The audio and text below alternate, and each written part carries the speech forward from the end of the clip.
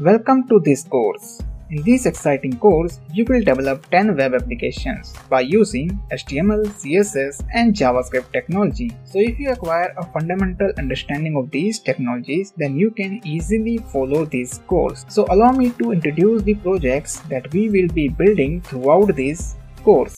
So the first application that we are going to build is the FD calculator application. So you can see it has three labels, one button and three input types and then we have this maturity amount which will be show the amount with results. Okay, so here we are going to add the amount. So I'm going to enter here like 1 lakh rupees and if I enter the interest rate as 6% and if I enter here 10 year years is going to be 1 then we are getting the 6000 rupees interest on 1 year of the FD. The next project that we are going to build is the password generator application. So you can see right now it's having the default value in the input type is 8. This is also an input type, but we are going to restrict it with the HTML code so that we don't enter the text inside of this particular input type. Then you can see we have these check boxes. If I include a lowercase character, then we are getting a 8 length of the password. If I just simply uncheck this lowercase, then we are getting the password with just numbers and uppercase if I include the symbols and lowercase and increase the length of the password, then we are getting the random password according to these input checkboxes. So our third project is vowel checker application. You can see this is the vowel checker application. It has a nice hover effect on this card. We have this heading text area input, then I have this button and the result element to display the result of the operation. So if I enter here uh, like Udemy course, I click on this check vowel, then you can see we have these five vowels here. So it's going to display the result as 5. Okay, the next project, which is the fourth project we are going to build is the age calculator. So you can see this is the age calculator. Then we need to select the DB, means the date of birth. If I select here a date of birth like uh, October and just I need to select the year as well. If I select my date of birth year, which is 1995 and then October, then this is going to be 25 click on the age and you can see my age is 27 years which is correct. The fifth application that we're going to build is the tip calculator. So here we need to add the amount. So suppose we have actually spent hundred dollar and we tip percentage is going to be like five. So if i calculate it then you can see we need to pay the five dollar of the tip amount.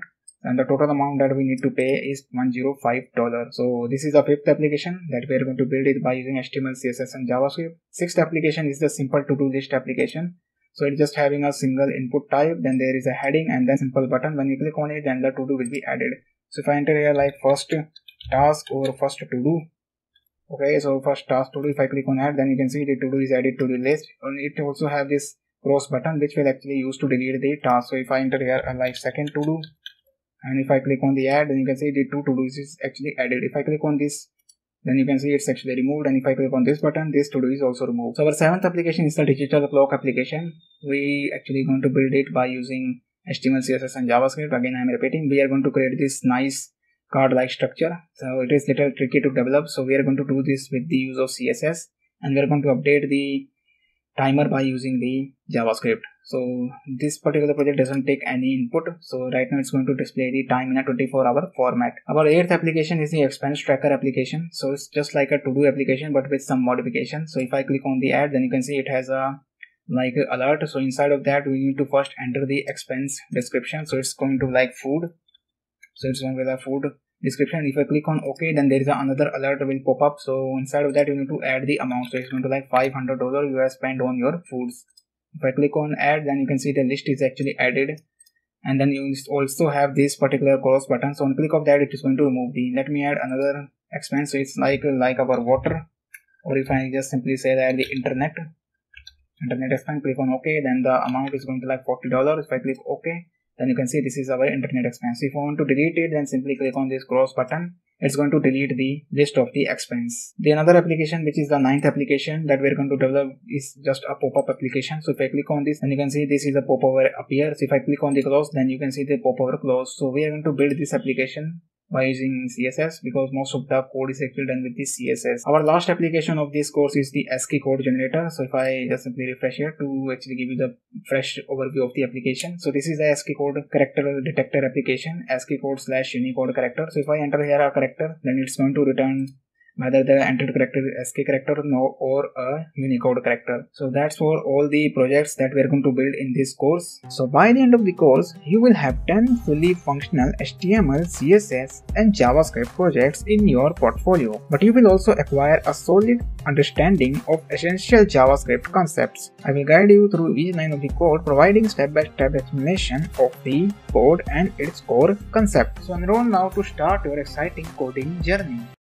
Welcome back to this lecture. So in this lecture we are going to build the FD calculator application. So let me show you the final product that we are going to build. So this is our FD calculator. You can see when I just hover over it then you can see there is a nice background in this particular card and we have three fields here means the three input type. The first is actually going to accept the principal amount then the second is for the interest rate and the Third one is tenure in years, which actually how many years you want. And the fourth one is actually our, and then the fourth one is our button, which is input type button. And then we have a result, which actually displays the final output of the maturity amount. So here, if I just change the value to like 5 lakh, I think it's like 50. Okay, so it has five zeros, so it is actually lakh. And if I just click on calculate, then you will see the rate of interest is actually you earn like 33,250 rupees for one year. And if we change the rate of interest like 7.0 it's also going to accept a value which is like integer type or maybe a float value. So if I click on it then you can see 5 3 means you going to earn the interest rate is like 35,000 for one year. And if I increase here too then the interest will be increased to 70,000 so this will be the application. If i refresh then the values will be going to into default which is a placeholder text. Okay. So we are going to build this application. So first open your visual studio. So you can see i have already done it. I have actually created three files inside of this particular folder. So here we have three files. All of them are empty. So i'm going to click on this so that you can see more clearly. And also i'm going to increase the zoom little bit so coming back to our index.html. So here I be going to add the code, which is sign of exclamation, which is an Emmet abbreviation. So if I click on it, then we get our placeholder text. So if I type here like FD calculator, actually I have given the name to our application, which is FD calculator. So this is a basic template given by Visual Studio Code for the responsiveness. Like three meta tags has been added. So these are actually used for like for the responsivity purpose and these are actually like compatibility for the edge browser and it is actually a unicode character format which has lot more character set more than 255 character set i think which is more powerful than the ascii character set. So these are pretty basics but we don't need to worry about these because we need to build our application which is fd calculator. So first we need to add some HTML elements. So I'm going to minimize it because we need to get the reference what we are actually going to build. And first here I will be adding a one h1 element just to check whether everything is working properly or not. So hello FD, I just going to write this text and here we have a live server extension. You should install this live server extension because it will make our life little bit easy. So if I click on go or live and then we will see uh, output moment. So here we can see everything is working fine. So another thing i want to do is actually link the css part of the code. So i'm going to write here style.css and then also i'm going to add the script tag.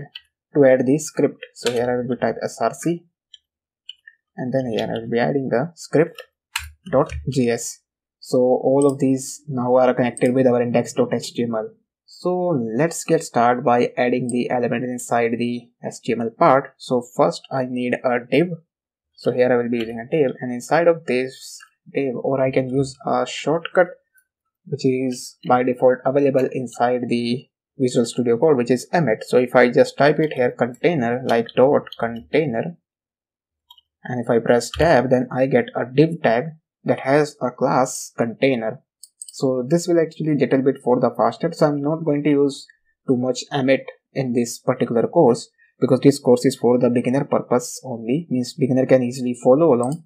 So i'm not going to confuse you by using the emmet although i'm using a just small emmet like uh, shortcuts so that it will be easy for me to complete the course more quickly. So after getting this container, it's time to actually h1 tag, which is for the heading. So I'm going to add the h1 tag because this is actually an heading FD calculator. So we want to do that. So that is the reason we need to add here an h1 tag and inside of this I need to add the text FD calculator. So this is our FD calculator and inside of this we need to add the div element. So it's going to like div and under inside the div we are going to use a label.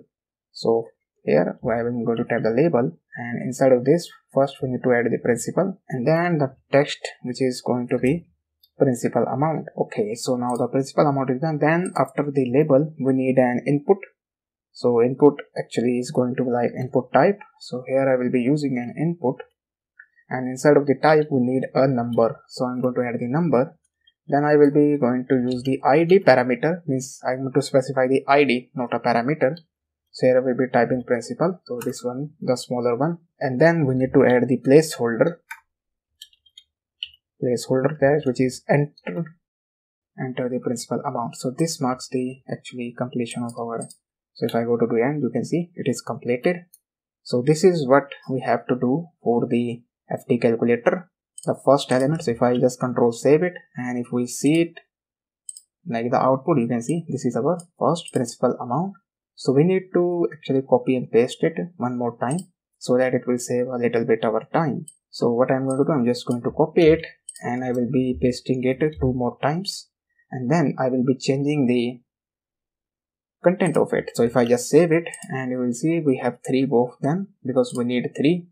So let me just change the their label name and their IDs so the first one is label the second is actually for the interest interest rate. And then the label I'm going to change it into interest rate. Okay so this will be our interest rate.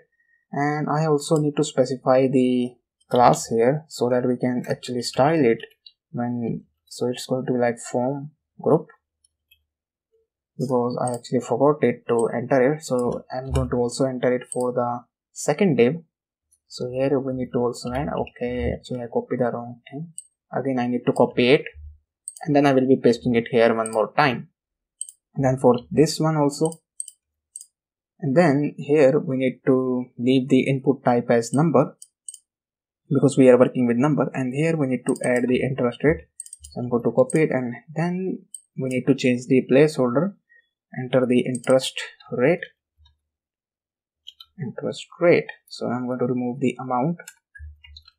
Okay so this marks the second one. And then we are need to change the third one. This is for the tenure. So it's kind of like tenure. And then its label text which will be displayed and then we need to specify the id so here we are going to specify the id like tenure you can see. And then we need to change the label which is enter the tenure in years. So and tenure i'm going to short it as the tenure in years. So if i just save it and let me see it. So you can see now we have three input elements inside our project. Now the last we need a button.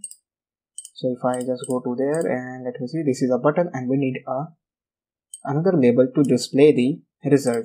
So coming back to the Visual Studio Code. So you can see this is the container, the main container. Then we have our h1 tag.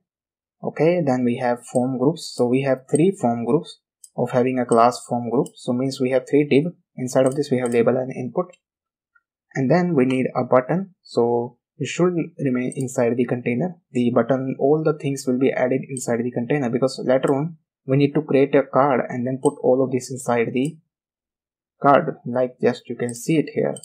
Okay? So again coming back to visual studio code. So here i will be using a button.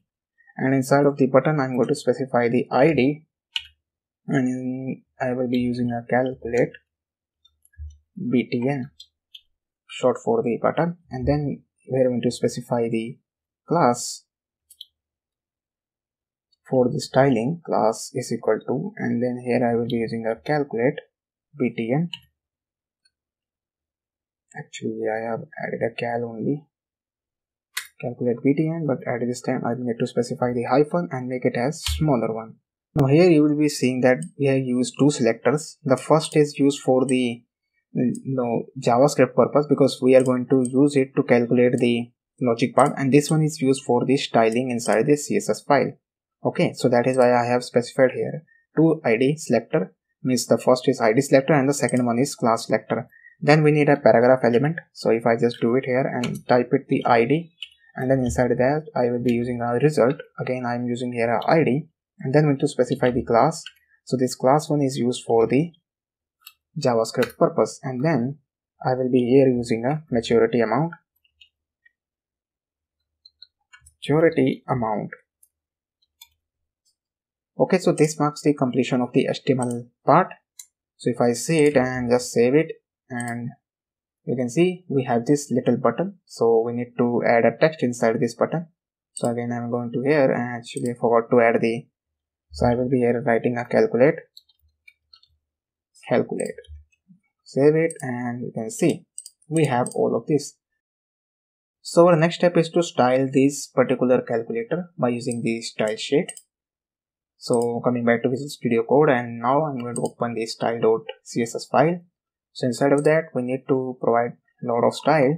So i'm going to type it and then i will be explaining the code. So first i need to actually select the body element and here i will be writing some code means typing the code so first we need a font family here so the font family we are going to use an arial arial and i will be using a sans serif okay so this is what and the background color we are going to add it here like a simple hashtag f2 f 2 and F2.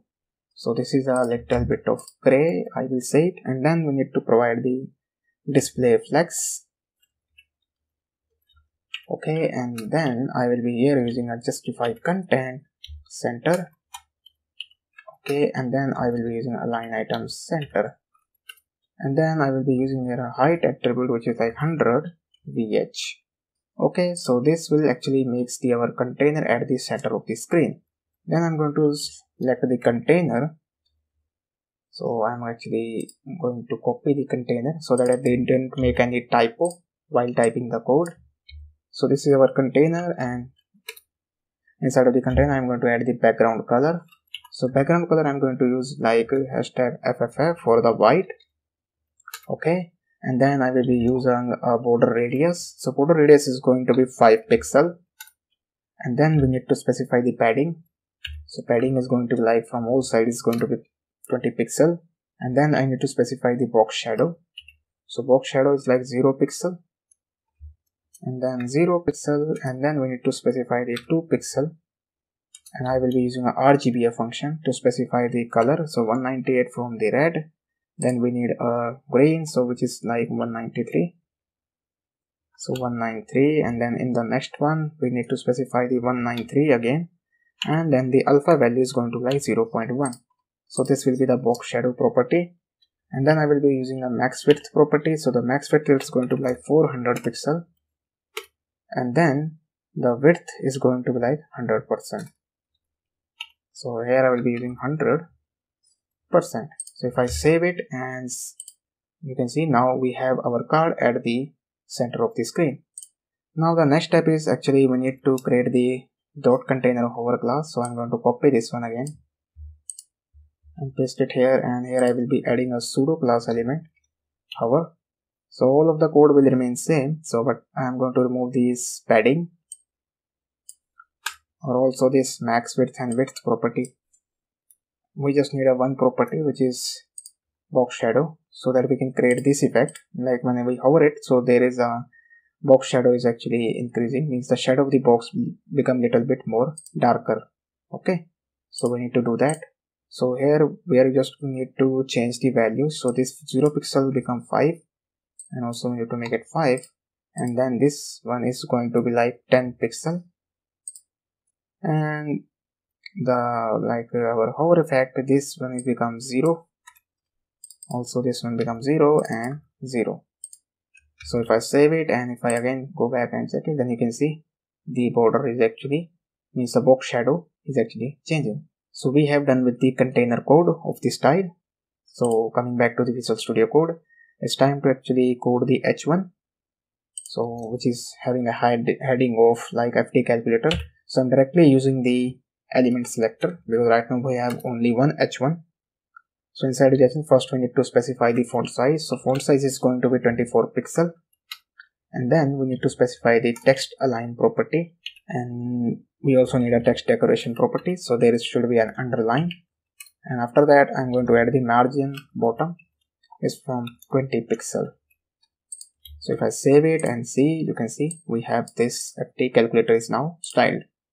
Then we need to style the input elements or we can say that the we are going to directly style it by using the form group because we have added a form okay? So we are going to style this. So coming back to the style.css so here I will be writing a form hyphen group and then we need to first target the label. Okay? So let me start this and I didn't make any typo like the label name is label. Yes okay. Everything is perfect. So first I need to make it a like a group like display block. Because right now you can see they all are actually coming in the same line horizontal because these elements have not a block. So block one actually take the whole row i will say it because if you know the basic of the html so we are going to change its display property. So coming back to the visual studio code so first we need to make it as block. Okay and then the second property we need font weight. So font weight is we are going to use the bold. Or you can use the bolder as well if you like it. Then i need to provide the margin bottom so margin bottom is going to be like 5 pixel. And then we need to do a one more styling which is form group. And inside of that we need to provide the margin. Bottom is 10 pixel. Okay. So this will be the form group. And then we need to add the form group input. So let me just copy this one. And remove the extra spacing. This is a form group. And then we need to use the input inside the form group all the inputs we are actually targeting. And first we need to specify the width. It's going to be like 95 percent. And after that we need to specify the padding. So padding from all the side is going to be like 10 pixel. And then I'm going to be using a font size property. So font size is going to be like 16 pixel. And after that we need to use the border property so there should be a border from all the sides. So one pixel and we are going to use a solid border. This is a solid one and we need to provide the color. So it is going to be like cc and then we need to specify the border radius property. So border radius is going to be like 5 pixel. So this will be the input group means the form group of the input the input element from the from group so if I go back to the then you can see our application is taking uh, the style just like we want to do it. Okay so we have now this light gray border uh, when I click on it we get this default styling the active code. Next we need to add the code for the calculate button and then this result one. So again coming back to the visual studio code. So first time we'll be adding the code for the result. So where is the result? So this is a result. Okay so i'm targeting the result. Inside of that first we need to add the font size property. And we are going to add the text align property. So we are going to make it into center. And then the margin top property which is going to be like 10 pixel. Okay so now the next part is to add the code for the button. So our calculate button calculate and then we need to specify the hyphen btn i think i am adding the correct one. So i'm just going to copy it so that i didn't make any spelling mistake. Otherwise it's will not going to work. And then we need to open this code bracket. So i'm adding here a padding. So padding is like 10 pixel. After that we need to add 20 pixel. So this notepad is like padding. Okay and then we need to add a background color. So background color we need a nice bluish color. So 79ff not add the rate we need a hashtag 2979ff so this will give us a blue color. And then we need a color which is a font color property. Fff hashtag first need to specify hash not hashtag. And after that we need to specify border is going to be none okay and then the font weight we're going to increase the font weight to like bold. And if I just use the bolder one just to make it a little bit different then border radius is going to be like 5 pixel. And after that we need to specify the cursor property. So the cursor property is going to be like pointer. Okay. So this will be the default coding now again i'm going to copy it and paste it and i will be removing everything. Except the color property because we need to change it. So i will be using here a 4 4 and then 8 capital A and FF not DD is like FF also the hash symbol. So this is a, a new color little bit darker than the previous one. So if I save it and let me see the output screen so you can see it's becoming changing? The color is not changing. Okay we need to make it a little bit lighter I think. So if I go back to the Visual Studio Code and if I say it here we can change it like with this one also.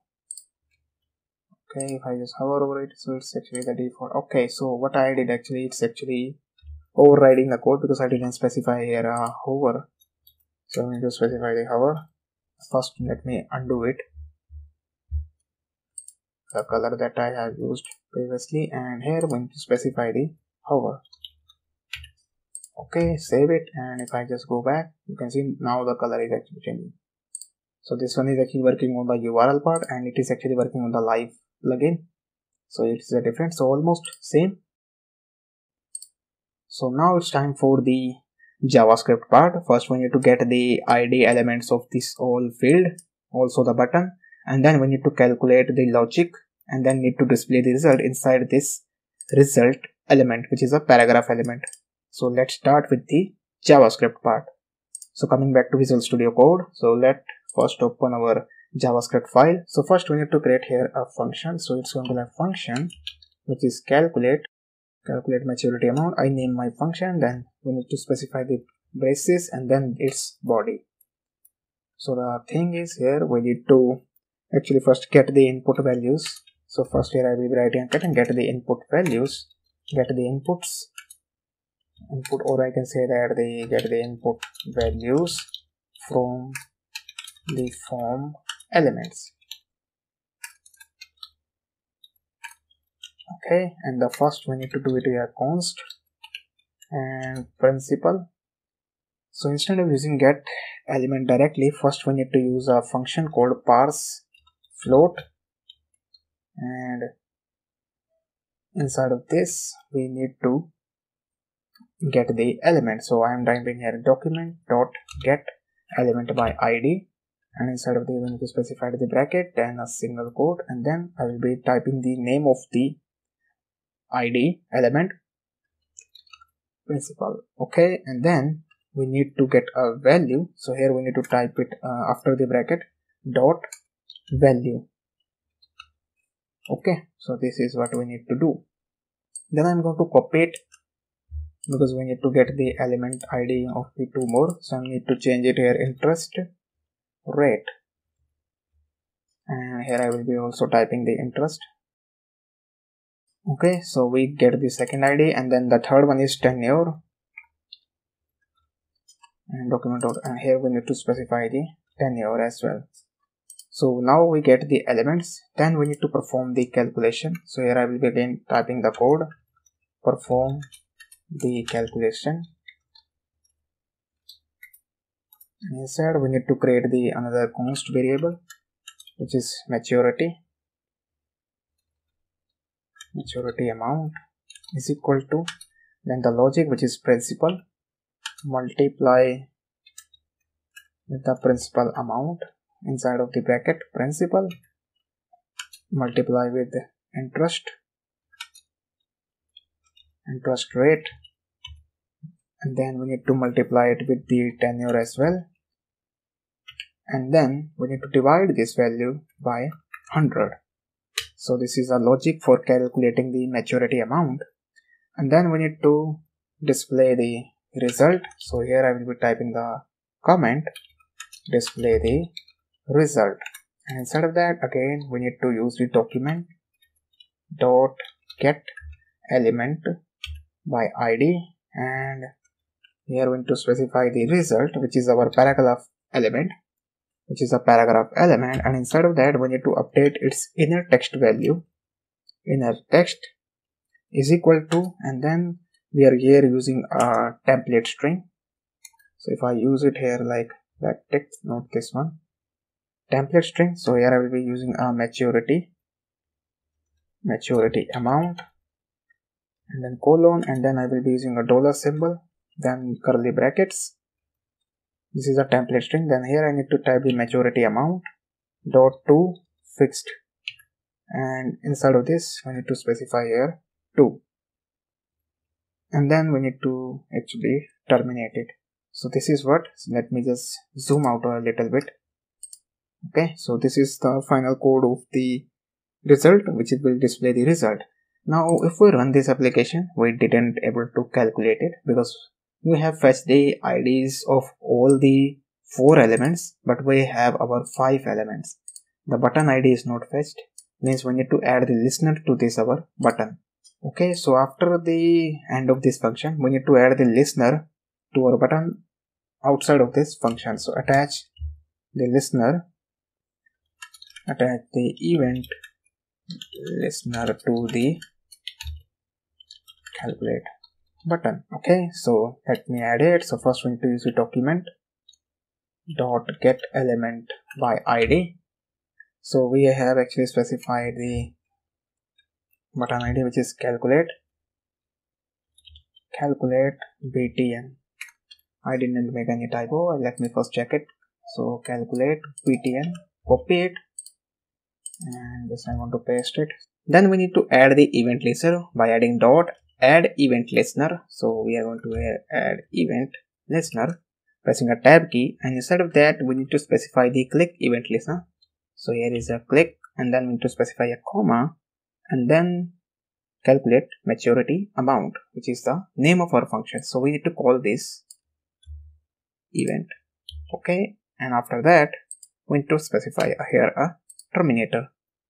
So that's actually marks the completion of the code. If we save it and then we need to run this application so if i coming back to the browser okay so i'm going to refresh it and then i will be adding here a amount which is 1 lakh okay so we have five zeros. The rate of interest is going to like 6.0 and then the tenure is actually like one year. So if i click on calculate then you can see we get this whole big string so it's actually not working i think there is something problem. So if i change the value again like 5 lakh you can see we have 5 0 6.0 if i just add here only 6 calculated then we are actually multiplying it. So it's actually not working. There is something problem. So we need to fix it. So coming back to our visual studio code. So let me see the javascript part because the designing part is done properly but we are actually facing the problem. So actually here is a problem. We need to actually add the value instead of multiplying. So here we need to add the plus symbol. Okay so we need to add the principal with the multiplication. So save it. And if i again refresh it make sure you can see we are actually working on the url one which is a live server one. This is actually working on the path one. Okay so let's again check it by entering the value. So i am actually here entering the one lakh again so we have five, five zeros. Then the rate of interest is going to like 6.0 and then the tenure is going to like 1 so if i click on calculate then you can see now it's actually showing 6000 interest.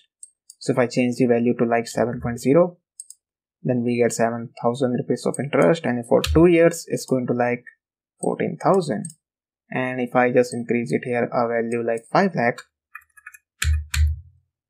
you can see here is a 5 lakh and if i just do it then you can say we are actually earning 70000 as an interest rate on 2 years okay so this is the final working code of our FD calculator so That's it for this lecture. If you like this lecture, then leave a review. And if you face any difficulty, then comment it down. I will definitely try to help you. So thank you for watching and I will see you in the next lecture. Welcome back to this lecture. So in this lecture, we are going to build the password generator application. So let me show you the final application that we are going to build. So this is the final application that we are going to build in this particular video. So you can see this is a password generator part of the application.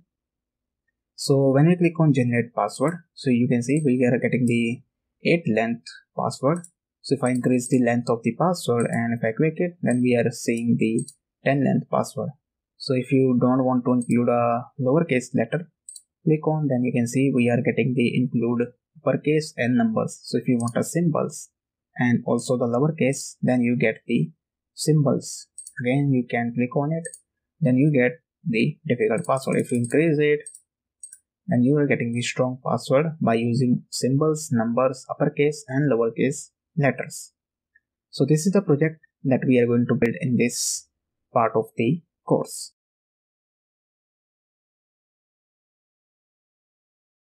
So here you can see inside this Visual Studio Code, I have already created the three files. The first is index.html, the second is style.css and the third is app.js. So I actually added all of this file inside this particular folder which is password generator for web. So I'm going to click on this and now we can see everything more clearly. So I'm going to click on this and drag it to the screen and also I want a browser and also I'm going to add the next tab. So this one is actually for the project that we are going to develop. So first we are going to start with the HTML part of this project. So click on the index.html. So here I'm going to tap the sign of exclamation. If I press the tab key, then you can see we get the boilerplate code. So I'm going to name this as password generator. And if I save it, and also I need to add here a h1 element just for the checking purpose whether the things are working or not okay so i'm going to click on this live server so first i'm going to click on this go live now you can see we are getting the results in our browser i'm going to click on the closing the tab. Now i'm going to just make it little bit this viewport. So that visual studio okay. So it's actually changing. Okay. So first we are going to add the other html elements for this password generator. Okay. So i'm going to wrap this h1 inside the container which is div. So here i will be typing a container. Okay. And okay i have actually spelling it mistake so tab key and inside this container i'm going to place this h1 okay and uh, also we need to link the css part so here i will be adding this css part and also the JavaScript part. So I'm adding a script tag and here I need to provide the src and instead of that I need to specify the file name of the JavaScript file. Okay, so this is all what we have to do so far. Now inside of this we need to add the other elements which is an input type. Okay, this is noted. This is will be working as a label. We can't enter the text inside this so we need to restrict it and then we need a button then we need a password length input type and then we need these four checkboxes so all of this we need to add it one by one okay so let do it so the first we need a div for the password. So i'm going to type it here a class which is password. So dot password pressing a tab key.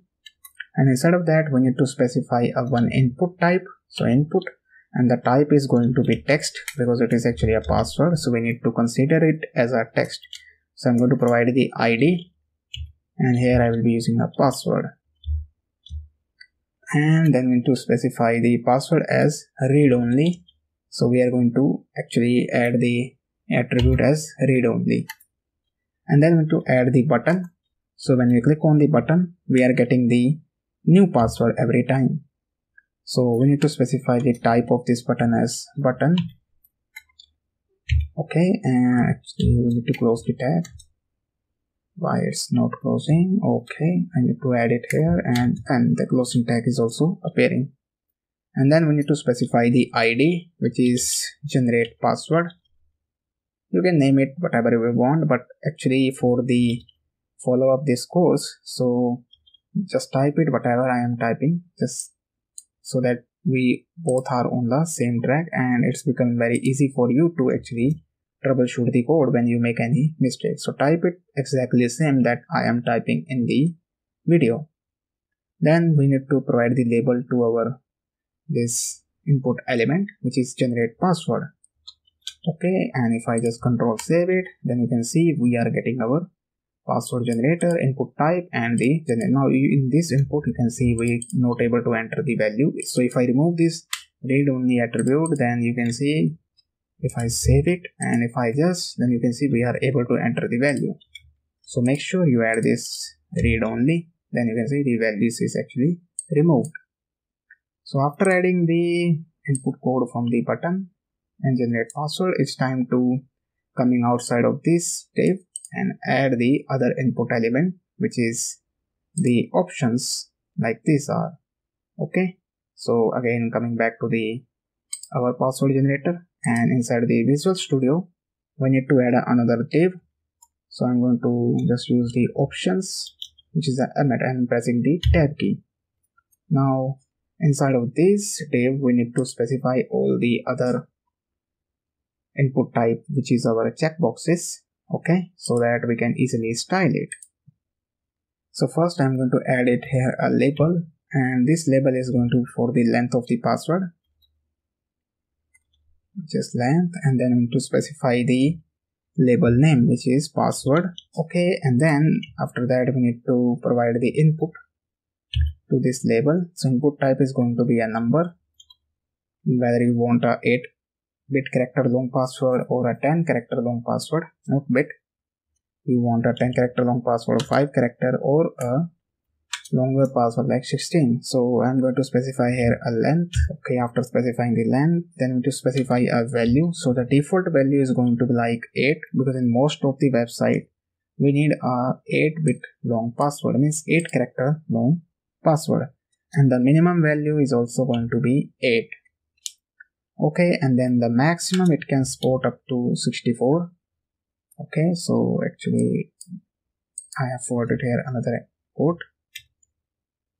remove it and here uh, we need to add a 64 actually I have not closed this one. That is why it's giving the error. And we'll zoom out a little bit.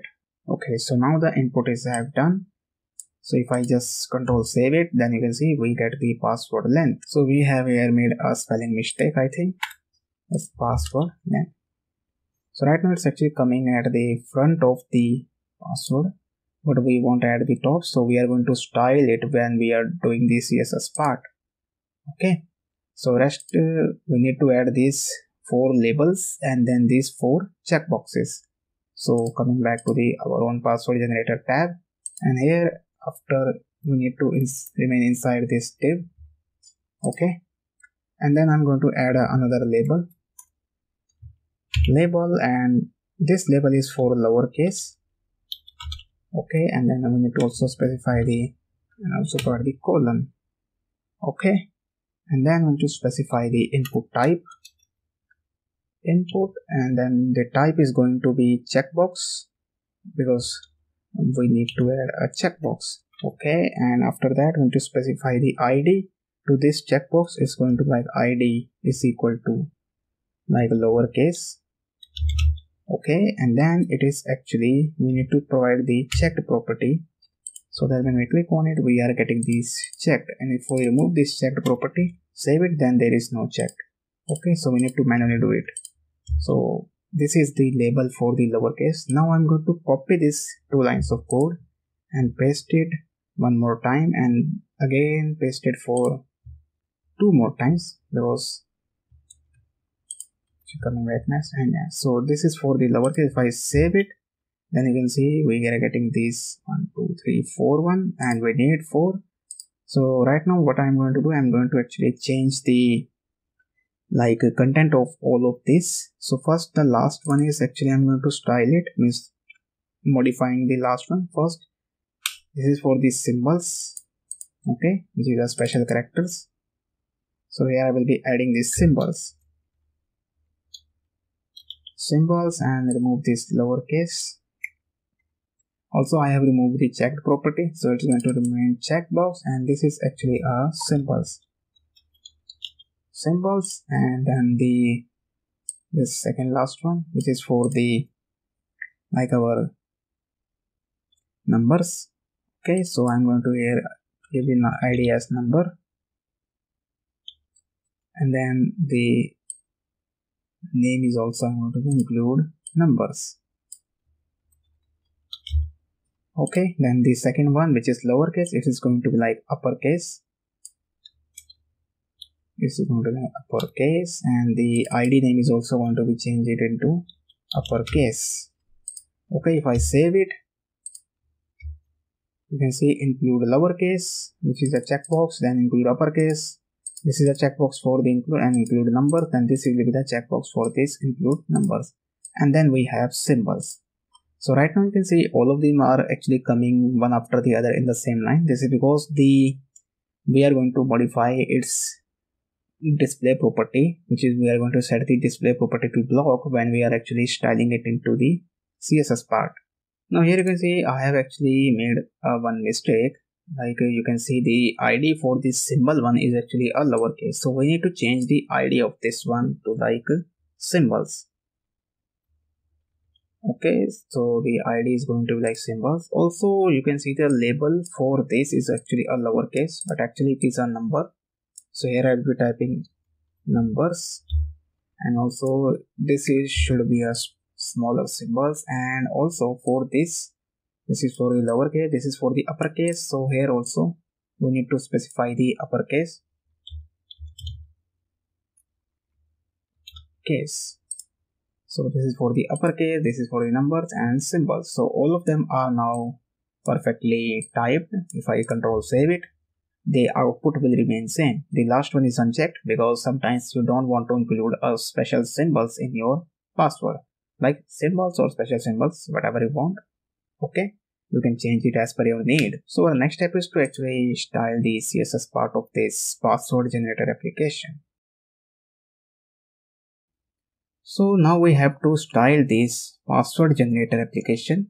So first we have to open the style.css file. So i'm going to select the body element. And inside of this we need to specify the font family and background color. So i'm going to be adding a background color first. So it's going to like f5 f5 and f5 it's going to give us a like a white type of color. And if i control save it you can see the little bit of the gray color i will say it. Now we need to specify the font family. So font family is going to like arial and sans serif.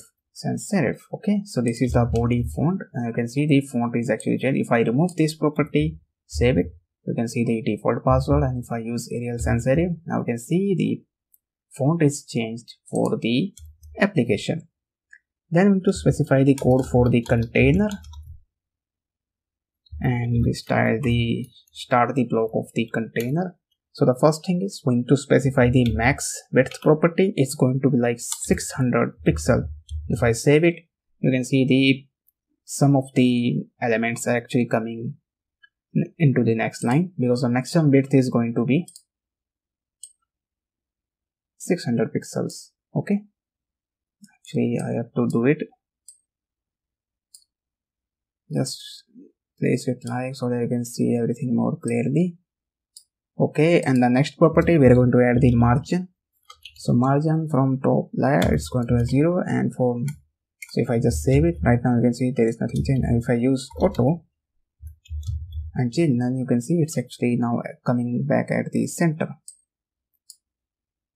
then we need to add the another property which is padding. So padding is like from all side is going to be like 25 pixel. Okay and then i need to provide the border radius. So i'm going to type the property because these are some basic ones. You can easily remember it by just experimenting with these properties because these are some easy ones. So now i'm going to use the box shadow. So box shadow is like 0 pixel and then again 0 pixel. And then I need to provide the 20 pixel.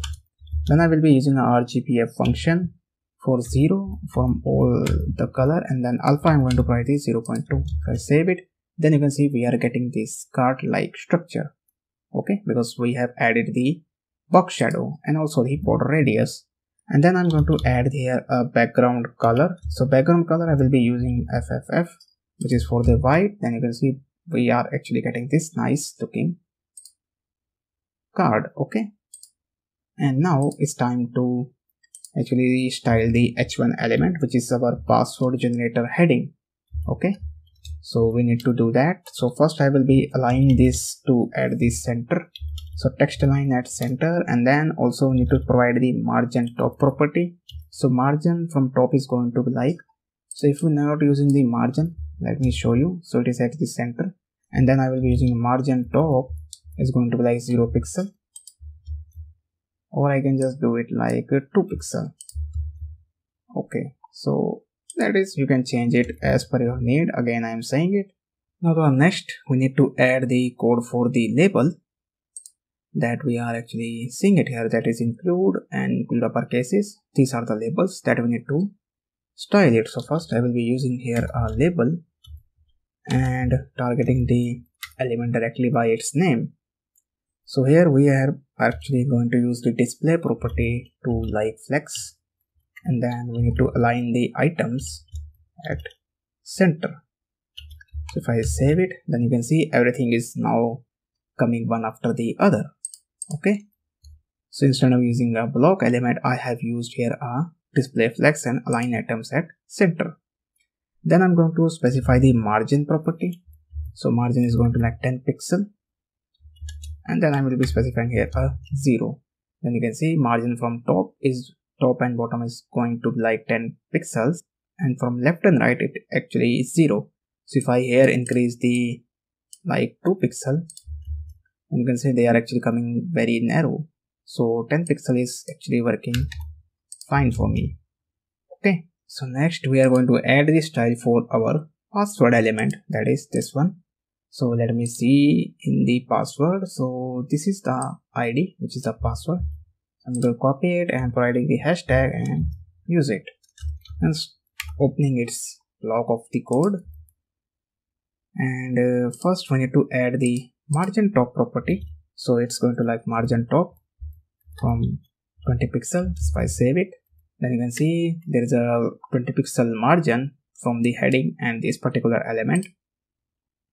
And after that need to specify the font size property so the font size is going to be like 24 pixel which right now you cannot see it because we have actually added nothing inside it because we are going to update the value of this element by using javascript. Okay? Then we need to add the text align property. It's going to be center. And then we need to add the padding padding from all side is going to be like 10 pixel. And then we need to add the border to be none. So border is going to be none. So if I save it you can see there is no border. And even the button is actually far from the because right now it's actually like padding and also its font size increased. Text alignment is center so it's look like little bit bigger than its previous position means previous form it's actually changed its form i will say it. Now the next is we need to add the border radius property. So border radius is going to be like 5 pixel. Okay if i save it and uh, then we need to add the background color so that we can see it. And here i will be using a f9 f9 and f9 color. If i save it you can see there is a little bit of the appearance of the like that particular input type i will say it and then we need to add the box shadow. So the box shadow is going to be like 0 pixel then 0 pixel and then we need to specify the 10 pixel and then I will be using an RGBA function and then 0 0 0 and the alpha is going to be like 0 0.2 save it then you can see there is a nice shadow of the box means there is a nice box shadow. So that marks the completion for the code of the password element means the password element yes this is a password element and next we need to add the code for the generate which is our button so go to the button and copy the id again i will be using a hashtag then paste it and then start its block of code. Now inside the generator, first I need to add the again margin property, which is like margin from top is going to like 20 pixel. Okay. Then we need to add the background color is going to be like green color. So we are going to use 4 C A F and we need to add here 50 which is a green color.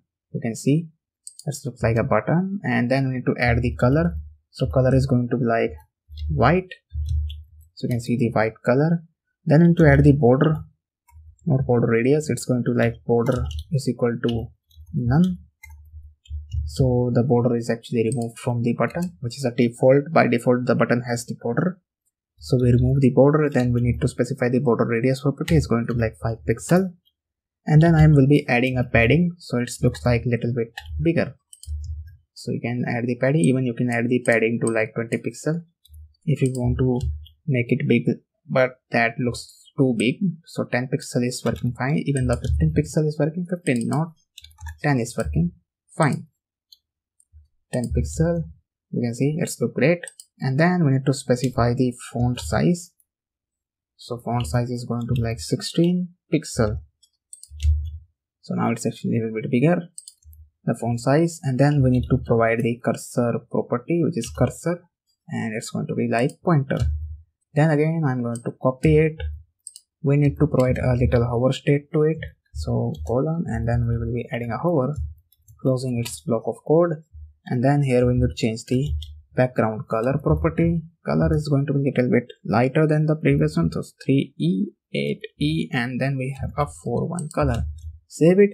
So if i hover it and you can see it's actually become a little bit darker. So it indicating that we are actually want to click on the button. Okay.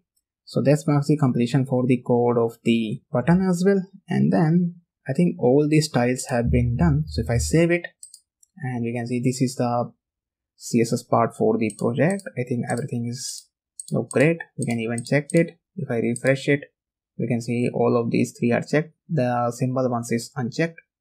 So yeah, it looks same guys. We have done it, the CSS part of the project. So our next step is to add the JavaScript. So now it's time to add the JavaScript part to this password generator application. So for that, we need to use the JavaScript file. So I'm going to open the app.js file. Now inside of that, first we need to actually fetch the IDs of all of these UI elements. That is this input type button, this password length input type and all of these four check boxes. So Let's start doing it. But before that, because it is a password generator application, so we need to create four variables. The first variable is actually for the lowercase letters. The second is for the uppercase letter. The third is for the numbers. And the fourth one is for the symbols. So let me first create all of these variables. So first I'm going to type it here const and it's going to be like lowercase characters or I can say that the letters is equal to and it's this is going to be of type string and then we need to add the const and this is going to be upper case letters. Is equals to and then again I need to add the semicolon and then inside of that again we need to create the variable which is of numbers is equal to this is also of type string. So it's going to hold the string values. And then we need to create the const variable again which is for the symbols is equal to and then this is also type string now instead of that we need to add the character from a b c. So instead of typing manually i can just simply just pasting this particular code so that it will save the little bit of time. You can see this is for the abc and then for the uppercase character. We also need all of the 26 alphabets. Then we need 10 digits which is for the numbers. So again i'm going to paste it and then we also need special symbols because for creating the password with the use of special characters or special symbols you can say so these are the four variables we need and then we need to fetch the element IDs. So first we need to create here a const variable. So it is of length. So first I'm going to type it here length. Length el which is length element is equal to and then we need to type it here document dot get element by id which is the name is going to be length. So i'm going to provide it here and here we need to use the length which is the first one. So first we get the id of this particular element which is length. That is why i have written it here. So control save it. And then we need to again copy this one two many times. So i'm going to copy note this one. Actually i have didn't copy it. One more time. And again i'm going to change it here to lowercase el which is lowercase element. And here I will be typing it here uh, lowercase. Again I'm going to press enter to come to the next line. And again I'm going to press control V pasting the code because I already copied into the clipboard. And here I will be typing it here uppercase el which is for the uppercase element. And then here I want to type it here uppercase. Again coming back to the next line here I will be using control CV again the number.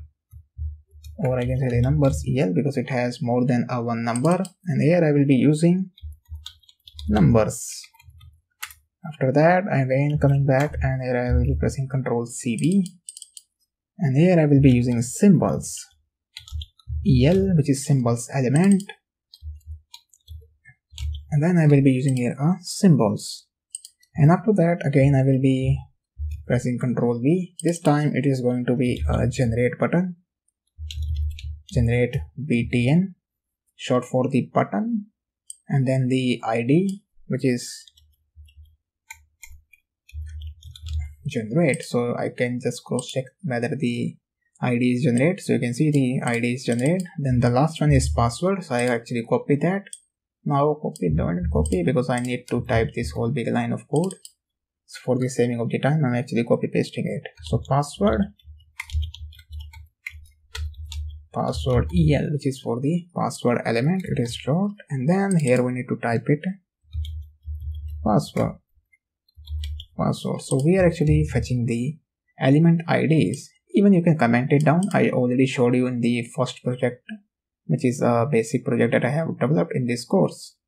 So after that, we need to actually set the listener to our button so that when we click on it, we should be able to generate the password. So let's start doing it. So first here we'll be adding a generate btn dot add event listener. So the event listener that we are going to add is actually a click. So I will be typing here uh, inside the double quotes. Click event not x click. It's like click event. And then we need to specify the comma then function. And then we need to start the braces of the function and then the brackets. Okay? And also we need to provide the terminator to this particular generate add event listener okay so everything we need to type inside this block of event listener code okay so First we need to create here a one variable of the const type which is of length. So first then we need to type it here a length el dot value. So we are getting the value of that particular constant. Okay, notice it's like terminator and after that we need to create a variable of type let. So it's going to be an empty variable right now. Characters is equal to and it is of type empty string. And then again we need another character which is for the password. That is equal to password. This is also of type string but it is going to be an empty one at this point of time. Okay then we need to check for the condition. So for checking the condition we need to use the if condition. So first we need to check for the lowercase el so first we need to check the value whether it is checked or not. So here we need to use the lowercase ed checked because it is actually a value. So checked and then here we need to type the character characters which is a variable. So we are going to use here a short form things that is characters and then I will be using here a lowercase character. So whatever if it is checked we are actually adding the characters inside this lowercase. Means we are actually getting the lowercase. If it is checked means if it is lowercase where is lowercase? This is a lowercase if it is checked then we are actually setting the character variables to lower characters. Lowercase character we are assigning all the lowercase characters to this character variable okay. And then again we need another if condition. So we are actually using a multiple if condition. So here we will be using an uppercase. So again what i need to do is actually the things little bit same. I'm just going to paste it. And i will be replacing with the uppercase letters. If it is checked then characters then we are going to assign it with the uppercase letters. And also provide the terminator. Okay characters and now it's time to again check for the condition for the like numbers so again copy it and paste it one more time. This fine for the number element which is a if it is checked then we are going to assign the numbers. All numbers to the characters variable. Okay? So if symbol is checked okay and then we need to again again I will be pasting because it will save a lot of time so it will be symbols el if it is checked then we are going to assign the character variables to all the symbols so this for the condition of the if for the checking the whether checkbox is checked or not if it is checked, then we are going to assign the corresponding value to that particular characters. Okay. So I hope this is actually clear to you guys. Okay. So the length, now it's time to actually use it for the logic. So I'm going to here use a for loop. So inside the for loop, I'm going to run a means initialize a counter by using the let variable which is i is equal to 0 and then we need to specify the condition so it's going to be the length of the means this particular length which is the password length that is actually set it so according to the length we are going to run the loop. So it's going to be like length. Okay smaller than length. And then we need to increment the counter by using the post increment operator. Okay and then we need to open the block of the for loop. And inside of that we need to specify the password variable that we have created. Not password el this is the password variable. Okay and now here we can just simply use password so it's actually password it's actually a spelling mistake i made okay so now it's actually changed. Okay and now it's equal to so again we are actually using a short syntax property. Plus and equal to then I need to use the characters which is a characters dot charAt function. This is a charAt function. And inside of that we need to add the logic which is math dot floor. And inside of that again I need to randomize it by using math dot random. Random and then we need to add here a asterisk sign for the multiplication then characters dot length. Whatever the length we are going to multiply it. Okay at the end we need to specify the terminal. If i just zoom in out we zoom out a little bit then you will see the things more clearly. Okay you can see the code more clearly. I actually zoom out a little bit more. And after that we need to set the value to the password element. So i'm going to type it here password el dot value is equal to password.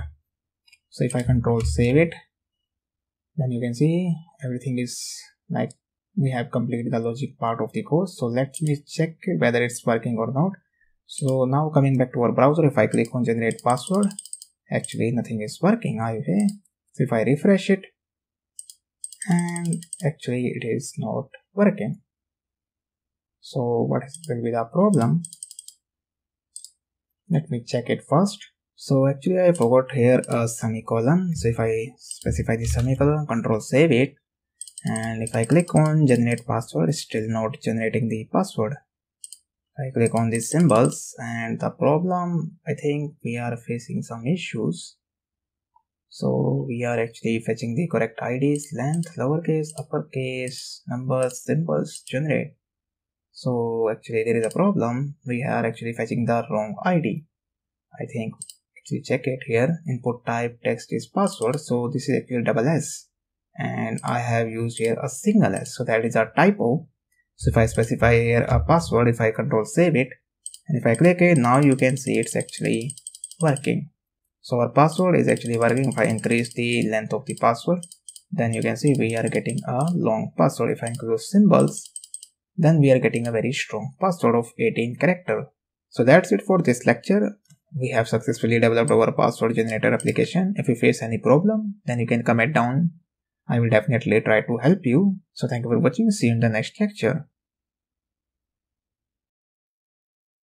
So welcome back to this lecture. So in this lecture, we're going to start creating the vowel checker application. So let me show you the final application that we are going to build in this particular lecture. So you can see this is our vowel checker application. It has a nice hover effect. So when we hover it, then you can see the background shadow means the box shadow of this particular container is actually become little bit more darker. So here we have a text area then we have a heading and then the button and then we have a paragraph element in which we are going to display the result so if i type here uh, hello everyone and if i click on count vowels then you can see we have total six vowels. Or you can say it as check vowels count vowel or you can name it as vowel counter whatever you want. It, the main motive of this application is to check how many vowels exist in the given string. So it is becoming a string. So if we enter like more content here again, hello, what is new going on? Okay, so if I click on count vowels, then you can see again it's going to count the 14 vowels. So if I check 1, 2, then 3, 4, 5, 6, 7, 8, 9, 10, 11, 12, 13 and 14. So we have 14 vowels. Okay, so we are going to build this application. So first we are going to start with the HTML part of this particular project. So you can see I have already created three files inside this Visual Studio Code. The first is index.html, the second is style.css, and the third one is script.js. So the first, coming back to the index.html, I'm going to add the boilerplate code by using the Emmet abbreviation by pressing the sign of exclamation. So if I press tab key, it will give us the boilerplate code. So this is our three meta tags that are used just for the compatibility purpose and for the responsiveness and for the UTF character set, which is Unicode character set. So first I'm going to change the title of the project. So it's going to be like vowel checker. Or you can say it as a vowel counter if you want, but I will just name it as checker because we are actually checking the number of counts. Okay. Checker and slash counter because it is actually also counting the number of vowels. You can name it whatever you want, vowel counter, vowel checker, is totally up to you. Now the thing that we need is actually a container and the four elements that will be present inside the container. Because this is a one which is, is actually going to be div, then we need a heading tag, then text area and the button and then we need a paragraph element. So what I'm going to do, I'm just going to open the new tab or make this particular into smaller one and also I'm going to drag it so that we can see both the output and the coding part simultaneously if I make changes in the coding part. And after that I will first here using a div element. Inside of the div I'm going to specify the class which is going to be container. Container and then inside of that I will be using an h1 element. And this h1 element is going to be the ID of the means the heading of the application which is vowel checker. Okay so if I control save it and with the use of go live plugin or I can say that the extension go live. So if you click on it then we will see the output of the project. So you can see we have our vowel checker. So it means that everything is working perfectly. Next i'm going to link the css file. So here i will be typing style.css so all of these files are actually present in the same directory which is vowel checker web. Okay? So that is why it's actually style.css this is a basic stuff then I'm going to add the script tag and for that here I will be using the src element. And inside of that I will be named my script means going to link my script.js file. And then I will be adding here a text area because things are will be typed inside this text area. So we need a text area. So number of calls rows. So I'm going to remove all of this particular one.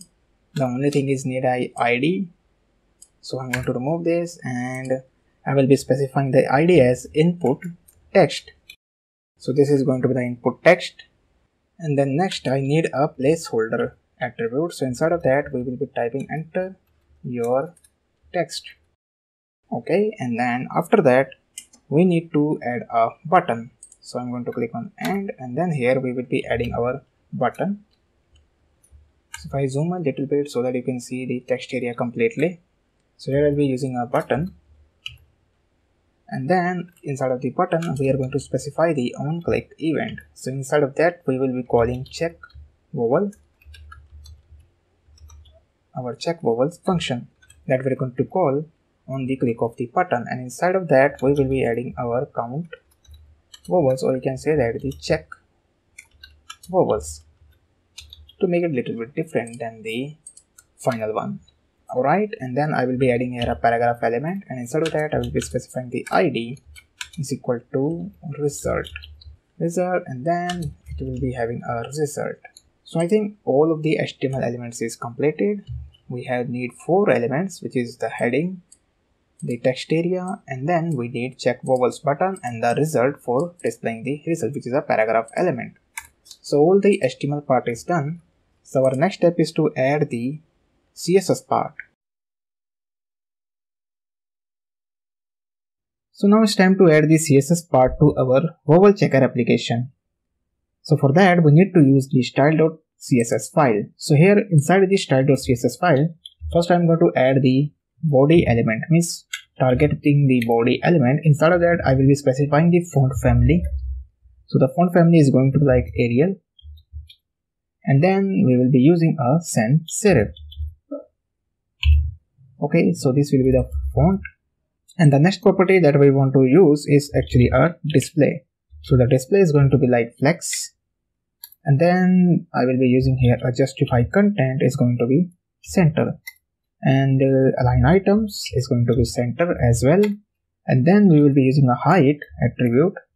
Inside of the height I'm going to add the 100 VH and after that I will be adding here a background color property which is going to be like an RGB function and inside of the RGB I will be specifying the color code which is 204 for the G and then for the B I'm going to use the 204. So if I control save it, then you can see inside the background, you will see the difference of the vowel checker.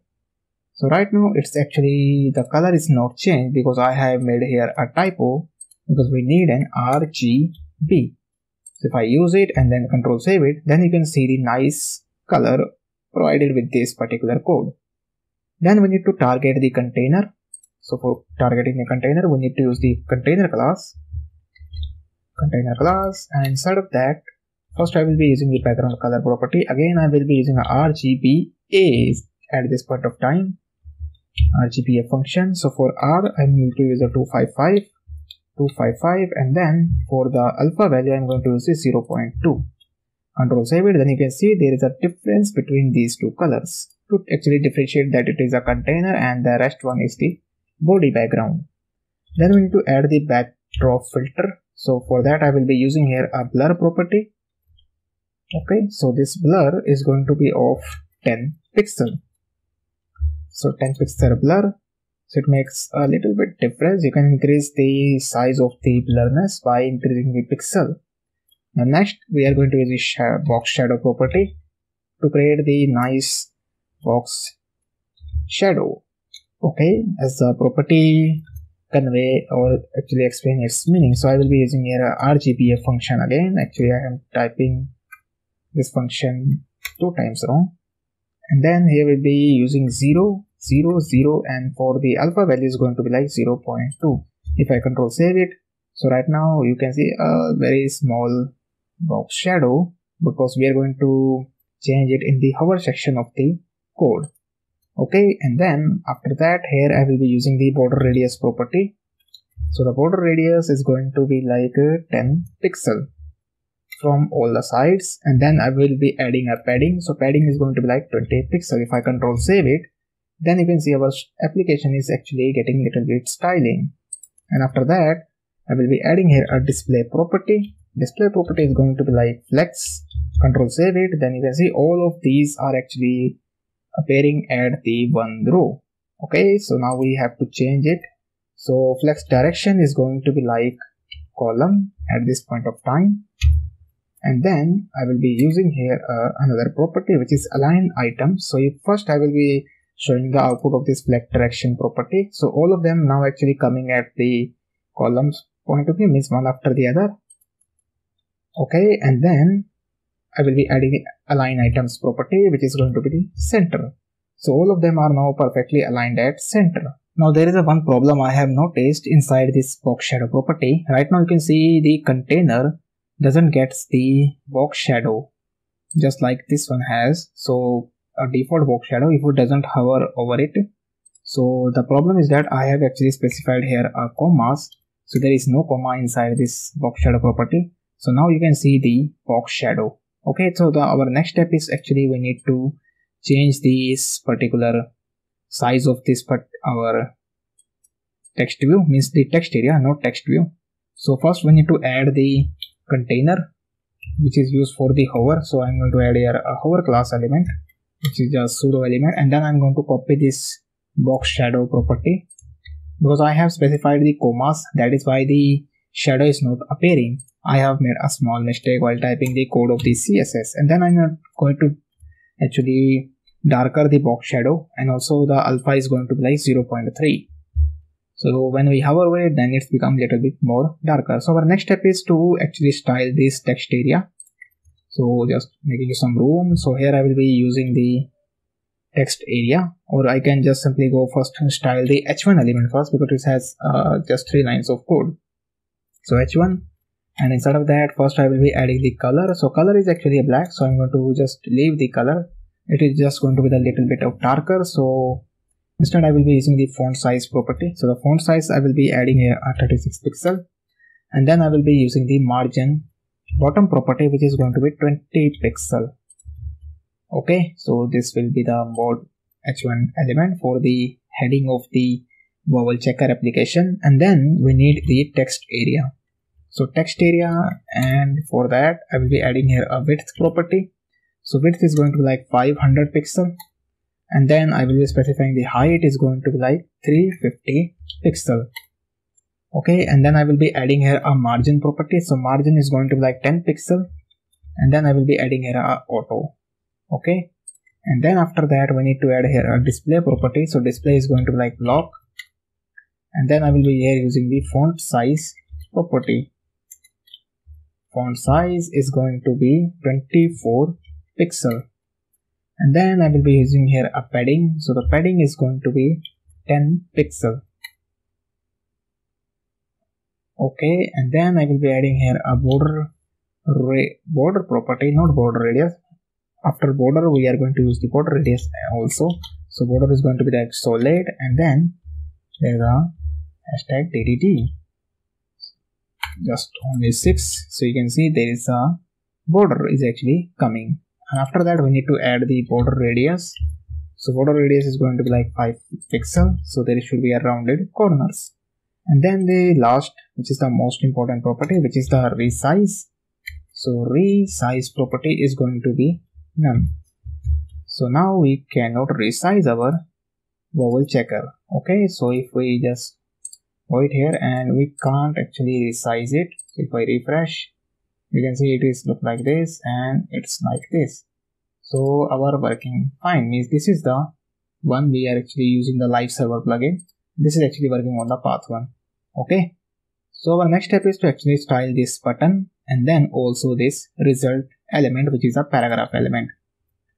So start the coding for the button. So i'm going to target the button here button so the first thing is i'm going to provide the padding so padding from all side is going to like 10 pixel save it so it's become a little bit big i think okay so i'm going to specify the padding is like 10 pixel and 20 pixel not from all side this looks good. And then after that, I will be adding here a background color.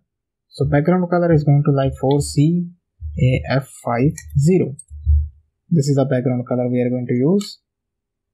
Actually, there should be a 4, not F, because we want a green color button. And then I will be adding here a color, which will change the color for the font. Okay, so it's now having a white color. Then there is a border. So right now that there is a default border. So we're going to remove the border by using the borderline property and then I will be using a font size property font size. So the font size is going to be 16 pixel. And after that I will be using here a text transform property to actually transform the text to uppercase. So all the now letters will become means character become in uppercase. Okay. And after that I will be using here a font weight property. So font weight is going to be like uh, bold okay and after that i will be using here a border radius property. So border radius is going to be 5 pixel. And then we need to change the cursor property which is going to be pointer. And after that there should be a nice transition inside the button. So it's going to like background color. Transition background background hyphen color. And I will be using here a 0.3 s and is okay so this is a property we are going to use. So if we hover over it so now there is no hover effect is going on because we didn't specify the hover part of the button. So what I need to do here I need to do button and we need to specify the hover element. And inside of that we need to use the background color property. It's going to be the background. And now we are going to change the color we to get a more darker one a0 and then we need to specify a 49 control save it then you can see now this is having button. So button also having a transition with the hover effect. So our last element is actually left is a result element which we need to style. So here i will be using the result element and instead of that first we need to specify the font size property. So it's going to like 20 pixel and then we need to specify the margin top property which is going to be 20 pixel as well. And after that we need to add the color property which is going to be like 000 and also we need to specify the hash character. And then the rest is font weight which is going to be like bold. Control save it then we can see our result is also looking nice. Okay so that marks the completion for the code of the css part it's look almost same. So in the next part we are going to add the javascript part for this vowel checker application. So now it's time to add the javascript part to this vowel checker application. So for that we need to use the script.js file. So i'm going to use my script.js file. So inside of that first we need to create the function because as you can see inside of this button we are calling the check vowels function. So we need to create this function. So I'm going to copy the name of this function and coming back to my script.js file. So instead of that, I will be calling using the function keyword. Then I will pasting the name of my function. And inside of that, first we need to get the value of this text area. So for that, we need to use the var variable. So var text is going to equal to document dot get element by id. So the id name of this is actually input text and we want the value so dot value. After that we want to specify the terminator. So the value of this text area will be saved inside this text variable. Also before coding inside this function we need to create a one more function and that will have an array of the vowels so for that I'm again here using a function keyword. So is vowel. I'm going to name my function as because it is a user defined function, not a predefined function. And inside of that, it's going to accept a one parameter, which is of char that doesn't have any default value. So it's going to accept a parameter character of, of type character. Then I'm using the var keyword to create the vowels so this is actually going to be an array of the vowels. So we need to actually store the character. So here I will be using the A the first vowel then our E then we have I and then we have O. Make sure it is inside the double quotes or maybe single quotes. A E I O U. And then we need to return this value. Return vowels dot includes. Includes and inside of that we need to use the char that we have passed as an argument to this function. So that's marks the completion of the code for this is vowel function. Now coming back to the check vowel function. Okay so here we need to create a one more variable of vowel count because at the end we want to count the number of vowels or you can say that the check and count of the vowels. So vowel count is equal to we need to here specify the default value which is a 0 so I have initialized the vowel count variable to a 0 value. And after that we need to convert the convert the convert it into lowercase. I'm just going to convert it into lowercase. Okay so what I mean the whatever text is actually coming if we type it like this because right now if I use E and capital E so we want to count it means we need to actually convert it into smaller one because our array has an elements in smaller one. We or I can say that the small case because all the five vowels are in small case. So that's why we need to convert it into small case okay? So text is equal to text dot lowercase means to lower case. So this function will actually convert the string into lowercase and after that we need to here use the for loop. So why i'm actually using the loop? Because at the end whatever we will write here is treated as a string and string is actually traversable. So we can loop through the elements of the string and we can perform certain operations that we want. So we want to actually check whether the string has vowels or not. So if we find the vowel we are going to check it compare it and then if it is some match then we are actually going to increase the vowel count variable value. Okay so first i'm going to here initialize the counter to 0 because the indexing is actually started from the 0 and then we need to run the loop according to the length of the string that will be entered inside this text area and that value will be saved inside this text variable. Okay? So i'm going to here write text dot length. So going to the length of the string. We are going to run the loop. And then after that we need to increment the counter the basic syntax of the for loop. Okay? And inside of that we need to create another variable which is a char variable that will be passed as a parameter to this is vowel function when we are calling inside the loop. Okay? So that is why this local variable is actually created inside the for loop. And after that we need to create here a text dot charAt function.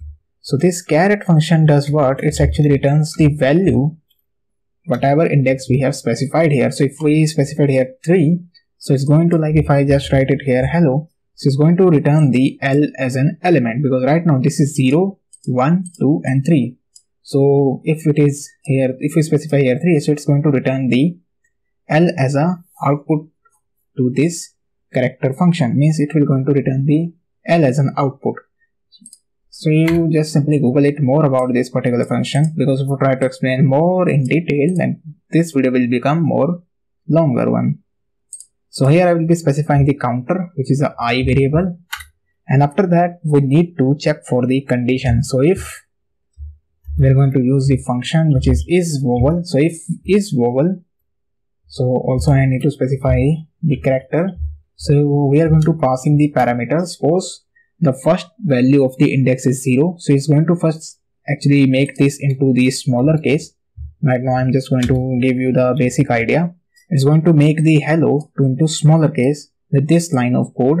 And after that what it's going to do first it's going to pick the h character and pass it to the is vowel function. Because right now the value of i is 0 so whatever here first the 0 value is actually 0 So in the zeroth index we have h. So first the h will be passed to this particular function which is actually not a match because h is not a vowel. In the next run it's going to pass the e to this particular is vowel function. So if it is a vowel then it's going to return it and then we need to actually increment the vowel count variable by using the post increment operator and after that we need to set the value to our UI element which is a result element but after the end of the loop okay so for that we need to again create another variable which is of type result not type of result which is actually a result variable that will get the element. So get element means first we need to use the document because the main object of the DOM is actually document. So document document dot get element by id so inside of that we need to specify the id which is result and then we need to specify the terminator and after that we need to use the result variable and we are going to update its text content is equal to we need to actually append it with the total vowels colon and then I will be concatenating with the plus sign and then I need to specify the value of the vowel count. So it's going to update the value of the result element which is a result paragraph element our. So if I control save it and here if I just type here hello and if I just click on check vowels then you can see we get the 2SN output because right now E and O are the two vowels exist in this particular string. If I add here this is a good project to learn JS okay so if I just click it so we have now nine vowels so let me check it one by one so this is first one second third fourth fifth sixth seventh eight and nine and the rest of them are not a part of the vowels so that's it for this lecture if you like this lecture then please leave a review because this will definitely help me to grow my course and also helps me to improve my future courses. So thank you for watching and I will see you in the next lecture. Welcome back to this lecture. So in this lecture we are going to build the age calculator application. So let me first show you the final project that we are going to build in this particular lecture. So here you can see that this is our age calculator application.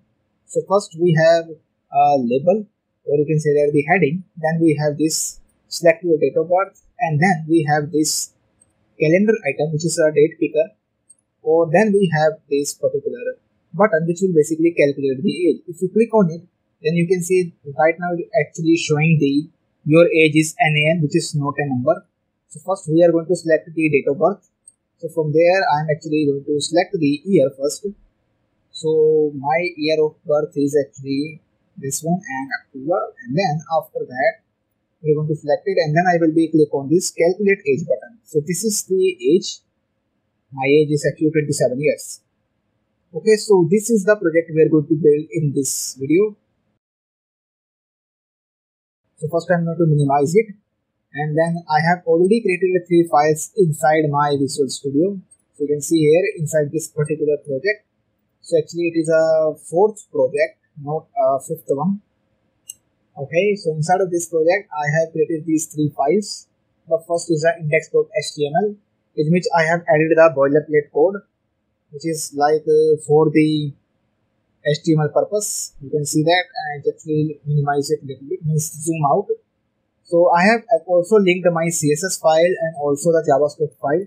You can see these files are empty because we are going to build this project from scratch. So the first thing is we need to add the container for this particular effect which is a, uh, that has this box shadow property and after that we are going to place all these four elements okay which is an input type date. So first I am going to create the div. So here I will be writing the age age calculator and then I'm going to press the tab key so this will actually gives me the div of the class age calculator. Inside of that, I'm going to place the my h2 heading, which is basically for the age calculator. Okay. if I save it and if I just go with this live server plugin so if I run it then you will see the output of my project. And it's actually started so you can see age calculator so everything is working fine. Now I can further proceed with the other elements. So the next element we want is actually an another div so I'm going to write it here div inside of this div I will be using a label tag. So this is a label and for just removing the other properties because those are not required. So here I will be using this select your date of birth. So I'm simply going to use the DOB just for the date of birth. And then here I will be using the input element import and then here I will be using the type as date. And then also I'm going to use the ID because later on we are going to fetch this ID inside the JavaScript file. Then I will be giving the ID as DOB okay so after adding these two elements next is we need a button. So for adding a button I can use uh, another div. I'm just making it a little bit uh, it because then I will be using a CSS just I'm using a different approach. In previous project I use a single container to actually stylize it but I'm going to show the different way you can use tags so that you can style the CSS according to the use of the different containers. You can place multiple containers inside the container because we can do the nesting of the tags. Just a simple HTML stuff. Okay. So inside of this div, I will be using a button. So this button is going to have an ID of like a button calculate or I can say that the calculate button calculate and then we specify the calculate btn which is short for the calculate button and then I will be providing the text calculate age not button. And after that we also need uh, another element which is used for the display of the result. So for that we are going to use the another div element here. So I will be using here a div. In previous project I have used the paragraph element but right now I will be using the div to showcase the result. So here I will be using the result. I have specified the ID as result and I also am going to specify the result of age so if I control save it, then you will see all the elements is now appearing in the screen, means the output browser. So our next step is to actually style the CSS part of this project. So now it's time to start with the CSS part of the project. So for that we need to open our style.css file. So here you can see I have opened my style.css file. So inside of that first I'm going to stylize the body element which is a main element of the HTML document. And instead of that, I will be using the flex property, change the display. So display is going to be like flex and for like we are going to use the justify content center. So if I do that, then you can see our age calculator is actually moves to the center of the screen. And then I will be using the line items property to the center as well and you can see it's actually not moved so we are going to remove this property and inside of that I will be using the height property of going to like 50 VH. So if I save it, also I need a align property as well, guys. Align item center. So you can see now our age calculator is actually appearing at the center of the screen. Not actually perfectly at the center of the screen. It is going to be the 50% of the view height. Okay, so the next property I'm going to use is the background color. So for that, I will be using the RGB function, not an A, it's just simply RGB function. And for the red color, I'm going to specify the value as 188. And for the green, is going to be 158. And for the blue, is going to be 221. If I control save it, then you can see the nice purplish color, or you can say that the light purple color. So the next property that I will be using is the age calculator, means we're going to stylize the age calculator so I'm going to copy this class name, which is a age calculator, and I'm going to paste it here. And then I'm going to start the body of the age calculator. So inside of that, first I'm going to specify the width. So the width is going to be like 800 pixel. And margin is going to be like 0. I'm going to specify the auto. Okay, and the Next property is going to be like text alignment property, which is going to be center of the screen. So if I save it, then you can see there is a, some changes in the output of the project inside the browser. Next, I'm going to use the font family. So font family is going to be like Arial. So I'm going to use this font. So you can see now the font is actually changed. The next is actually we need to specify the background color. So for the color, I will be using the RGBA function. So I specified all the three values as 255. Then for the alpha, I'm going to specify 0.2. Okay. Then for the backdrop filter. So backdrop filter is going to be like uh, backdrop filter is going to be like blur one. We are going to use the blur. And inside of this blur, I'm using the 10 pixel blur. So if I save it, then you can see there is a nice. So if I increase the amount of the blur like uh, 50, then you can see this become more brighter. So I'm going to leave it with the 10. Okay. And the next property we need to specify the box shadow. So the box shadow is going to be like 0 pixel. So I'm not going to make it a mistake here because in the previous project I made a mistake inside the box pixel which as a result the box shadow is not displaying in the output of the screen. So I'm going to use the RGBA function again. Then all the values I'm going to specify as 0 and the alpha amount is going to be 0.2. So you can see there is a, border is actually appearing means the box shadow is actually appearing not the border. Then we need to specify the border radius to actually round the edges of this box at the corners. So it's going to be like 10 pixel. So you can see now we have rounded corners. And after that, I'm going to specify the padding. So padding is going to be 20 pixel. So you can see now it's having a little bit more spaces.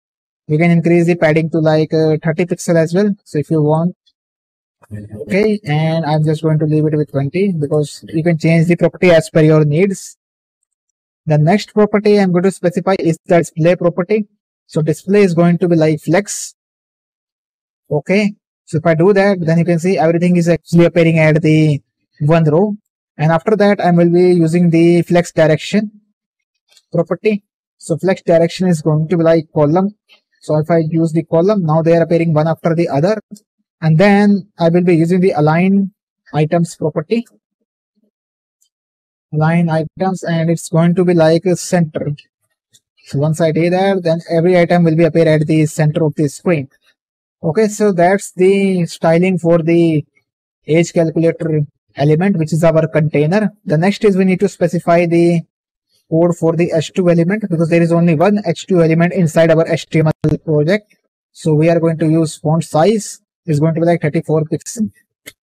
And then we need to specify the margin property. So margin from top is going to be like uh, 20 pixel. Okay, and then the next property we need to specify is the label one. So I'm going to select the label, the tab key to auto complete the suggestion. Then I will be using the display as block. So if I do that, then you can see the input type data is actually appearing in the next line because of this block. Now it's actually appearing the whole row, acting as a whole single container as inside the block level. Okay. The next property I will be using is the margin bottom property. So margin bottom property is going to be like 10 pixel and font size is going to be like uh, 24 pixel. Okay, so it will increase the size of the selected or DOB. The next uh, element that we are going to style is input. So its type is going to be like uh, input type and is equal to be like date Okay, so whatever the input type we are here using the attribute selector. So input type, you can see this is the input type. So it's having a date, so we are targeting this one. Okay. And inside of that, first I need to specify the padding. So padding is going to be like 8 pixel. If I save it, then you can see the size is actually increased, means the padding is increased. And then there is a font size property. So the font size is going to be like 16 pixel. I'm using and then I will be specifying the border radius property. So border radius is going to be 5 pixel. I will specify the border radius property to 5 pixel. And then we need a border. So there should be a nice border of 1 pixel. Solid border. I need a solid border. And it's having a color of CCC. 3 times C. If I save it, then you can see there is a light border. of one pixel solid. And after that, we need to specify the width. So the width is going to be like 400 pixel because the container width is actually 800 pixel. So that is why I have specified the width to 400 pixel. Then I need to specify the margin bottom property. So margin bottom property is going to be like 20 pixel because right now they are actually, there is very less spacing between these two means the margin. So if I did that, then you can see it's actually appearing nicely at the center of this particular container. So that marks the completion for the code of the input type date. The next property we need to stylize is actually the button. So let's do it. So I will be selecting the button and also I'm copying this button because we want a hover state as well, a pseudo class element. So I will be using here a hover and inside of the hover first I will be using the background color because it is very it is only a single line of code. So if I using the color here 0D8 and it's going to be like FB0. So this is the cover used for the hover case and then we need to stylize the default state of the button. So first I will be using the padding. So instead of using the padding from both sides, means all over the side, I will be using the 8 pixel. So this will give the padding from top and bottom and also from the other side. So I uh, from the left hand side, I want 16 pixel padding. Okay. So this will actually increase, makes the button in a rectangular form. Then I need the font size property.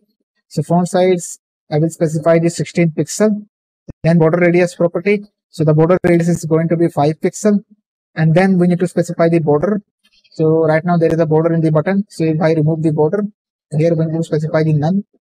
Now you can see the button border is removed. Then we need to specify the text color. So background color is going to be like hashtag 2196F3. So this will be the background color for the button. And then the color for our text is going to be like white. So you can see when I hover over it, then it's become little darker. Okay. And then the cursor property we need to specify as pointer. And then we need to specify there is a nice transition between the hover effect. So it's going to be like background transition. Background color. Okay. Because we want to apply the transition on the background color. So it's going to be like 0.3 S, which is ease. And if I do that, then you can see there is a nice effect. And after that, our last element, which is the result. So we are going to specify the style with by including the ID selector. So margin. So margin top is going to be like 20 pixel because right now they are actually very close with each other. So if I do that, then you can see it's actually become 25% margin means 20 pixel margin. Then we need to specify the 18 pixel font size, which will increase the size of the font. Okay, so that is the end of the CSS part of this project. So it is almost the same, just only there is a difference in between the label text. Okay, so our next step is to actually provide the JavaScript code. So let's get started with the JavaScript part of the project. So for that, we need to open our script.js file.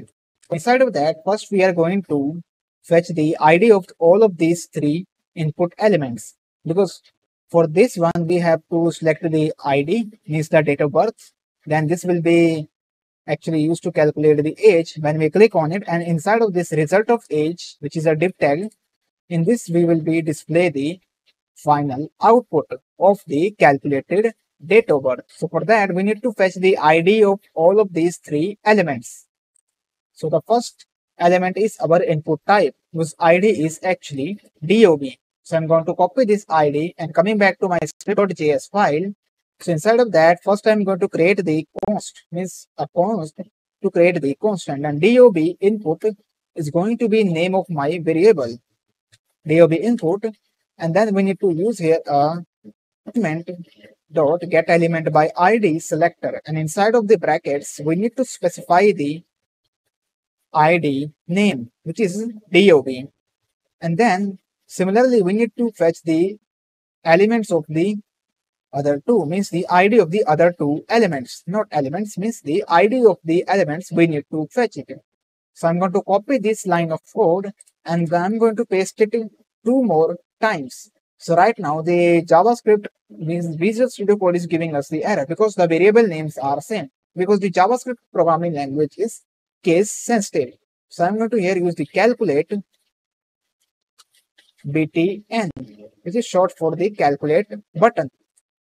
And here i'm going to copy the id of this calculate button pasting the id of the calculate button. Now we have successfully fetched the id of the button. So our next step is to fetch the id of the result element so coming back to the html part so here from that i will be copying the result and specifying in place of the dob and also I'm going to change it into result div or I can say that the result age but I'm going to just simply leave it as a div.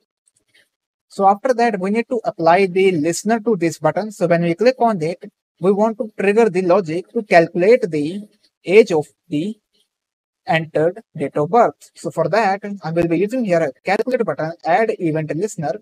Now inside of this event listener I will be adding the code. So first I'm going to specify the terminator and after that inside of it I will be specifying the event which is click event. So on click of that we want to display the result and then I will be using here a function then the body of the function okay and inside of that we will be writing our logic. So the first is we need to actually get the DOB. So first I will be specifying here some local variables. So the const not this actually a const one is actually dob is equal to and then here I will be using a new date function allocating the memory to this object by using the date class. So first I will be using here the input. I will be specifying this date as a dob input dot value. Okay. And after doing that, we need to specify the another variable which is a const age in minutes which is short for the age minutes. So inside of that, I will be using the date object, which is a date one dot, and here I will be using a function now. Inside of this now, I'm going to minus the dob dot get time. So we're going to use the current time element. Note it's going to be dob get time function. So it will actually give us the age in minutes, and after that we will be calculating the age date. So we need to specify here another value age date is equal to new date. Again, I'm using allocating the value to the age date variable by using the new date class. And inside of that, I will be passing the age in minutes. Then I'm going to specify the terminator. And then we our final age is going to store inside this age variable. So this is going to be give us the absolute value. Inside of this absolute function, we are going to specify the code which is age date dot get u so we are going to use the utc format utc full year so this will function will be used minus with the 1970 okay so this is a logic that i have used 1970 so after that we need to set the value of this age variable to our result div, which is actually this particular division. So to do that, I need to use here result. So I have actually made a typo. Result, it's actually a result. So it is going to like result baby dot. We need to update its inner HTML is equal to. So here I will be using the template strings. Instead of that, I will be using here a message which is your age is and then I will be using here uh, the curly brackets and a dollar sign and then I will be using the age variable means pass the variable age and then it's going to be years. So finally the code is completed if I control save it and if I click on it this particular age input type and here I will be specifying the age. So let me first check my birth year which is this birth year means selecting my birth year and also the month and then the date. So if I click on calculate, so you can see it's actually displaying your age is 27 years. If I select the different one, click on it and if I select the different month, like say this 1998 July, I calculate it, then your age is 24 years. So our project is perfectly working. So that's it for this particular project, guys. If you like this course, then please leave a review because it will definitely help me to grow my course. Also, it will gives me some suggestions to actually improve my future courses. So thank you for watching and I will see you in the next lecture. Alright everyone, welcome back to this lecture. So in this lecture, we are going to build tip calculator. So let me show you the final application that we are going to build in this whole lecture. So this is the final product that we are going to build. So you can see it has a nice modern looking design that has two like input types for the bill amount and the next one is for the tip percentage. Then we have this nice hover effect on this button and this is the heading of our calculator which is tip calculator. Then we have two different labels one for the tip amount and one for the total amount. So if i refresh it then you can see right now this will be the basic structure of the application. So if i click on this button if these two are empty then it's going to display the nan which is a nota number. So right now i'm going to enter the amount which is hundred dollar or i can just simply go and type the percentage of the tip which is five percent. So if i click on it then you can see tip amount is going to be five dollar so this will be the total amount that we need to pay inside the restaurant or maybe a coffee shop. If you are enjoying your food then you can use your this particular application. Okay so for building this application we are going to start with the html part first. So here you can see i have opened my visual studio code so this is a previous project that we have built which is an age calculator. So i'm going to close all of these files because I have to provide this as a source code to this particular part of the course. So first I'm going to click on the right click and then I'm going to create a, another folder. And here inside of that I'm going to name this as project 5 which is for the like tip calculator. And it is for the web because it's a web project because I also have some Android projects is going on. That is why for differentiating it I actually proceeded with the web character means the web word okay and then inside of that we need to create the three files. The first is going to be the html not htn it's going to be like html i made a typo here which is html then we need another file which is the style.css and then the third file which is script.js file. After that inside the html file means index.html file i'm going to specify the base code. Also i'm going to minimize it means actually going to change the viewport a little bit and clicking on the browser so this will be the output screen I will be using for the development so that you can see the output when I actually code the HTML element alongside the CSS part. So first we are going to start with the HTML part. So first open your index.html. So here I will be using the shortcut Emmet abbreviation which is a sign of exclamation and if I press the enter key then we get the boilerplate code. So instead of that, first I'm going to change the title to tip calculator. And then after that, I'm going to specify the h1 element. So the first h1 element is going to be inside the container, which is going to be the name as calculate. Calculate and if I press the enter key and instead of that, I'm going to specify the h1 element, which is going to be the heading of the calculator. Okay, if I save it and use the plugin, first I need to dispose it then if I click on the go live then you can see the things are working perfectly fine. After that I also want to link the CSS part. So it's actually in the same directory. So it's going to be the CSS which is a style.css file. Then also I'm going to specify the script tag. And for the script I'm going to use the src element and it's also in the same directory. So now our script and CSS file is also connected with this particular index.html file which is a tip calculator project. So our next step is to place the other elements of the screen which is this input type, labels and this button then another two labels and also this particular actually a span elements. So all of this we need to place inside this particular container which is a this container. So that later on we are going to use this container to create this nice looking card effect.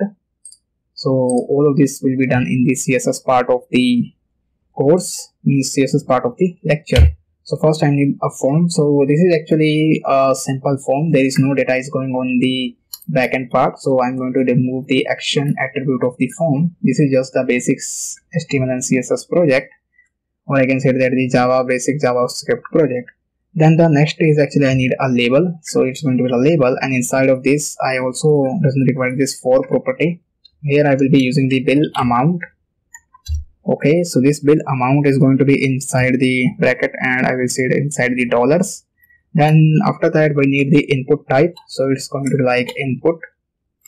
So input type is going to be number because we are working with the numbers. And then i need to specify the id again this id will be used inside the javascript. So bill amount okay and then we need to add the required attribute otherwise it's going to give us the error because these are required. Without this we are not going to able to because without this we are not able to solve the tip. So label another label is required for the tip percentage. So here i will be adding a tip percentage. Okay so this is going to be in a form of percentage. So again i'm using the bracket and the percentage symbol so where is my percentage symbol? It's actually in the fifth key of the numerical number part of the keyboards. Okay and then we need the input type. So input and input type again this is going to be a number one because the number is required for the calculation and then the id so i'm going to specify the id as percentage. Okay so if i just simply control save it then you can see these two elements okay? So now right now you can see this tip percentage is coming right after this input type. This is because this entire input type doesn't have the like a block level structure. So also i need to specify here a required property. So if i use this required property then you can see all these four elements is now actually appearing at the browser screen so next we need to close the form because our form part is done. The next part is actually we need to use specify this button. Okay. So to do that we need to come outside of this particular form element and here I will be specifying the another div. So this is going to be for the results. Okay results. And I'm pressing the enter key. Inside of this result first I will be using the paragraph element so this paragraph is for the tip amount. So this is just for the heading of the element. And then inside of that i will be using the span element. Okay so span and i pressing the enter key. Then you can see it's actually become the amount. So first i need to actually make a little space here. Opening the tag and then closing because Emmet is actually not working here and providing the wrong output as I will say the Emmet then it's going to be the ID it's going to be tip amount and right now I'm going to show the 0 as the default. I can just simply remove it. There is no need to do that. Then I'm going to copy this one because it is going to be the same. And then here I will be change the tip amount to total amount that we need to pay. And then the ID is also like a total amount. Total amount okay so this is actually all the elements is now appearing at the screen. Okay so this is it for the html part of the lecture. So our next step is to add the css for this tip calculator so that it looks like a little bit more interesting. So now we are going to add the css part to this particular tip calculator project. So for that we need to use the style.css file so I'm going to click on this style.css file. So right now you can see this entire file is empty. So the first element that I'm going to select inside this style.css file is the body element. Inside of that, first I'm going to change the font family. The font family that I will be using is Arial and if I control save it, then you can see the font of all the elements is actually changed. I'm going to remove this Helvetica and if I save it then you can see right now the font is changed. The next property that I want to change is the margin property which is going to be 0 and the padding property is also going to be 0 and then I need to specify the grayish color which is going to be like F2, F2 and F2 if I control save it then you can see there is a light gray color. So that's the body element code. And now the next is we need to specify the code for the calculate so this is the main container inside all the element is present. So we need to style this so that we can get this nice looking white container. So to do that we are going to use this calculate id means the calculate selector. So make sure you have typed the correct id selector. Otherwise you will get the error means your code is not going to work. So i am going to here use the max width property. So max width i'm going to specify 500 pixel then the margin is going to be like not max resolution it's going to be like margin property. So margin top and right is going to be like 50 pixel means from top and bottom. And then left and right is going to be like auto. So if i just simply say you without saving if i just at this point you can see this is actually appearing at the corner of the screen. So once i do the control save then you can see it's actually appearing at the very corner of the screen. Okay so margin auto not auto is like auto auto twice i have made a typo which is zero. So over there is the output browser. So if i control save it and if I maximize it then you can see it's actually appearing at the center of the screen because from left and right is going to automatically calculate the margin. Okay? So that is why because sometimes it's going to confuse the persons and also I'm going to make it a little smaller so that the both screens can be seen clearly. Okay the next property that i want to use is the background color. So for background color we need to specify the white color so that we can get this nice looking white color. And then i need to specify the padding property. So padding is going to be like 30 pixel. Control save it. Then you can see we get this nice looking effect of the card after that i need to specify the border radius property. So the border radius is going to like 5 pixel. So that we can get the rounded corners. Now i'm actually using the 90% of the zoom. And then i'm using the box shadow property. So that we can provide this nice shadow to this card. So to do that first we need to specify 0 0 then 10 pixel. And after that i need to use the rgba property and inside of that i'm going to specify the value of the rgb to 0 and the alpha is going to be like 0.1 so once I save it, then you can see we have this nice looking box shadow to this particular calculate card. So that marks the completion of the code for this calculate division tag by using the calculate selector. Then the next element that we want to style is the h1 element and inside of this h1 element I'm going to specify the text align property to center so that is going to appear at the center of the screen. The next element that we want to style is the form element so this form is actually acting as a parent to these all five tags. The one thing is you need to notice inside the HTML part, I actually forgot to add the button. So I have added this button because I forgot to add in the HTML part of the step calculator. So make sure you type this button, type button on click calculate tip.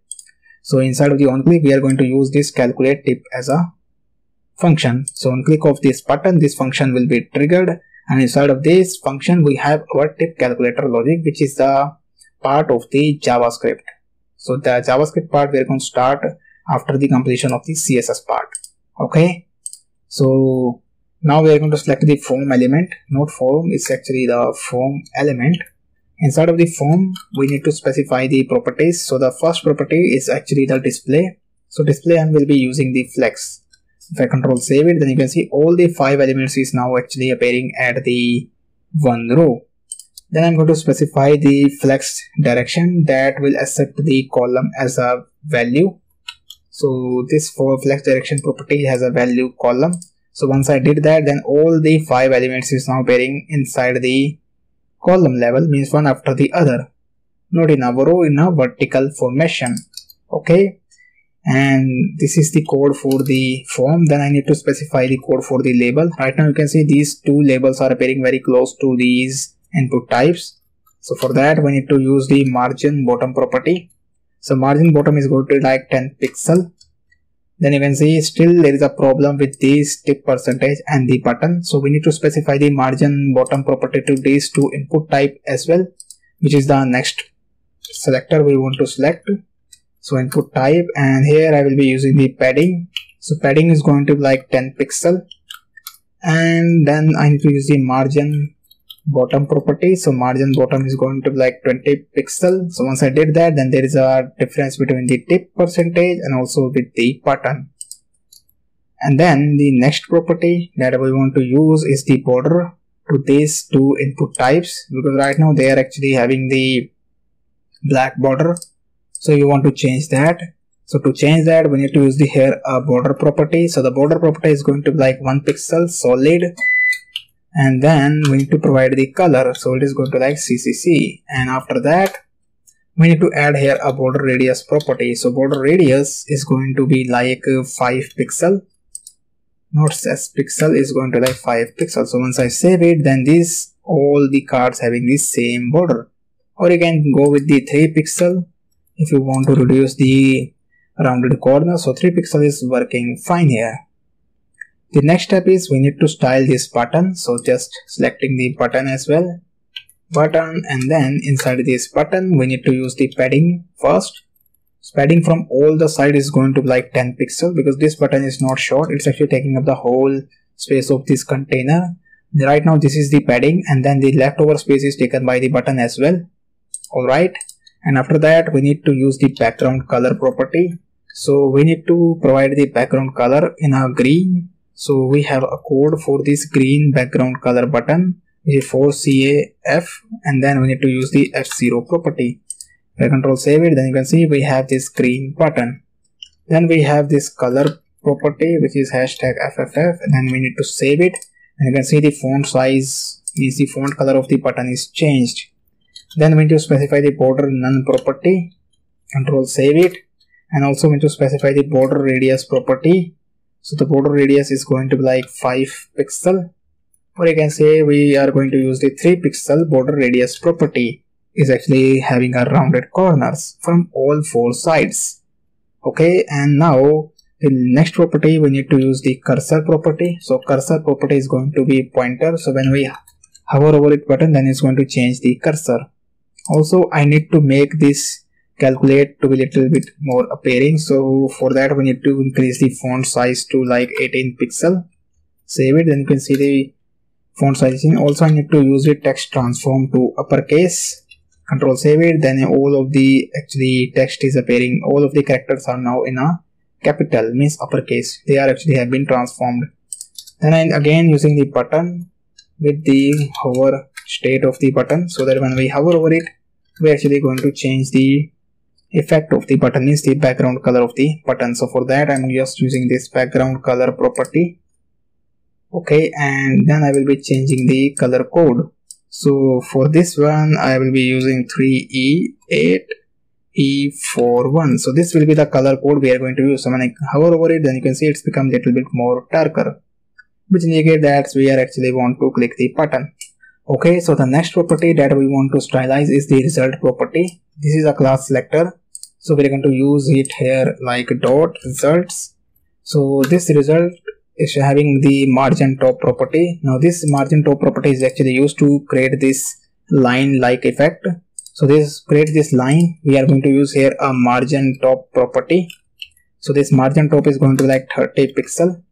And then we need to use here a border top property. So we need to specify the border at the top. So it's going to be like one pixel border. Then we need to use this solid and then the color of the border which is again a triple c color to create the border like this. Okay. So one pixel and here i have made a typo. This is a solid. Once I do that then you can see we are seeing this nice looking line okay and then also we need to add the padding so padding from top is going to be like 20 pixel. Once I did the padding then you can see there is a difference between these two. And now our next step is to actually select the paragraph element under this result class. Okay so to do that first we need to select the results. And inside of this we need to select the paragraph element. So here I'm using the multiple selectors and then I will be using here a margin bottom property.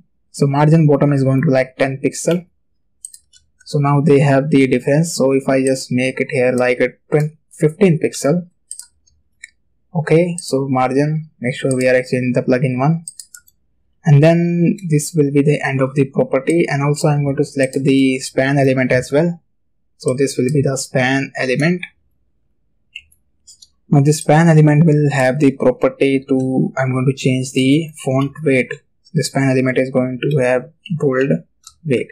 So this will be the bold. Now they are actually appearing little bit darker once the value is changed from the javascript code. So guys that marks the completion of the code for the css part. So you can see they are actually appearing almost the same except this is looking a little bit smaller. That is because it has a 90% zoom. So if I increase the zoom to 100% then you can see both are same. The only difference is with these two elements I have added here a 0. Also this button text is actually in a uppercase means the text is transformed to uppercase. Alright. So the next step is to add the JavaScript to this tip calculator. So our next step is to add the JavaScript part to this tip calculator. so for that we need to open our script.js file so I also want to minimize it means resize this window of the browser. So the first thing is we need to get the id of these two input elements and also the id of this button okay? And then we also need to get the IDs of these two. So totally we have to get the element ID of these five elements. So for that first I need to use here a function keyword because inside the HTML part of the button we have specified an on click event so this calculate tip is the name of the function that we need to specify here. And then we need to start the braces and also the body of this function. So all the code will be present inside the function means we are going to type all the code inside of this function. Okay. And the first thing is we need to get the input values. So get the input type values. So all first inputs are these two so here first I'm going to create the variable of the const type is equal to so it is going to be like bill amount amount is equal to so here first I will be using here a parseFloat function. And because the bill may be in a form of decimals as well means it will have a float value. So inside of that I will be using a document dot get element by id so get element by id inside of that i will be specifying id name so the id name is actually bill amount. So we need to copy this entire id name. So control c and then here inside of that we are going to place the bill amount. And similarly i am going to and also i need to specify one more value before copying the node arial. It's actually a value. Okay and then i'm going to copy this line of code and pasting it one more time. And at this time we are going to use here a tip percentage tip percentage and then we need to change the id as well. So the id of the tip percentage is tip percentage. So here we are going to specify the id name tip percentage and the rest of the thing is remain same. Then i need to add here a calculate the tip. So i'm going to type here a so the first thing is we need to create here another variable which is tip amount is equal to so this tip amount is going to be like bill amount the amount that we have entered in, inside of this input type is going to multiply with the fraction part of the tip percentage. So the tip percentage we need to calculate inside the braces. Okay so here we are need to add the tip percentage. The fraction value of the tip percentage is divided with the 100% means the 100 then you have to apply the terminator. And after that we need to add to calculate the total amount here we need to add the create the another variable which is of total amount. So total amount total amount is equal to tip amount. So we have the tip amount and then we need to add it with the bill amount. Okay? So this will be the logic to calculate the total amount and also we have calculated the tip amount. Then we need to display the result to the span elements that will be act as a result for the label okay so for that first we need to get the element of the span elements. So document dot get element by id and inside of that we need to specify the id so the id is tip amount. Tip amount and here i need to paste the id then we need to convert it into means we need to update the text content because the span element has the text content property. So text content and also it has the inner text. Then i'm going to here use the dollar symbol. And then i will be use the plus symbol to concatenate it with the value that we have get it. So tip amount that we have calculated inside of this variable which is tip amount. So we need to use the variable tip amount. And then I need to get into the toFixed function. So to fixed function and then I will be here using the to so if we don't use the to function then I will be first show you the output before applying this function.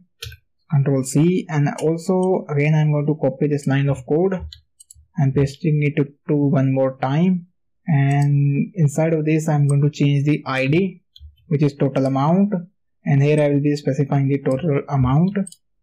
And then I need text content. Need to update the text content. Then this dollar symbol will be present. And then the value of the variable name I'm going to change it. Then control C to actually save it means control S to save it.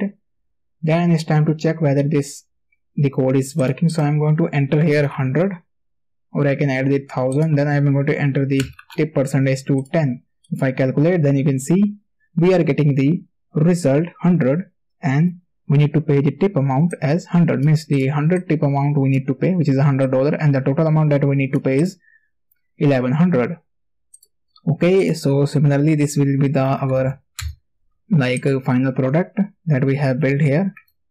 And do that then if to get these two decimal digits like a dollar one means these two decimal digits then where we can use the toFixed function. That is why I have actually removed this function and then we need to specify here too. Okay if I use just coming back to the our own project one which is uh, this capital case one. So if I use this to fix to here also inside the total amount save it. Again I'm here specifying the 100 value. Tip percent is going to be 5 then you can see we get these two decimal. After this point we get these two decimal digits means these two zeros. So if I use here 3 then if I use here 1 100 and then the tip amount is up to 5 then we get 3 here. So make sure you use 2 and it's totally up to you if you want to use 2 fixed so that you can get these zeros okay? Again I'm going to enter some these types of value and uh, calculate it then you can get the decimal digits up to 2 only after the point. So this is our tip calculator project. So that's it for this lecture. I hope you like this particular project if you like this particular project then leave a review because your review definitely going to help me to grow my course also it will help me to improve my future courses so thank you for watching and I will see you in the next lecture. Welcome back to this lecture. So in this lecture, we are going to build the to-do list application from scratch inside this lecture. So let me first show you the application that we are going to build in this particular lecture. So you can see this is the final project that we are going to build. So you can see this is having a nice little card. We have the heading which is to-do list. Then we have this input type which is add new to do the placeholder text and then we have this nice hover effect on the button. So if I click on add then you can see nothing is happening. So once I enter the text inside this first to do, this is first to do to do task and if I click on add then you can see the task is actually added to this particular list and if I add here a second to do and if I enter add then you can see the second to do is add after the first to do. So it's actually creating the list. So the first part is we need to start with the HTML part of this to-do list application. So here you can see inside the Visual Studio Code, I have created three files. The first is index.html, the second is script.js, and the third is style.css file. So I have created all of these three files to save some time. Okay, so I'm going to just increase the size of this Visual Studio Code, and then I'm going to resize the browser window so that you can see the output once I type the code okay so just make it a little bit more bigger and I'm going to remove this one and the next thing is here I will be using the h1 so it's going to be like to do list okay so if I save it I save it and then if I just run this project by using the Go Live Server extension. Then you can see to do list. Alright, so this will be the heading for the project. Now we need to wrap this h1 element inside the div tag which will act as a container for the project. So for that we need to here use the container. So I am using the Emmet shortcut. So here I will be writing the container and pressing the tab key inside of this container I will be pasting the code of the h1 element if I save it then you can see nothing is changed because they, there is only a single element now we need to actually specify the rest of the elements so the another element is actually the input type which is type is going to be text so that we can enter the text into the input of the element and then we need to specify the id so the id is going to be like new to do item Okay, so it's going to be, a, or I can say the new to do input to make it more meaningful. Then I need the placeholder text. So enter your do. Okay, so this will be the placeholder text for the input type. And after that, we need a button. So here we need to add the button. Then the ID of this button. So it's like add to do for btn which is a add to the button then i'm going to specify the here add as a text to the button which will be displayed so if i control save it then you can see these two elements is now appearing at the screen the next element is we need is to actually creating the list for that we need to use the ul element so this is going to have an id of uh, to do list this will we are going to update with the javascript so there is no text inside of this and we don't need to specify any list item. We are going to do that with the use of JavaScript. So I'm going to style the other these three elements in the CSS part of this to-do list application. Okay, so our next step is to add the CSS part to this to-do list application. So for that, we need to use the style.css file. So I'm going to click on this style.css file. So here you can see it's totally an empty.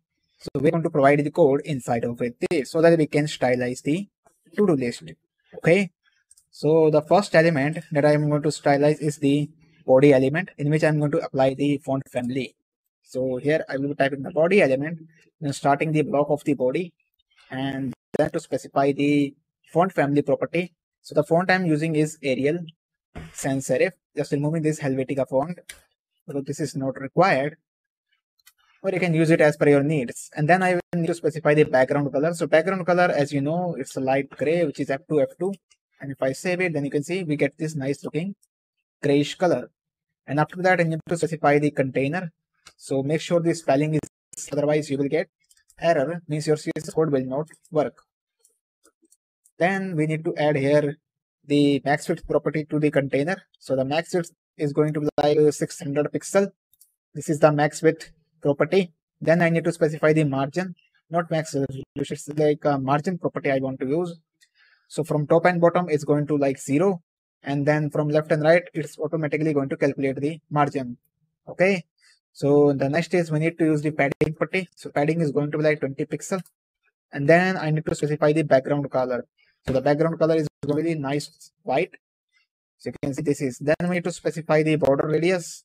So the border radius is going to like 5 pixel and then I need to specify the box shadow which is uh, gives the nice box shadow so it's going to be 0 pixel 0 0 and then I need to specify the 5 pixel or I can go with the 10 pixel then I need to specify the color to the border so it's going to 0 0 0 and then the alpha is going to be like 0 0.3 if I save it then you can see we get this nice looking border. So our next step is to style this h1 element.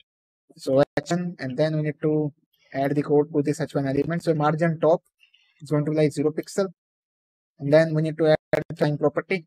So text align is going to be center. Save it then you can see it's going to the center of the screen. And then we need to specify the color. So the color to change the font color. So it's going to be like uh, slightly lighter than the black color so that marks the completion for the code of the h1 element then we need to specify the code for this input type for the css so the first is input and then I am here using the type attribute selector. So I'm going to specify the input type is equal to text. Okay. Then the block of this input type. So here I will be using the padding property. From all the sides, I'm going to give the 8 pixel padding. I'm using the 8 pixel padding. Then I'm using the font size property to 16 pixel. Save it. Then you can see it's becoming a little bit bigger. Okay. And then I have using the property is equal to none and then I need to use the border radius property. So border radius is going to like 2 pixel solid border.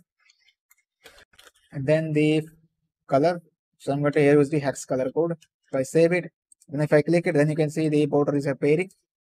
Okay, so on click of the input type, then we get the border. Then I need to specify the width. So width is uh, like uh, I'm actually using 80% width. Okay, so it's going to give us a nice big border. All right. And this will be the border. Border is none. Actually, I want a little border, not none border. I actually want a border like a one pixel border. But this is not looking good. So one pixel solid. And this is the color I will be using here like uh, F2, F2, F2. So this will give us a light border. Okay, so that if I click it, then it will become darker. So this is the border I am actually using because the none border property doesn't make any sense because it's the white and our input type is also white. So we need to make a little differentiation between these two elements. Okay. And the last which is margin from right is going to be like a 10 pixel because right now this button and this input type both are appearing at these very close to each other. So that is why I am actually using the 10 pixel. Then it's actually having a 10 pixel between these two elements. So that's it. So that is for the input type. Then next uh, we need to use the button to style the button. So here I will be using the button and then I need to specify the code button. So first I want to apply. So padding is from left and right is going to be 8 pixel, not 80 pixel. It's like 8 pixel. And then the 20 pixels. If I save it, then you can see we have this nice button. And then I need to specify background color. So background color is going to be like this default color I'm using it and then I need to specify the font color. So font color is like FFF for the dark white, or I can say that the white color. Then we need to remove the border. So the border is going to be like and after that I need to change the cursor property to pointer. So if I you can see now we need the hover element. So I'm just going to copy it, paste it, removing the three properties, also this padding one, actually also this log and then I need to here specify the code for the border which is 333 which will gives the little darker one. And then I need to here specify the hover state. Is the hover plus then if I hover it then it becomes little more darker okay so that marks the completion for the code of the button as well so the next style that we want to do is the style for the to do and the UL element but right now we doesn't able to see the UL element so that is why we are not going to provide the style to the at this point of time. We're going to provide the style once we write the JavaScript code. So our next step is to write the JavaScript code. So our next step is to add the JavaScript part to this project. So let's start with it. So for that we need to open our script.js file. And this is the style we have done in the previous CSS part of the project. So the first thing is we need to fetch the ID of the elements. So right now we have three IDs we need to fetch, which is input type and this to-do list, which is a UL list and the button. Okay. So that I'm actually here seeing the ID. In the first ID is a new to-do. So I'm going to copy this ID and coming back to the script part. So here I will be using the first const variable and then the list of the, then I'm going to specify the name as to-do list then I will be using the document dot get element by ID. And then here I need to specify the ID inside the double quotes. And after that, I need to copy this line of code and pasting it into two more times. And then I need to specify here new to do input. Also, then the name of this variable is going to like add to do btn. Okay. I need to copy the ID, which is add to do btn, which is the ID of the button. So I'm going to specify it here. I need to copy the ID of the to-do list. To-do list ID. So this is a new to-do list. So this is actually the to-do list ID. I have actually copied the wrong one. Okay, so that's now completely ID. The list is for to-do list, new to-do input, new to-do input, then add to-do button, and then add to-do button. So these are the three variables we have now finally fetched the ID of the elements. And after that, here I will be using the add to do button, add event listener. So instead of that, we are going to add the listener and then I need to specify the column. Then I will be here using the click. And here I'm going to specify the function. The event that we are going to, or I can use the arrow function. So arrow function, we need to provide the fat arrow okay so this will be the arrow function then need to specify the body of the arrow function okay and then inside of that we need to add the const variable so this is basically used to hold the new to do text whatever we will type inside this to do input type it's going to hold inside of this particular variable okay so it is going to be new to do text is equal to then need to set the value of new to do input dot value. So whatever value is coming from the input type, we are going to set it here. Note is actually value. And after that, we need to check for the empty to do. So we are going to use if condition, then the body of the if. Instead of that, first I will be writing the new to do input. So we need to check whether the new to do input is not equal to empty string. If it is an empty, then we don't want to allow it to enter into the list. That is why this condition is here used. After that, I'm again going to get another constant variable.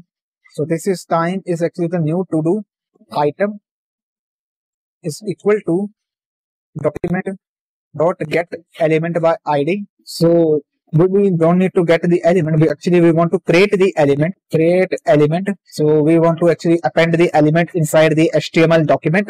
So we actually creating the new to do item. Okay. So this will be the new to do item variable. This will actually be the item that will be entered inside the list. And after that, we need to use the new to do item dot inner text. So after creating the list, we need to update its inner text is equal to the new to text that we are getting from the input type. So we let me first complete it new to do text. So these two lines of code is it's actually going to create the li element in the HTML document. And after creating the document, we need to update its inner text value with the new to do text. This new to do text value is coming from the new to do input, which is uh, this input. Okay, so these two lines of code is actually clear to you, I hope. Then the next we need to create the delete button. Right now you can see this is a delete button. So we need to create this HTML element as well. So again, I'm going to here use the const by const keyword, and then I will be here using delete, delete, and to do btn. So it's going to be like a button is equal to document dot. Then we need to again create the element. It is going to be like create element, and then what element we want to create. So we want to create the button element. Okay. After creating the button, then we need to append it with the to do. Okay, so again, we need to create the same process. We need to update its text property so that we can provide this X button just to indicate the cross to actually delete the to do. Okay, so again, here I will be using the delete to do button dot inner text. We're going to update its inner text value. Then we need to initialize it with the delete to do btn value. Okay, so this is for the, or I can go with the like uh, X, we need to append it, not delete one. First, we need to add the X here. Do will be creative. So if I just simply I enter here this, and if I enter, then you can see nothing is working because right now we are not displaying the result inside the UL. We are just creating these to-dos inside the variable scope. We are not displaying it. So let me first complete the code, then I will be show you the output. After that, we need to add the class list element to this delete to do button so that it can delete the to do from the UI. So for that, here I will be using again delete to do btn dot class list. So this will be the class list dot. I'm going to add using the function add. Then we need to start the bracket and inside bracket we need to specify the code inside the double quotes. So we actually want to delete to do btn. So whatever the button we have, so here we will specify the delete,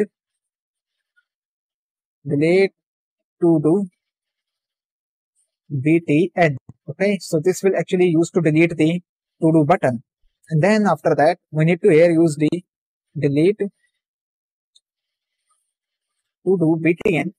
And then we need to add here the add event listener so that when we click on the button, then we can remove the to do. So for that, again, we need to specify the terminator here and then we need to start the specify the event which is going to be the click event. Then we need to specify here the function. Then the body of the function and inside of this function, we need to add a line of code which is to do item. So new to do item. This is actually the new to do item. This one, this is a variable one. We need to call a function called remove. Okay, so this when we click on this X button, then it's going to remove the to do from the list. And after that, we need to create the list, means append the code inside the list. once we add the delete procedure, we need to update the to-do as well. So new to-do input dot append child. So this will be our append child and then we're going to use here delete to-do btn. Okay, then to add the because once we delete the the delete functionality will be performed when the button is clicked then we also need to append the delete button inside the new item because it will be also as a act as a part of the task or I can say that the to do. Then we need to update the to do list which is our main UL list. Okay. So inside of that we need to use the append child functionality, append child method. Then inside of that we need to provide the new to do item which is the main new to do item. You, this, this will be the new to do item. We need to append it to the list so that we can display it. And then we need to set the new to our, once we enter the value, we need to also make sure once we click on it, this edit means this input type will become empty. So to do that, we are going to here add the code which is new to do input dot value is equals to empty string. So that marks the completion of the code for the to-do list application. Okay.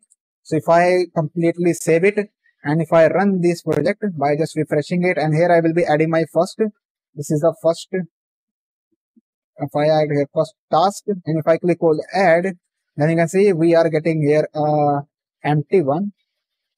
y And if I enter, then you can see we have this empty one, we can delete it. But right now the text is not appearing we are actually adding the to-dos. So there is a mistake. So we need to figure out where is we have made a typo. So guys, the problem is here inside of this code is we actually comparing here the wrong input variable. So here we need to compare the new to-do text instead of new to-do input. So I'm going to copy this and I will be replacing it here. So once we compare the text, if it is not empty, then we want to execute the code. Also here instead of new to-do input, we need to update the value of the new to do item. Because right now this is actually holding the list item. Okay? So we need to replace it this new to do input with this variable. So i'm going to copy this here and i will be pasting it here. After that once we control save it and then i will be adding here the this is the to do no to do this is to do. If i can add it then you can see now we are actually able to see the text. Then we can add here a drink water. And if I control means click on the add button then you can see we are getting the second to do drink water. If I click on this then we can also delete the to do. So the next step is we need to add the CSS so that we can see like uh, this. Okay? So you can see like this one. So to add this type of CSS we need to coming back to this start CSS file so the first thing is we need to add the CSS for the UL which is for the unordered list selecting the UL selector which is for the unordered list. So first step is we need to add the list style to none so that we can remove the basic styling like bullets of the list. Then we need to specify the padding to zero.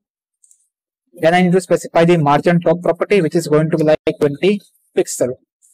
So if I save it, if I enter here like some text, this and if I enter here then you can see then you can see there is nothing is changed because we need to style the list element as well. The only thing is actually removed is the bullets of the list. Okay. Then I'm going to select the li element and then inside of this li element, first I need to specify the padding. Padding from all sides is going to be like 10 pixel. And then I need to specify the background property, which is the background color. So the background color is like 3 times E, which is for the dark. Then from the board margin bottom property, which is going to be like 5 pixel. And after that, I need to specify here border radius property which is also be 5 pixel. Then we need to specify the display property. So display is going to be like flex. And then we need to specify the justify content center. And then align items at center. So as i save it then you can see the text is now text and the button is actually at the center of the screen so instead of doing that justify content center we can add it as the space between so if i save it so now if I enter here a long text like this is the first to do to do task to be to be completed.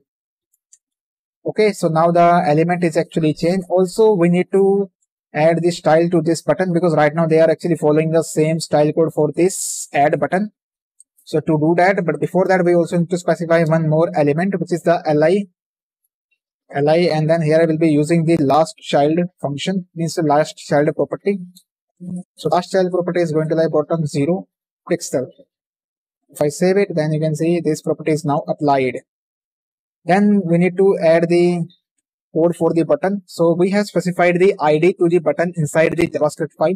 You can see that this is a delete to do class list add. So we are actually specifying the class selector to this delete to do button variable. We can add adding the class element directly means dynamically with the JavaScript code. So we use this ID name, this is delete to do button, control C, copy it and then if I coming back to the CSS part, here I will be using the dot and then pasting the name of the class. Then instead of that, first we need to add the background color. So the background color is going to be like red. So here I will be using the red color. Okay.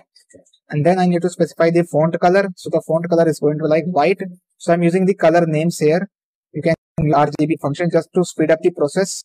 I just use here the color name. That color is going to be none. And then I need to specify the padding. So padding is going to be like 5 pixel from the top and bottom. Then from left and right is going to be like 10 pixel. And after that, I need to use border radius property. So border radius is going to like 3 pixel. And then I will be using the cursor property. Or circle is like cursor pointer. So once I save it, then you can see the button style is actually changed. The only thing is need we need to change the hover state of the button as well. So if I control C it and control CV, then here I'm going to add the hover element so delete button and then we need to change the color here so here i will be using the hashtag d32 for my color name. So this will be the color which is a slightly darker than the previous color. Okay so that marks the completion of the code for the css part as well.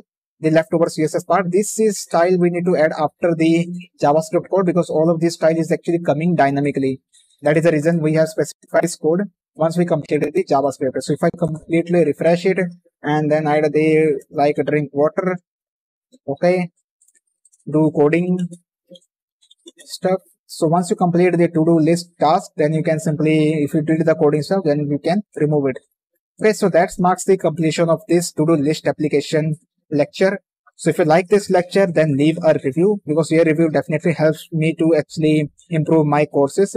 So thank you for watching and I will see you in the next lecture. Welcome back to this lecture. So in this lecture, we will be building a digital clock application by using JavaScript. So let me first show you the application that we are going to build in this whole lecture.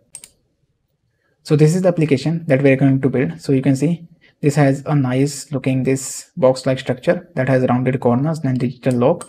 And then this is the timer that is currently working on so this is our hours and this is for the like minutes and then we have this seconds so we're going to build this application then we're going to style this particular if like uh, design this is a little bit tricky. So we're going to work with the css part as well. So our first step is to start with the html part of the project.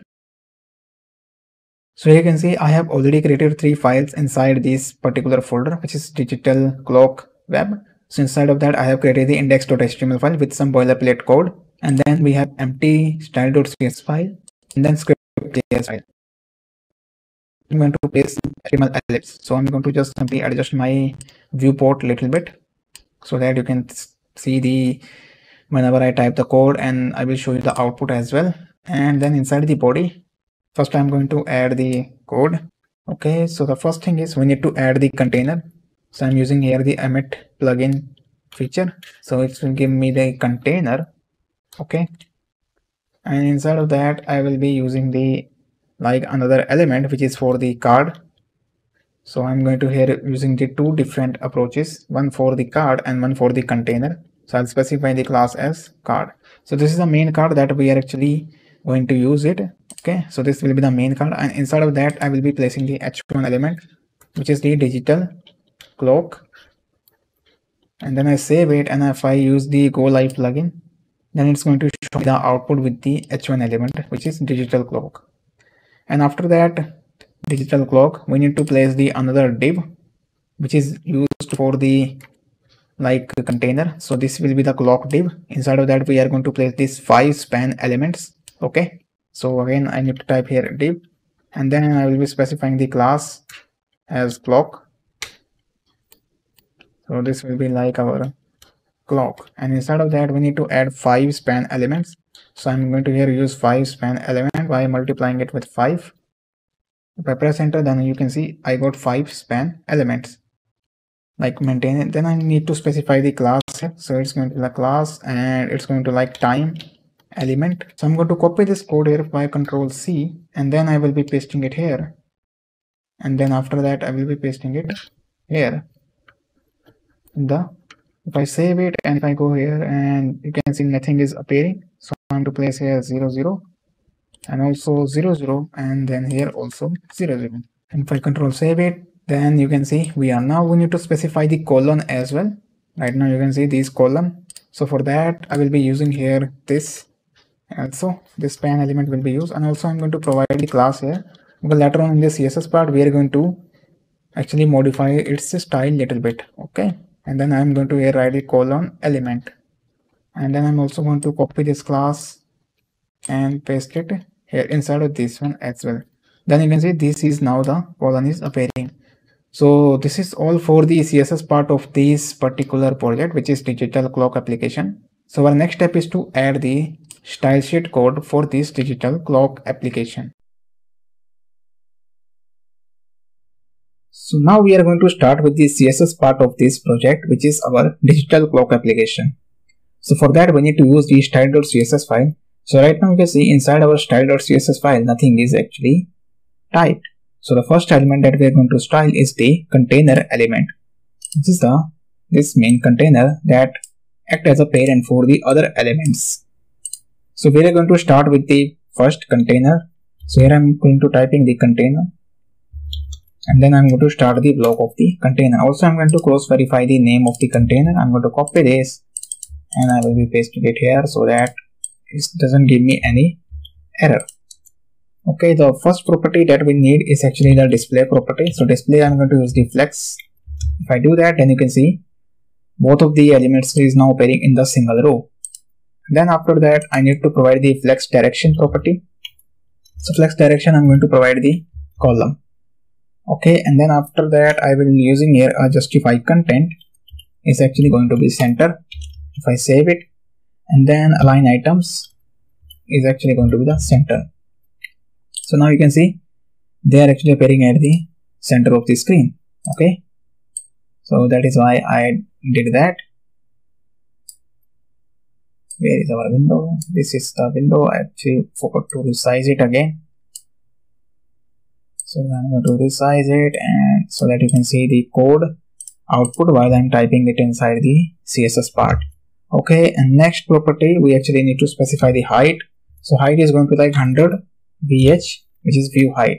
Okay, and if I control save it, then you can see this is now perfectly at the center of the screen. And then after that, we need to specify the background color. So background color here will be using the hexadecimal notation code, which is the D3 not add 3 it's like d3 and capital d and capital d3 so this will be the color code we are going to use for the container now you can see you can see the default styling of the browser which is the body element. So we need to style the default style of the body means restyle it or we can say that the remove the default style of the browser from the body.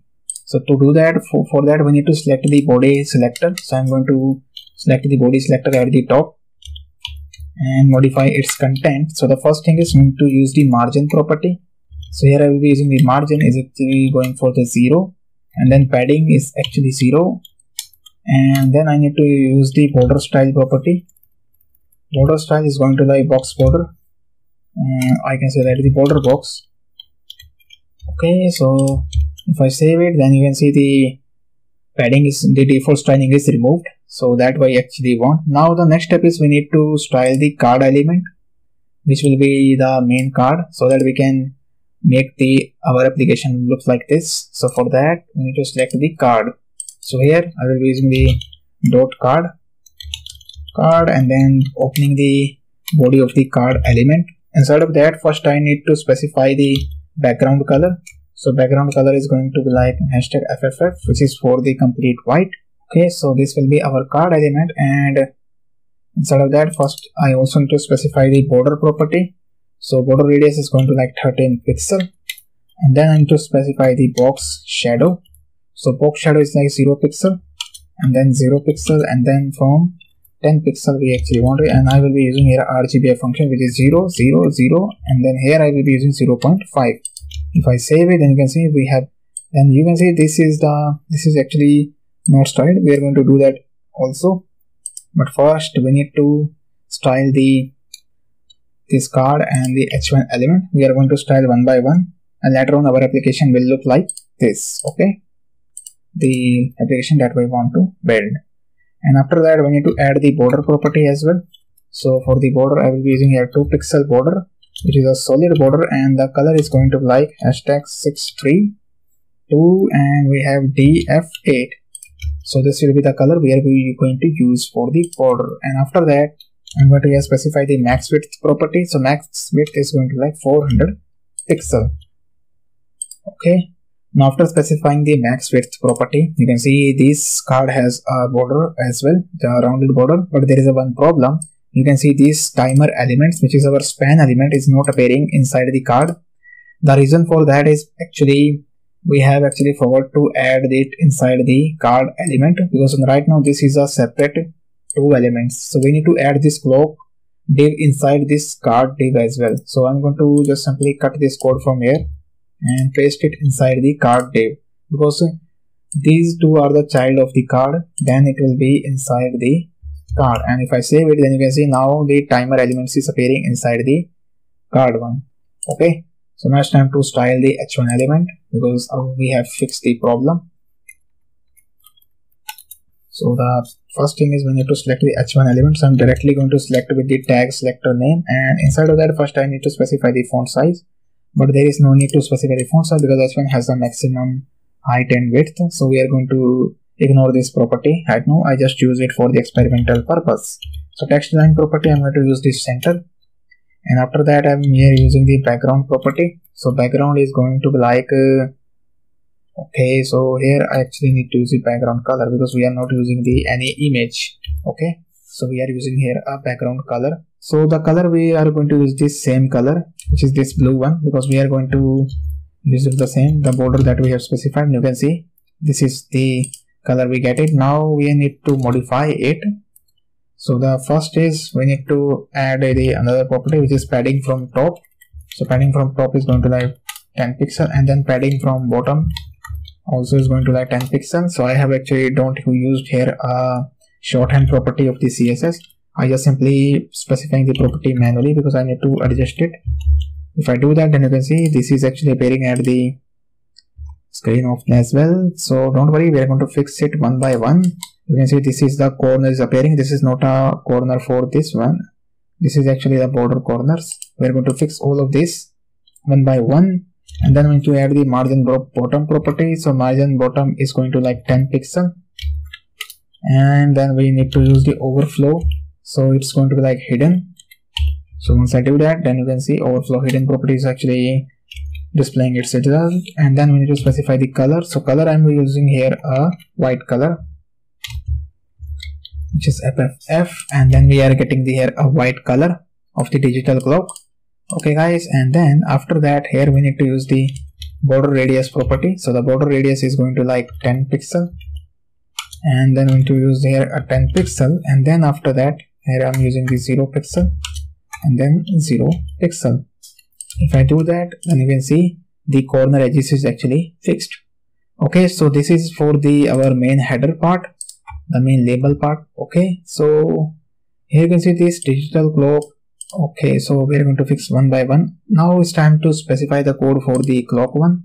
So this is a clock element okay? So i'm going to copy this one and uh, coming back to the css file. So here i will be writing a clock and I'll start the body of the element. And first i need to specify the padding. So padding is going to like 25 pixel.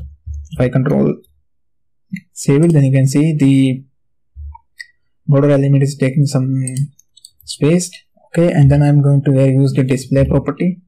So we are going to use the display flex. If i do that then nothing is changed i think. So we need to use the align property as well align items at the center. So align item center and then i need to specify the margin bottom property. So margin bottom is going to like 10 pixel. Okay so this is actually working fine. Then we need to add the time element. So we have our time element okay so the span classes that is our this time element. So we're going to provide the style for that as well. So the first thing we need to add here a font size property. So font size is going to like 48 pixel. Okay and then after that we need to add here a font weight property. So font weight is going to be like uh, our bold. And then we need to add here a color property which is used to change the color of the font. So i'm going to use here a black so 000 okay and after that i need to here specify the margin property. So margin is going to like 0 pixel and then we need to use the 10 pixel. So from left and right is going to like 0 pixel and from top and bottom is going to like 10 pixels. You can see it's actually now appearing perfectly. Okay and then I need to here use the another which is a colon element which is used to actually style these columns right now they are actually very tiny and small. Okay so I'm going to write here at element. So here I have forgot mistaken the name. And then inside of that I'm going to specify the same property coming back and just only reducing the size of the font. So you can see now this is what our digital clock looks like. The css part same as it is like this one. The only difference is that this one has uh like uh, i actually resized the font of this one and inside of that i didn't do that so you can do it as per your need if you want so that's it for the css part of this particular project which is our digital clock so our next step is to add the JavaScript to this project. So now let's start with the JavaScript part of this particular project. So for that we need to use the script.js file. So inside of that file first we need to start with the update clock method. So this map function will be called when we launch the project. So we are going to call this function outside of the project by using the set interval method. Means after one second we are going to call this function once the project is loaded to the screen. Okay? Or we can say the project is loaded into the browser. So first we need to here specify the function.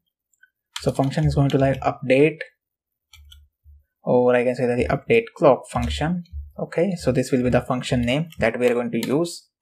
And we are going to call this function by using the set interval method. And inside of that we need to specify the method. Okay so this the callback we are going to specify here not an like uh, arrow function callback. We need to pass here an update clock callback without the brackets. And then instead of that we need to specify the 1000 millisecond which is actually equal for the one second. And then once we load this project you will see nothing is happening. Because after that whatever code we will write inside of this function it will be executed after one second. Okay? So let's do it. So the first thing is we need to get the ids of the elements. Okay? Like these three one. And after that we need to add the logic to calculate the hours minutes and seconds. So the first thing is i'm going to get the ids of the elements so right now you can see the inside the html part i didn't specify the id to these three span elements. So it's time to specify the ID as well. So here I will be using the ID attribute and then inside of that I will be specifying the ID as hours and this one is going to for the minutes and this is the third one is actually for the like is for the seconds okay so we need to fetch the id of all of these three elements inside the script.js. So for fetching the id, we are going to here use the const.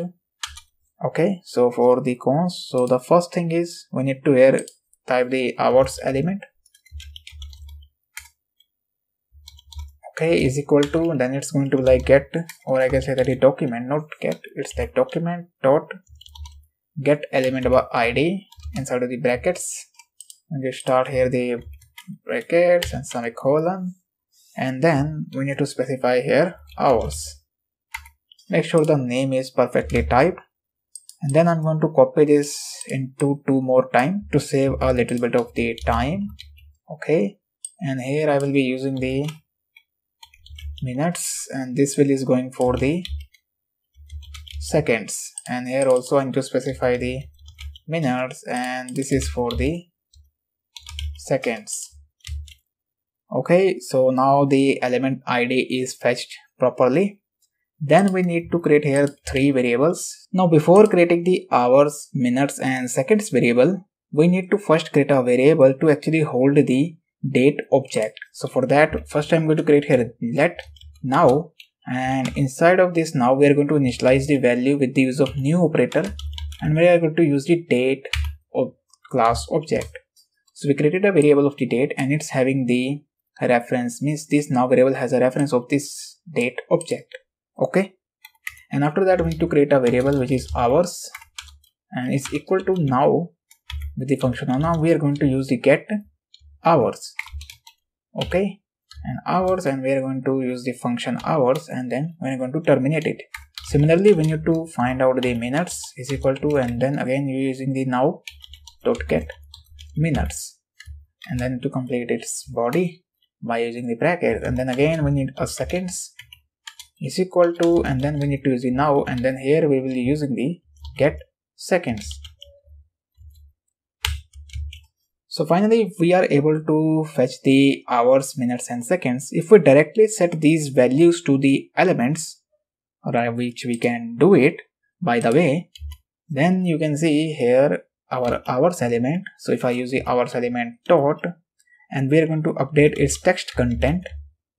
So if I use it and equals to hours, which is our hours variable, and similarly for the minutes one, which is our minutes element dot text content is equal to and here we'll be using the minutes.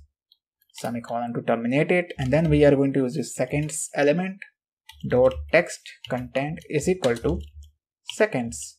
If I terminate it and if I save it then you can see inside the browser the things are actually working. Means the code is actually working. Right now the time is 12 21 am so it's actually showing the 21 am but we want our project to display the timer in a form of two digits. So for that we need to calculate and add some logic. So I'm going to use the ternary operator for that to display the time in two digits. Right now you can see it's actually displaying the two digits the only for that because right now this is actually 21 minute 26 second but if you see the second is completed like 60 and then when it's turned back to 0 1 2 then it's also going to display in the single digit. So for that we need to calculate the hours. We need to modify the hours variable value. Okay, so first we need to modify the value of this hours variable on the basis of the certain condition. So first I'm going to type here hours is equal to and then here I'm again going to type the hours value. So if it is smaller than 10 which is a two digit value smaller than 10 then I'm going to here use the question mark sign then this is for the ternary operator. If it is smaller than then we are going to append the 0 inside of it. Like this 0 will be added to our hours variable. This particular hours will be first compared with this value 10 if it is smaller than 10 then this block will be executed. It means this particular code will be executed which will be 0 added to the hours variable. And then this entire value will be initialized to this hour variable okay? And after that if it is not happen then it's going to display the value of the hours. Okay? If it is not smaller than 10 then this particular hours variable value will be initialized to the hours. I think this is very clear to you. This is the best thing i can do. And uh, similarly we need to do this same with the use of minutes and also with the seconds so here inside of this I will be using for the minutes. If minutes is smaller than 10 like this similar one then 10 will be added. If it is minutes is smaller than the value of 10 then 0 will be added to the minutes. Again I'm repeating so that you can easily remember the logic. If it is not the case if minutes is not smaller than 10 then this particular value will be executed. Then it's going to initialize the minutes okay similarly it is going to happen in case of seconds as well. So if it is seconds if seconds is smaller than 10 then it's going to append the 0 to the seconds. If it is not a case if second is not smaller than 10 then this will be not be executed. Then here this second variable value will be initialized to the seconds variable. So that marks the completion of the code. If i control save it then you can see everything is now appearing two digits you can see right now we are actually having 12:56 am so right now you can see 56 and it's displaying these seconds. So 56 minutes then there is a 12 so it's actually going to be 0 0 okay? And similarly for this one you can see here 57 minutes. This is also having 57 minutes. So that marks the completion of the code for this project which is our digital clock application so if you are actually enjoying the course and if you like my videos, then please leave a review because your review definitely going to help me to actually enhance the quality of my course. Also it will help me to enhance the quality of my future courses. So thank you for watching and I will see you in the next lecture. Welcome back to this lecture. So in this lecture, we are going to build the expense tracker application. So let me show you the first application that we are going to build in this particular lecture. So this is the final application that we are going to build in this whole lecture. So you can see we have this heading expense tracker, then we have this label which actually display the total expenses. Then we have a button. So if I click on this add expense button, then you can see we have this alert message box appearing. So instead of that first we need to add the enter expense description. So if I enter here like uh, drinks and if I hit like OK and then we need to add the amount. This is a next alert box that has the enter expense amount. So inside of that we need to add the like amount of the expense. So if I enter here 10 then you can see we have this list and also our total expense variable value is also changed. Means this is actually a variable means this particular label value is updated. And we also have this nice white list that has this cross button. So if I click on this cross then you can see the expense list is actually removed. And if I again click on it and then we can add here like food. If I hit OK then we need to add the amount that is $50 and if I again enter here like uh, fruits we have spent some time on fruits. And then we need to add the another which is like $40 or I can get 70 just a random value I want to add. Then you can see this list is actually maintained. So once this expense you can calculate it how much like groceries you have built you can track that. So this is application we are going to build. The main idea is to actually learn how to build this ui and also add this list functionality. And later on in this course we will also build some advanced features of this application as well. So our first step is to start with the html part of the project so here you can see inside of the Visual Studio Code, I have created three files. The first is the index.html, the second is the style.css, the third one is the script.js file.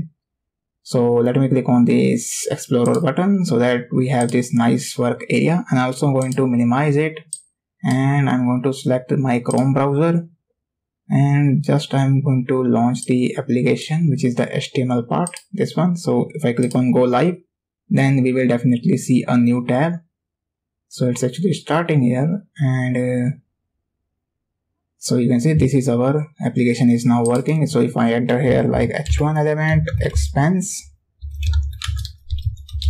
If i save then we will see the expense tracker. So i can show you the output while typing the html and css code as well. Because this is our best way to actually display the working line of the code okay so now the first thing is we need to create the expense tracker container that has all the elements. So all of this is actually wrapped inside the expense tracker container.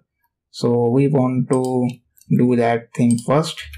And then if I hit a tab key then we get uh, actually I have to specify here a dot as well.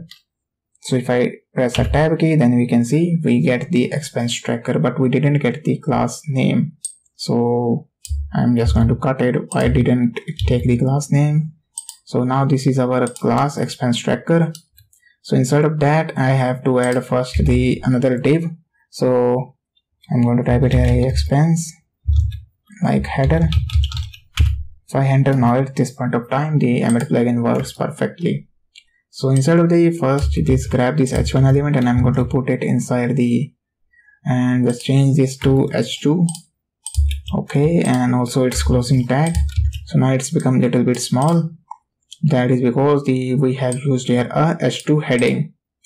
So our next step is we need to place the button because these all are actually appearing in the single row or I can say that the line. So here we will be using the button.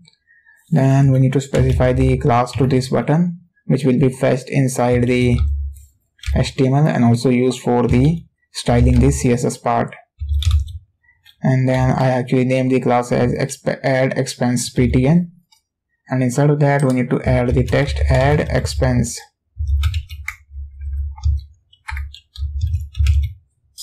Okay so now this is actually done. After that we need to add a another which is to actually display this list. So for that we need to add an empty div element. So i'm again here typing the expense and then i will be adding here expense list. So this will remain the empty because this will be used to display the list. And then we need to add this label or i can say that the h3 tag or this will actually display the like total expense amount.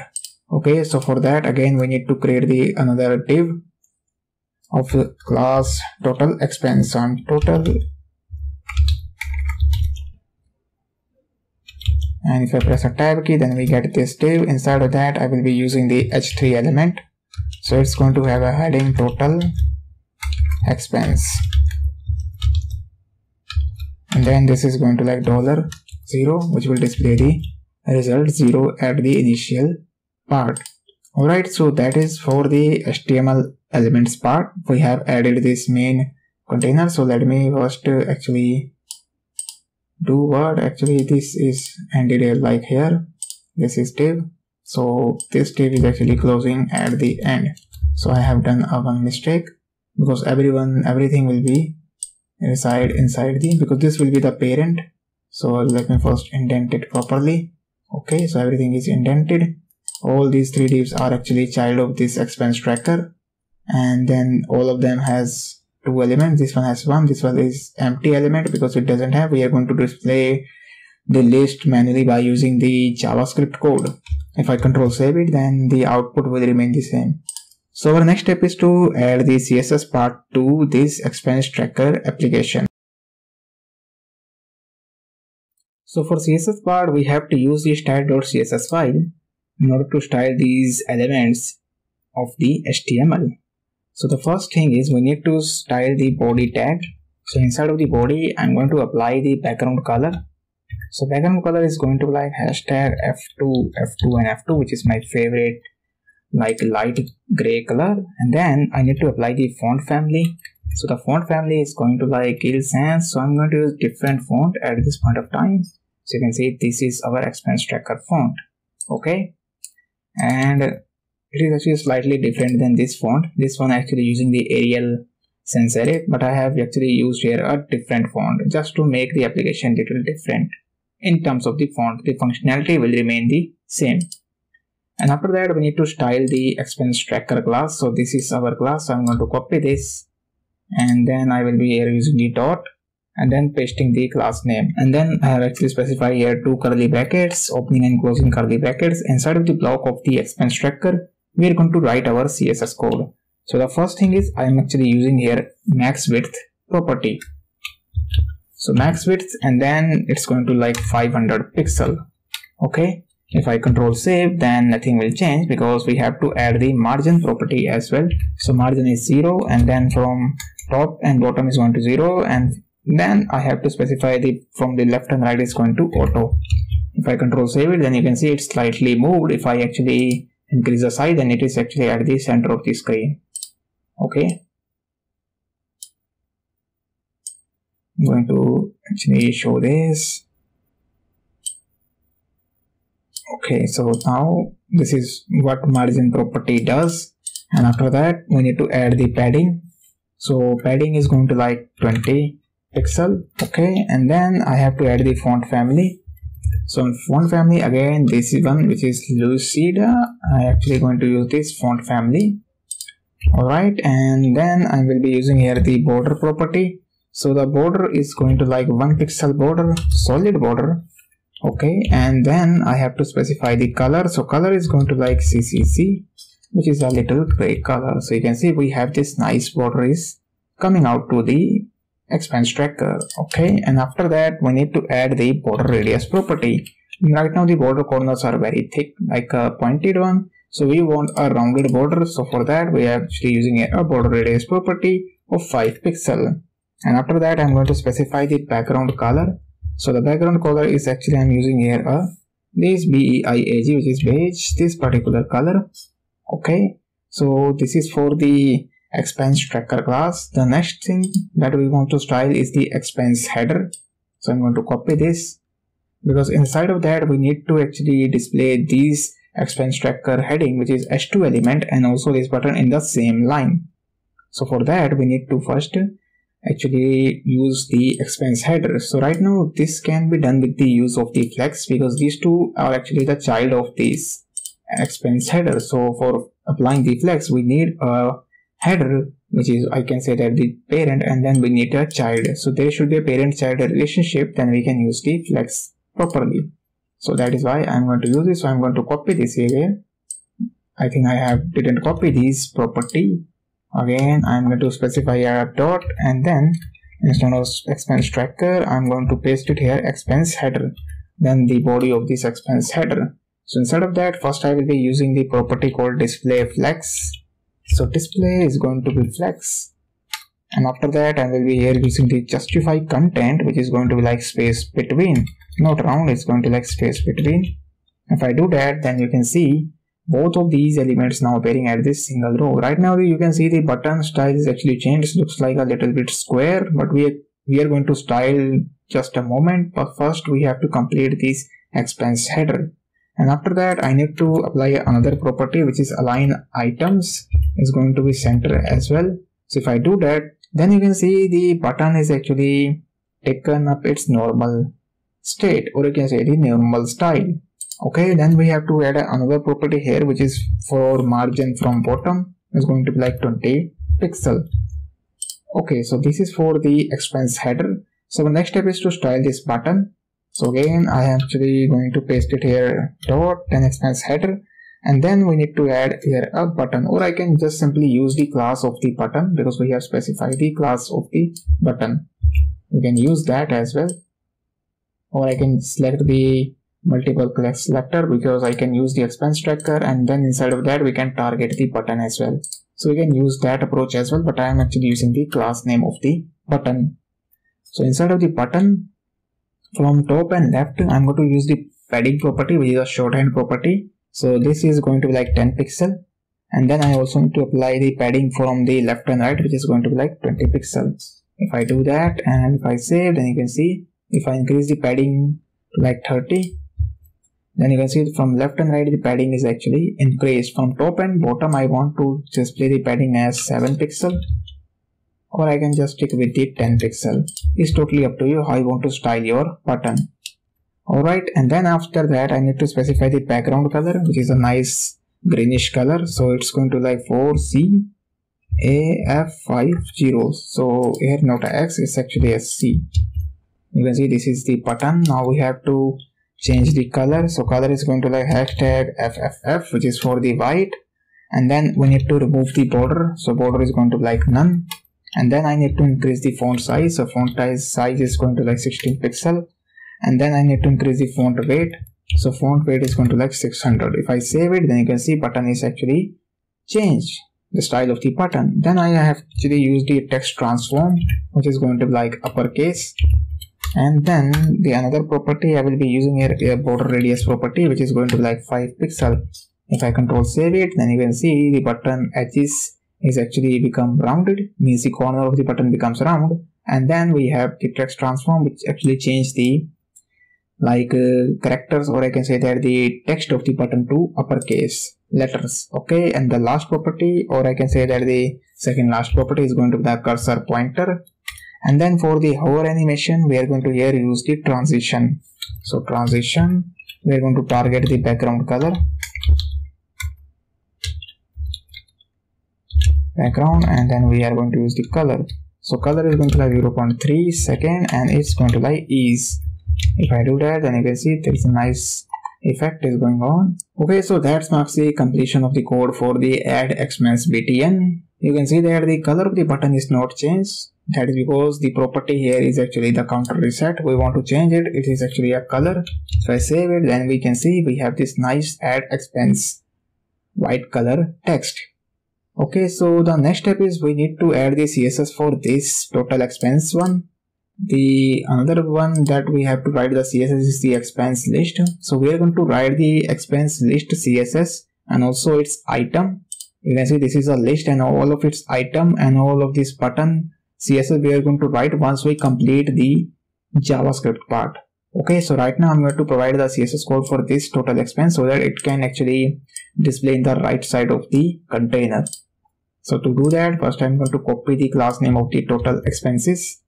And coming back to the css part here i will be using a dot and adding the total expenses.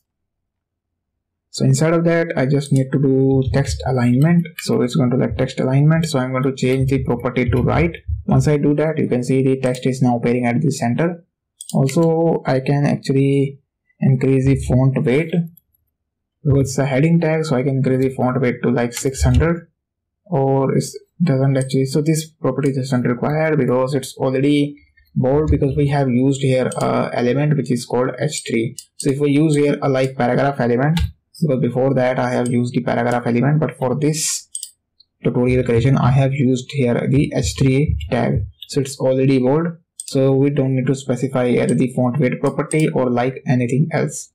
So okay so that is for the css part of this expense tracker application so our next step is to actually start the javascript part of this expense tracker application. So now we are going to start with the JavaScript part of the project. So inside of the script.js file, first we need to create the three variables which will be used to fetch the IDs of the element.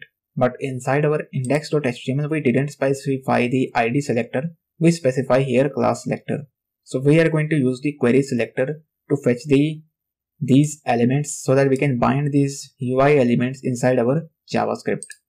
And also you can see this h3 element doesn't have a class. So we are going to use the selector to select these element inside the script.js file. So let me first type the first line of the code. So first is actually our add expense button. And this will be going to initialize the value as document dot query selector so inside of the query selector, we need to specify the class name.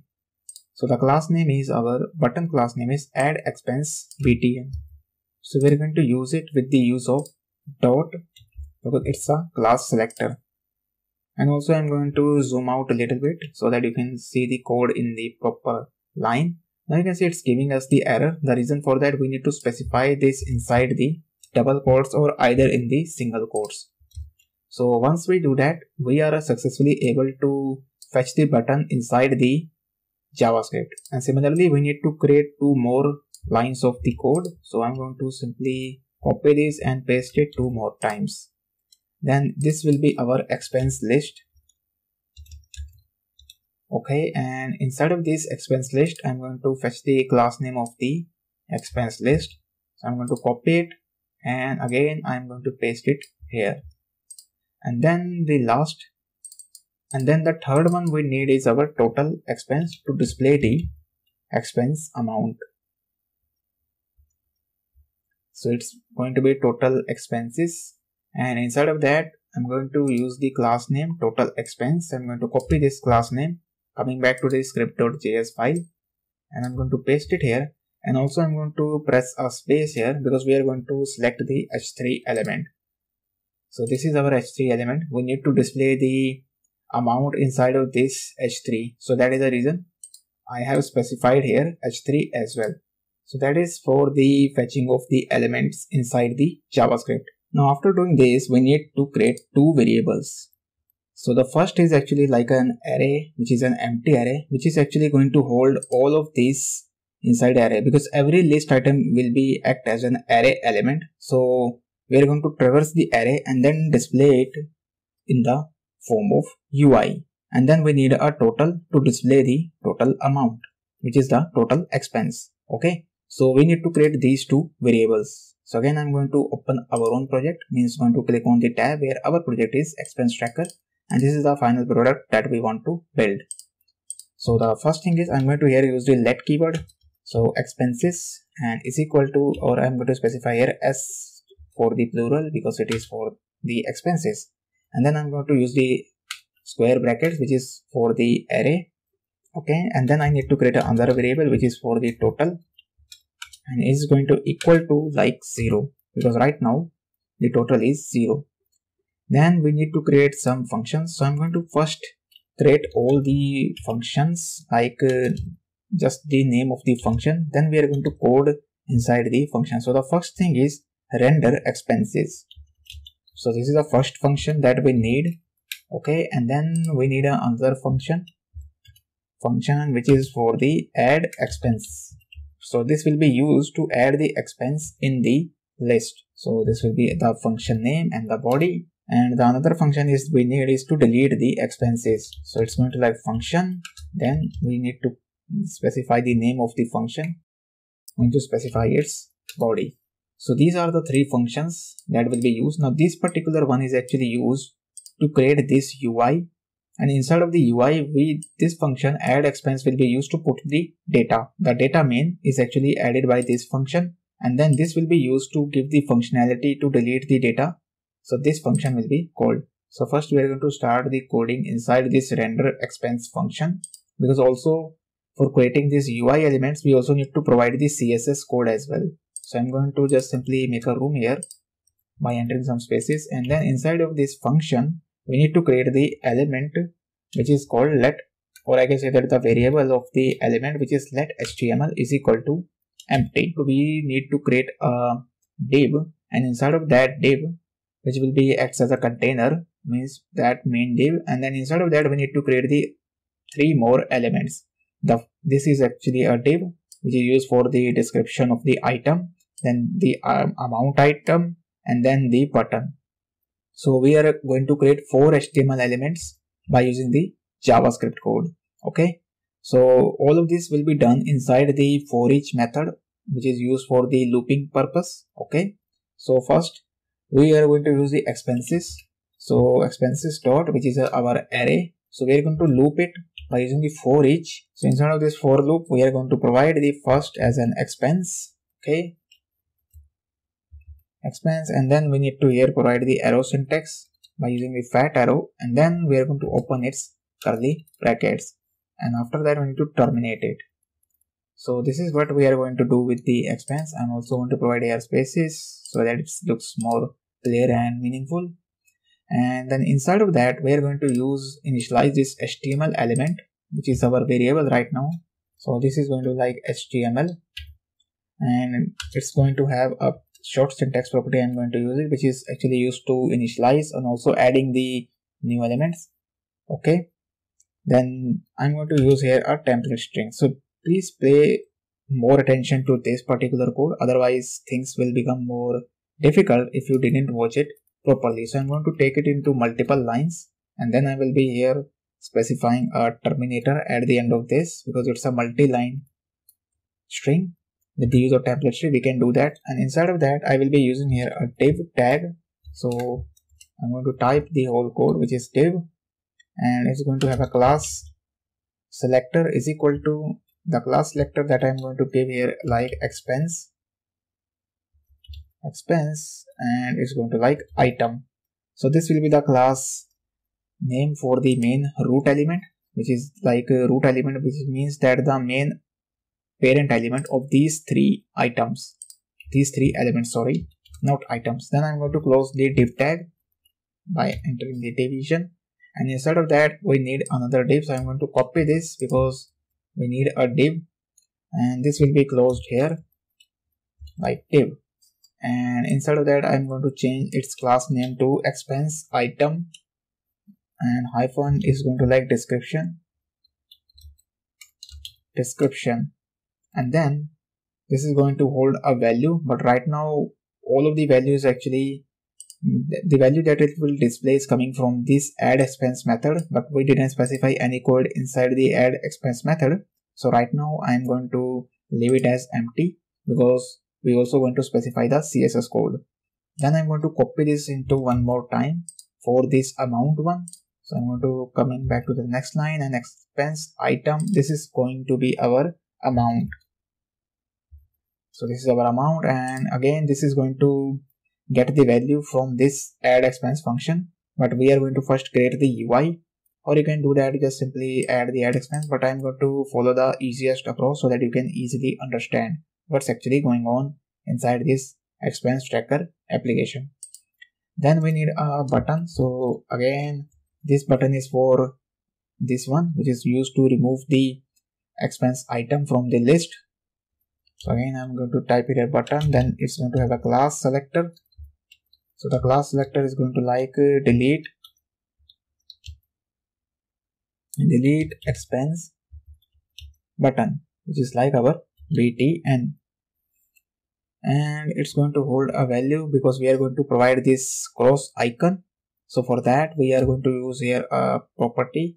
Means a short property which is called times where it's a cross and then we are going to terminate it. And then we need to close the button tag as well. Right now if we run this application if i control save it then you will see nothing is changed. These tags doesn't reflect back inside the expense tracker project the reason for that we need to update the inner html of this class list which is our this class list expense list. So we are going to do that. Where is our javascript? This is the javascript code. So after the end of these for each method okay so inside of that first we need to use the expense list dot and we are going to update its inner html is equal to html and then we need to provide a semicolon. The semicolon is totally optional but for here you need to provide the semicolon and also inside of that because this is actually a multi-line statement. Okay? And if i save it then you will see again nothing is happening. The reason for that because we didn't specify the code inside the add expense. But if we add it here then the when we click on the add expense the alert or I can say that the prompt because alert is the wrong one the prompt is the correct. So what this line of code does is actually going to update the HTML part. But right now it doesn't going to update it because when you click on the button there is no listener is attached and there is no prompt is appearing. So that is the reason. It's actually not going to do anything. And after that we need to add the another line of code which is total expense which is actually used to update the value. So here i'm going to use the total expenses dot inner html and it is going to use the so again i'm going to use here a template string template string is going to like total expense total expenses and a colon and then i'm going to press here a dollar now, after the end of the dollar, we need to get the values of the total variable, which is this variable. We, this is a, actually a global variable. It will be used inside of this function and also inside of this add expense function to update its value. Okay. So that marks the completion of the code for this render expense function. Now our next step is to add the add expenses. So now we have added the UI code the only thing when we add the add expense functionality we are going to see the like this expense list inside the application okay so coming back to our add expense function so the first thing is we need to create the variable. So it's going to be like of const and this is going for the description. So description is equal to and description is going to first we need to use a prompt. So it is actually a string. So i'm directly using the prompt.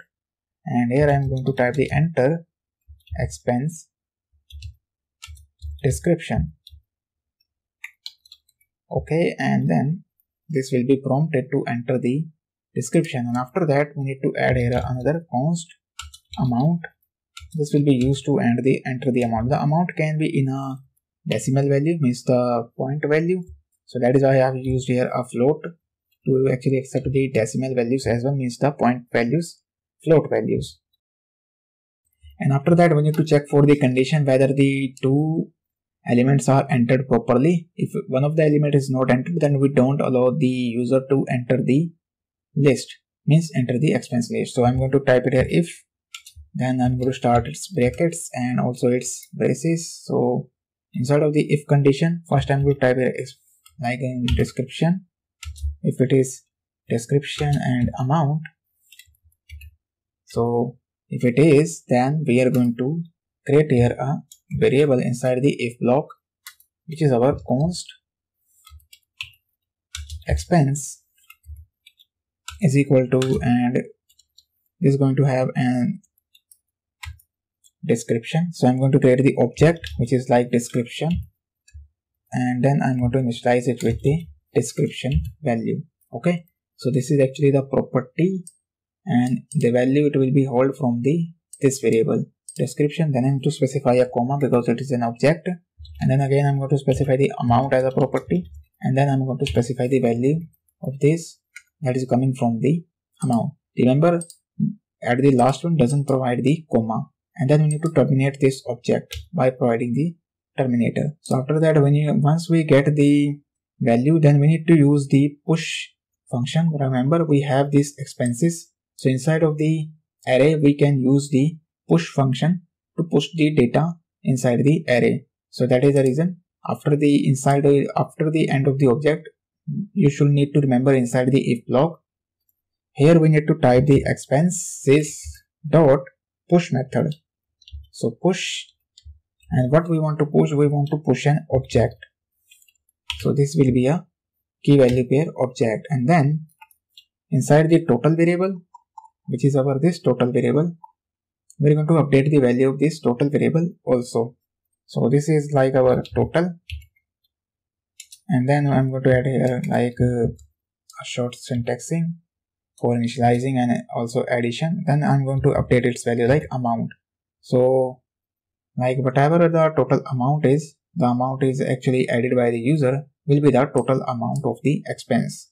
Okay? So suppose if user enter the amount like five dollar then that will be as a total expense amount and then again if the user added then that will be added then 5 means I want to say that like if the user first time enter the amount $5 then that $5 will be initialized to the total variable. Then that will be displayed here as a $5 and after that in the second time when the user enter the second expense then suppose on that time user enter the 10 then then 10 will be added to this total variable. So that is why here I have added the amount because it's going to update the total variable value every time when the user enters a new expense okay? And then after that inside the if condition then we need to call the render expense function. So we already created the code inside the render expense function.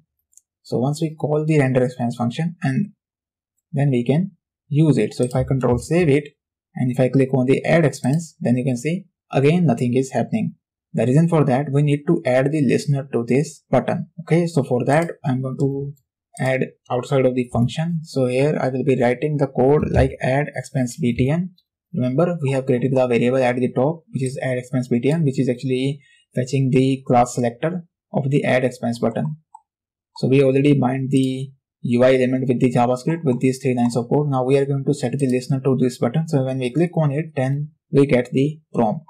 Okay. So for that btn dot add event listener. So we are going to add the event listener. So the event listener that we want to add is the click event. So we need to specify here click and then we need to specify the comma and then we need to call the function which is add expense function as a callback. So once I save it, then if I click on this button, then you can see now the prompt is appearing. So if I enter the prompt like uh, our cola and if I enter here OK then you can see the next prompt is now appeared. So there is a problem. So actually I have here actually added a parseFloat but there is a one problem. I need to put this parseFloat inside the brackets. So here I didn't use the prompt. So that is the reason. It doesn't actually work with the code because the amount is not added and the condition of the if is not executed so here I also need to specify the prompt. Again I need to add here one more brackets. And inside of the bracket I need to call here a another time prompt so once I do that and if I refresh it by pressing the control S if I click on the button and then again I'm here enter the cola and press OK then we need to add the price which is like $50 or you can add it randomly whatever you want so if I click OK then you can see the UI is not updated which is expected because right now inside of this HTML which we are actually generating with the JavaScript code dynamically we need to add the variable values that is total expense or description that we are getting from the this object which is our expense object because this object is created inside the expense and we have used this object here inside of this for each because what for each will traverse and that is what we actually want to create so with the use of this expense object then we need to specify the value because we are actually having a template string okay this is a template string and instead of that we are generating the HTML code dynamically. So we need to provide the here curly brackets and then we need to specify here a dollar sign. And instead of this dollar sign, I need to call the expense. This is the expense. And then I need to call the expense dot and then we will call here a description. We are directly referring to the this property which is description. So if I click on it then you can see this is our description. And similarly if I zoom out a little bit more so that you can see the code more clearly and similarly again we need to provide the amount as well so again I am here going to type the dollar and then curly brackets and inside of this curly bracket I need to provide the expense not SVG is like expense expense and then dot and then we need to use the amount and also for displaying the dollar in the amount like in front of you can see the dollar so for that dollar we need to again provide here a dollar okay so this will be used to display the dollar sign in front of the amount. Then the button will remain same. It's going to have a cross. And also there is a one problem. You can see here inside the total expense, I have used here a inner HTML, but this total expenses is actually an H3 element. So we need to update its actually a text property. We don't need to update its inner HTML. So here I have used a wrong property. We need to update the inner text. Again, it's coming the inner HTML that is because it is the most used one that is why it's coming at the front inside the suggestion so i'm going to here use the inner text okay so if i control save it and uh, still there is a one problem the problem is that we are actually calling the push function inside the object. What I actually we did you can see this is a problem here. We are actually using the push function inside the object. So if i try to run this and control save it if I click on to the prompt and again uh, if I specify the properties like cola if I hit OK and then $50 price then you can see nothing is working and the reason for that if I actually open the inspect element by pressing the F12 key so you can see now we are actually here getting the console. So inside the console you can see there is a one error is shown. Type error expense dot push is not a function. And at html button dot add expense. So script dot js 44 so inside the 44 line there is a one problem. You can see here expense dot push is not a function so that is a problem because here we are getting the problem. So we actually need to push the data inside the expenses. There is only a one character which is s. And actually i have pushed the data inside the object. So that is the reason if i press here s means we need to change this value to s which is expenses. Now if i save it and if i click on this add expense button then you can see the prompt is appearing. So here i will be writing the cola. And if i click ok and then if i enter the price so you can see now the value is appearing so let me close this console window by clicking on this close button you can see we are getting our like expense tracker and you can see the cola and then we have this 50 value also this buttons if i click on it then nothing will happen because right now we didn't specify the code inside the delete expense. Also this total expense variable actually having only a dollar sign. The reason for that because we need to here specify the variable value. So again I need to here use the dollar symbol. And then we need to call here a total. So if I save it and again click on the add expense again I'm going to enter here milk. And then here if I enter $50 and press enter then you can see the total expense is appearing $50 and then we have this milk and this this 50 and also this cross button. Right now if i click on this cross button nothing is happening. Again if i click on it and we have like powder and if i click here okay and if i enter like 90 dollar hit again then you can see we are getting our next list element. So we are successfully able to render the expenses in the form of list and also we are able to add the expenses inside the list okay? So we have used these two functions and we have set the listener to the button. So now it's time to specify the css code to these three elements okay? So we need to open our style.css file and here inside of that we need to add the css code. So the first code is we need to actually style the expense list. So our expense list class is like this. This is the name of our expense list. So we need first to style this and here I will be pasting the expense list. And inside of this expense list I'm going to use the margin bottom property. So margin bottom is going to like 20 pixel. Okay and then we need to style the expense item which is the main thing. Okay so the expense item we have specified the class name inside the this code. So i'm going to copy this here. Expense item coming back to the css part and control v to paste the code. And inside of the expense item i'm going to first use the display property which is like display flex. And if i use here justify content and justify content is going to like space between so if I control save it, then you can see the item is now appearing in a form of single row. And then we need to use the align item property. Align item is going to be like center. If I control save it, then it's going to center the things. Then we need to specify the background color. So the background color I will be using here F9, F9 and F9. And you can see we are getting this white color. Then I need to specify the padding. So the padding is going to like 10 pixel and after that I will be specifying the border radius. So border radius is going to be like 5 pixel. Control save it. Then you can see this is the item. And then we need to specify the margin bottom. So every time each item will be displayed differently. So if I use margin bottom 10 pixel then you can see now we are able to get the list in a much better way. You can see we have these buttons. So we need to specify the code for the buttons as well so before that styling the button i'm going to use the expense like where is our javascript expense item description. We need to provide the style code for this one as also. And coming back to here and i'm going to increase its font weight. So it's like font weight property and it's going to like bold. Okay and similarly i'm going to copy this again one more time. So this one is for the amount. Okay and this is also bold. You can see these two now appearing in a bold more bolder. Okay and then we need to specify the code for the button. So again coming back to the script.js file this is our delete button class. So i'm going to copy this class. Coming back to the style.css press the dot key and then control v to paste the code. And instead of that i'm going to use the first background color so the background color is actually we are going to use here hashtag f44 which is for the red red means red color not red red. It's a red color.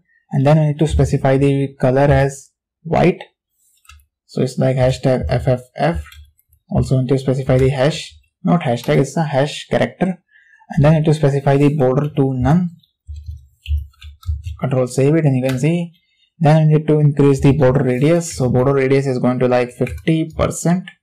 Then it will become a round round like structure means it will become a rounded. And then need to use here uh, another property which is like width. So we need to specify the width to 30 pixel and also the height is 30 pixel. So it looks like a perfect circle. You can see now it's looking more beautiful. I can say that. Or if i increase the font size to 16 pixel so it will increase the font size and also font weight. Font weight and it's going to like bold. So it's now become appearing more crisp. And the last property is actually we need to change the cursor pointer. So when we hover over it then it will become changes the cursor to pointer. We are successfully able to fetch the list means we are able to add the expense and render the expenses. So the last step is we need to add the code to delete the expense so right now you can see we can add the more elements like uh, sugar. Okay and if I enter here and enter like $50 and if I enter then you can see we are able to add it but there is no way we can delete it although we are getting this pointer style cursor. So we need to add the code inside this delete expense function. Actually you must guys wondering why I sometimes call this function as method because in object oriented we call the function as method and in normal code without the object oriented we call the functions as functions so that is why sometimes I interchangeably use these terms, but it is actually a function, yes. So let's start implementing the code inside the delete function. Now this code is little bit tricky because we have to add some more code because we also need to attach the listener to this button and also add the code to delete the this particular list from the HTML element. Okay. So to do that, this is actually a little bit tricky stuff. So don't worry, I'm going to explain the code. So the first thing is going to accept a one parameter which is of type index. We're actually going to pass an event. Okay, according to that event, it's going to delete the list from the expense. Then we need to use here a short syntaxing to actually minus. So it's actually used to minus the things. And then here we will be using the expenses array.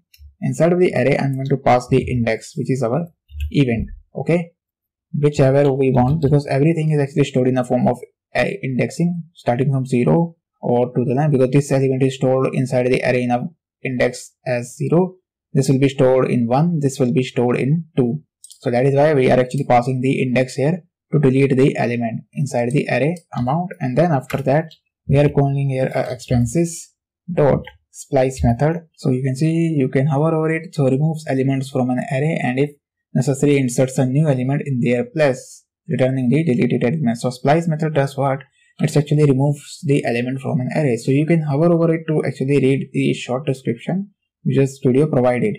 So it actually removes the element from the array. Also, it's going to return the deleted element and inserts a new element in their place.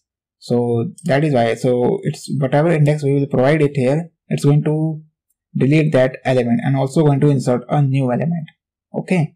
And then we need to call here a render expense function because after deleting the element we also need to render the UI element that is the reason and by doing this once I control save it you can see the code is actually changed because once we refresh the JavaScript code it's actually re-render the JavaScript page means this re-render the web page so if I click it here and if I use here a cola and if I click OK and enter here $60 press enter. If I click on this then you can see nothing is working. The reason for that because we need to add the listener to this particular button. So to do that let's add it and wrap this lecture quickly. So i am going to add here expense list dot add event listener. So the event listener that we want to add is actually our click event. So we need to specify the click event here by adding the like uh, click click event and then we need to specify a comma and inside of that we need to specify the function and then we need to pass here an event. Okay and then this is the function event we have passed and actually add event listener. Uh, so we have actually opened the brackets in the wrong form. We need to open the brackets here. That is why it's actually giving us the error. So inside of that we need to actually check for the condition. So we are going to write here if because adding the event listener we need to add the listener to the button. Not when we click on these items if we click on the item it is also going to delete the button. So that is the reason we need to add the condition here. So we're going to use here uh, if event dot target dot class list. So we are targeting the element class list dot contains contains and inside of that I will be using here in double quotes which is our delete which is the class name that we have specified. So i'm going to copy it. So it will be saves a little bit of our time. So this is our delete button. So i'm going to coming back bottom of the code project and if i paste it here. So what we are actually we are actually targeting the event dot target dot class list dot contains. If it contains if class list whatever listener we are adding if it contains a delete expense button okay then we are going to open the body of the if condition and then we'll be writing the code. We are actually using here a const variable const index and inside of the index we are going to use here array dot from function and then inside of that we are going to use here a event dot target dot our parent node parent node dot parent node. So parent node again we are calling the parent node and dot children. Children. And we are using here a index of. Okay guys so this is the code we have actually used here. And inside of this index of i'm going to just take it to the next line. Index of. And then to specify the code inside of that by using the event dot target dot parent node. Then we need to pass this index to the our delete expense function as a parameter. Whatever index node we are actually calculating. Okay? So once i do that and if i refresh it then if i click on the add expense button if i enter here a like food hit ok and i enter here like 50 then if i click on this like the arrow button then you can see the item is removed. So this particular line of code does what? Is actually creating the that index. We actually want to delete it. Okay now i'm going to explain this code in a more detail because right now this will be the most confusing thing for this entire project. I know that. So the first i'm going to start with this delete expense one. So what this particular line of code does it's going to actually deduct the amount from the expense according to the index of the item the item which is deleted. And this splice will does it's actually going to delete the item and also returns the new item. Means it's going to return the deleted item and in place of the deleted item it's going to place the new item. Now these two are easiest one to understand i think.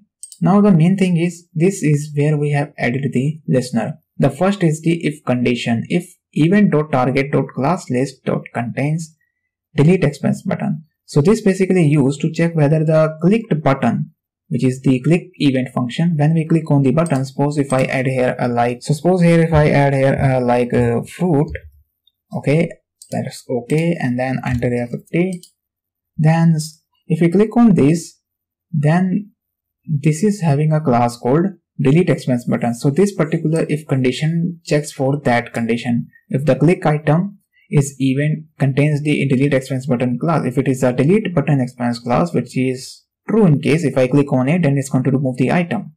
So then this code will be executed. So we need to main focus is this particular code. So first we have created an index constant which is pretty much easy one. Then we have here used the two functions of the array which is array dot from and index of. So this particular line of code does what? It's going to return the parent node of the list element. Okay? Whatever the element is clicked right now at this point of time this element will be clicked. So it's going to return the parent node and then the this particular one will actually return the parent node of the class list.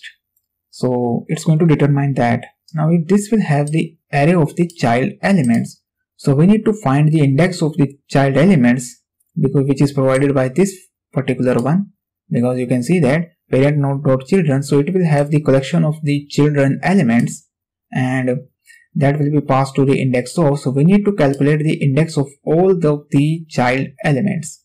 So that will be calculated with the use of this index of function. And later on once we calculate it we are going to pass the index to this delete expense function to delete the node. So i think you gets the complete idea how this code is working. If you want more in-depth explanation you can google it because at this particular tutorial i can do this is the best that I can explain it. So if you want to learn more, you can just simply go and Google it because this is a code that will actually, mm, you can actually learn by just practicing more JavaScript. So that marks the completion of the video lecture of this expense tracker application. If you like this lecture, then please leave a review because your review definitely going to help me to improve my future courses. So thank you for watching and I will see you in the next lecture. Thank you. Welcome back to this lecture. So in this lecture, we are going to build the popover application. So let me show you the application that we are going to build in this lecture. So you can see this is the application that we are going to build. So when I click on this button, So you can see this is a popover appears. So if I click on this close button, then you can see it's actually close the popover. So this is a small application that we're going to build in this particular lecture. So the first step is we need to start with the HTML part of the project. So here you can see I have already created the three files inside the Visual Studio Code. Okay. And I also launched my application in my browser. So you can see right now this application has the blank screen. So if I add here an h1 element and if I type here pop over and if I control save it then you can see the h1 heading tag is now appear inside the browser screen. Okay so i'm going to just change my viewport to a little bit. So can you can see the output as well as the input when i type the code inside the visual studio code. So our first step is to actually add a class that has a popover class means the div element and inside of that we are going to place the other elements okay. So i'm going to remove this h1 heading control save it. And if I just here you can see the because of the live plugin the output is actually removed. So I need a class of button class so here I will be using the button. And inside of the class I am going to type the name of the class as btn this is the first element that will be displayed when I click on the button. So when I control save it then you can see this is the button. So this class attribute is used to actually style the element of the button and then we need an id selector. Id selector and instead of that I'm going to place the name of the id is my button. And after that we need the other elements which is our pop over element. Which is going to be of type div pop over and if I press tab key then you can see we have a div tag that has a class pop over. And inside of that I also going to specify the id so the id name is my pop over Inside of this particular popover div, I'm going to specify the another div. So I'm going to type it and as specify the class name as popover div. Or I can say the popover inner. That will be fine. And then inside of that, I'm going to specify the h3 element and then name this as my pop over. Okay and then I will be using the paragraph element. So I'm pressing the enter key and this will be our paragraph element. Now here I will be writing this in some random text. Okay, that is used here. This is just a random text I have typed. And then we need another button to actually close the pop-up. So for that I'm using a button and then the class of the button is button which is also type btn and then we need to specify the id so the id is going to be like close btn so this one is close.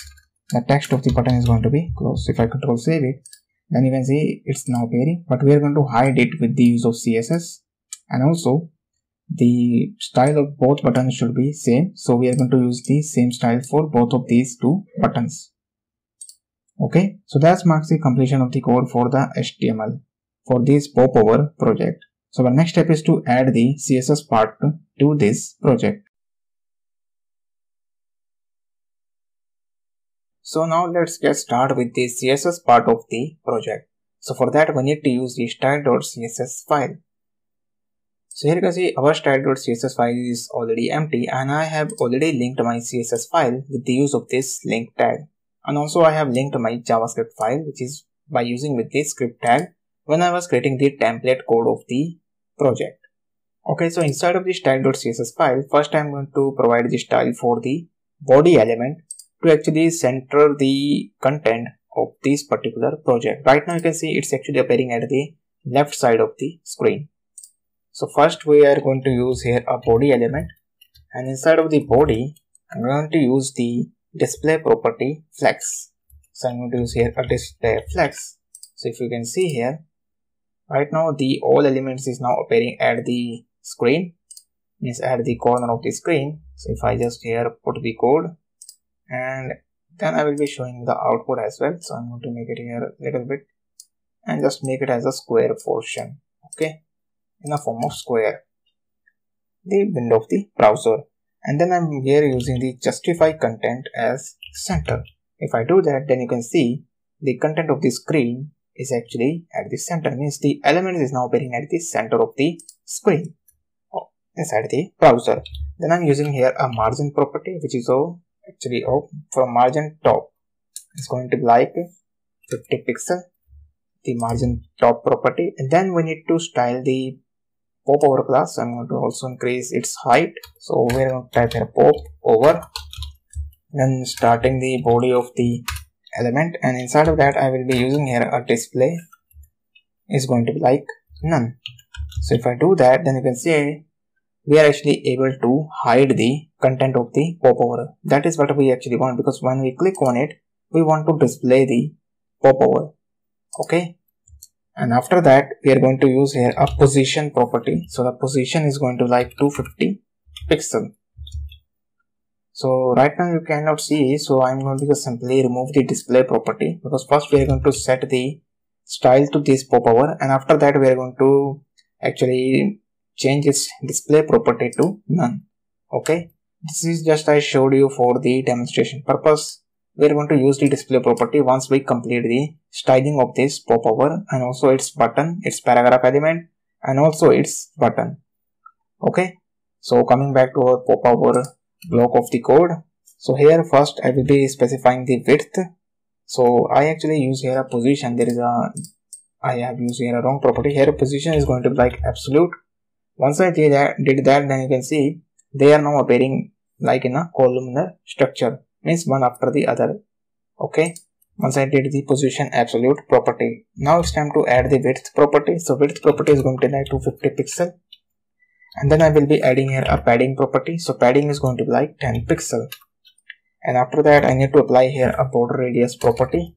Because we want our pop-up to be look like this. That will be showing the different browser like a rounded one. So that is why we are going to here use the border radius property of 10 pixel and after that we need to use here a background color. So background is going to be like of white because we are going to use here a box shadow property.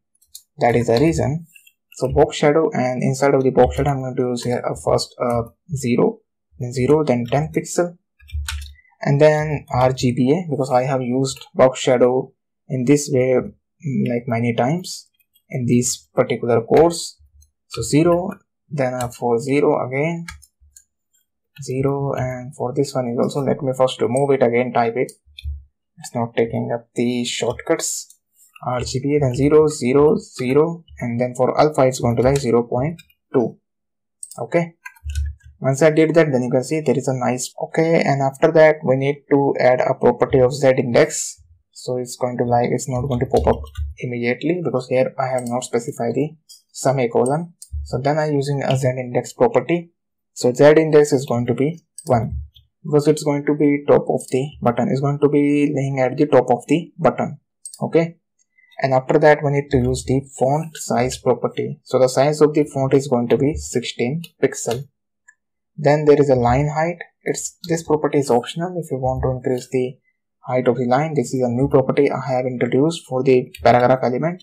So it's going to be like 1.5 which actually increase the height of the line and the last property that we want is the text align property. So we're going to align the text at the center. So you can see now our popover is all elements is now appearing at the center including the button. Now our next element to style it is the button. So we're going to provide the style for this close button and also for the button that is actually visible behind this pop-up screen. This pop-up i can say that. Okay. So first where will be going to type the btn so it's going to immediately apply the style for both of the button because the class of the both button our close button and click me button is actually the same. Okay? So once i type the code it's going to immediately eh, take the effect on both of the buttons. So the first property is we need is the display property. So the display is going to be like inline block.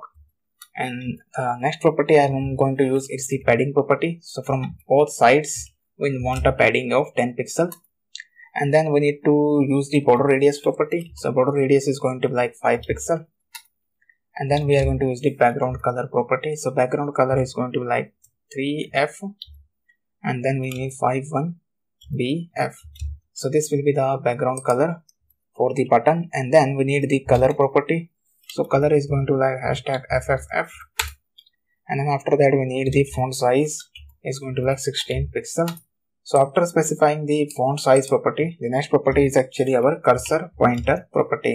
So when we hover over the button then we can see there is a nice cursor is appearing on the button.